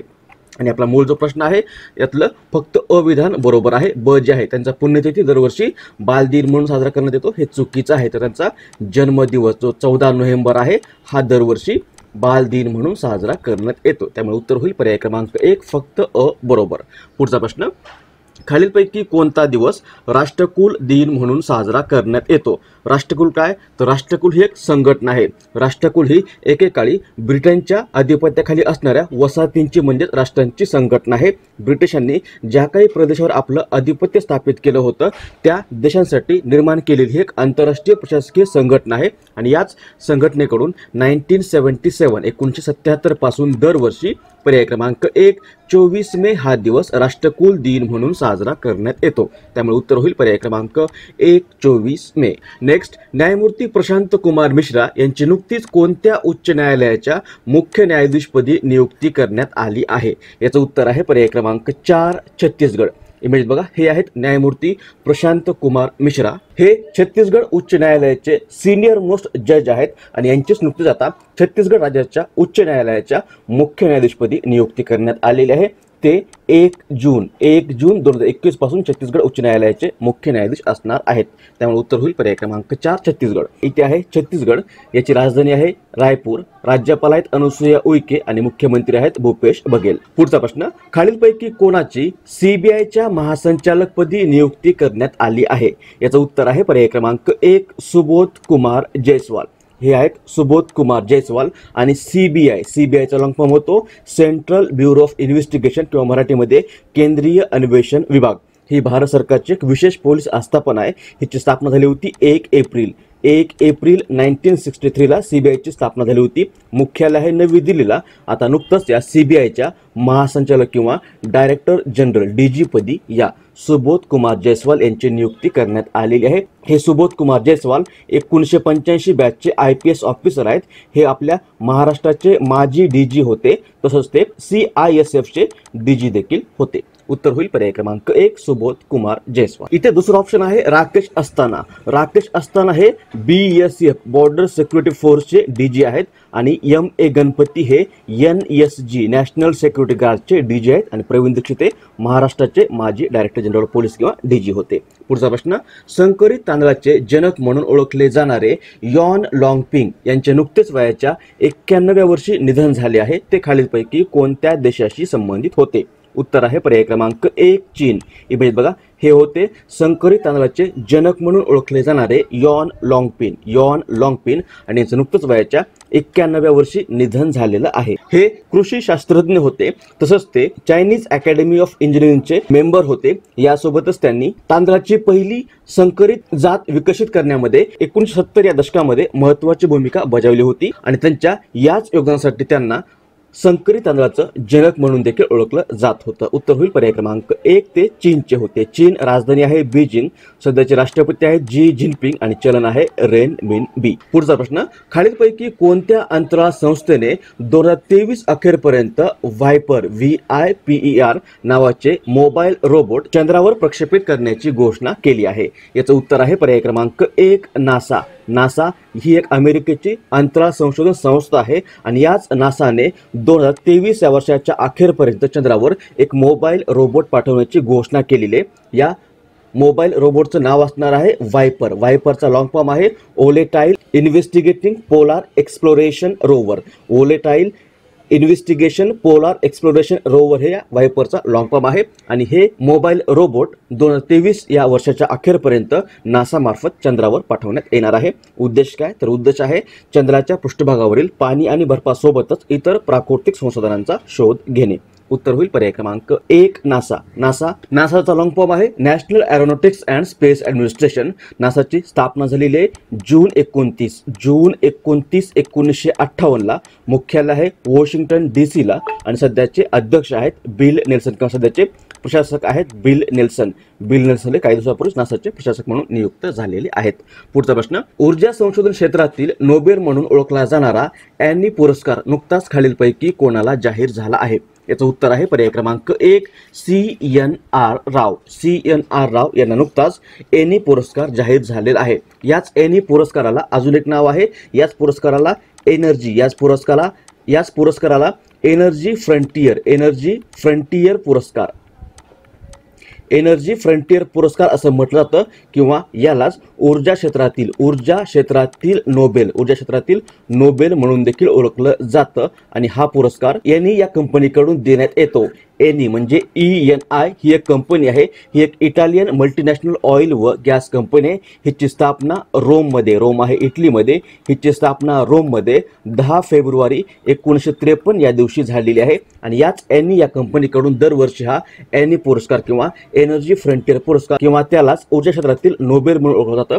हा पुरस्कार देण्यात येतो आणि दोन हजार एकवीसमध्ये हा पुरस्कार नुकताच सी एन आर राव यांना देण्यात आलेला आहे. यांना हा पुरस्कार नूतनीकरण ऊर्जा क्षेत्रातील संशोधनासाठी देण्यात आलेला आहे. आणि C N R Rao image पाहिलं तर हे आहेत सी एन आर राव किंवा यांचंच पूर्ण नाव आहे चिंतामणी. नागेश रामचंद्र राव. चिंतामणी नागेश रामचंद्र राव यांचं पूर्ण नाव आहे. आणि हे एक भारतीय रसायनशास्त्रज्ञ आहेत. भारताचे हे एक रसायनशास्त्रज्ञ आहेत. आणि यांनाच त्यांच्या रसायनशास्त्रातील यो रसायनशास्त्रातील योगदानासाठी मिस्टर सायन्स ऑफ इंडिया म्हणून देखील ओळखलं जातं. आणि यांच्या नूतनीकरण ऊर्जा क्षेत्रातील संशोधनासाठी यांना नुकताच हा दोन हजार एकवीसचा एनी पुरस्कार देण्यात आलेला आहे. या सी एन आर राव यांना आतापर्यंत त्यांच्या क्षेत्रातील नोबेल पुरस्कार सोडून सगळे पुरस्कार मिळाले मिळालेले आहेत असं समजलं जातं.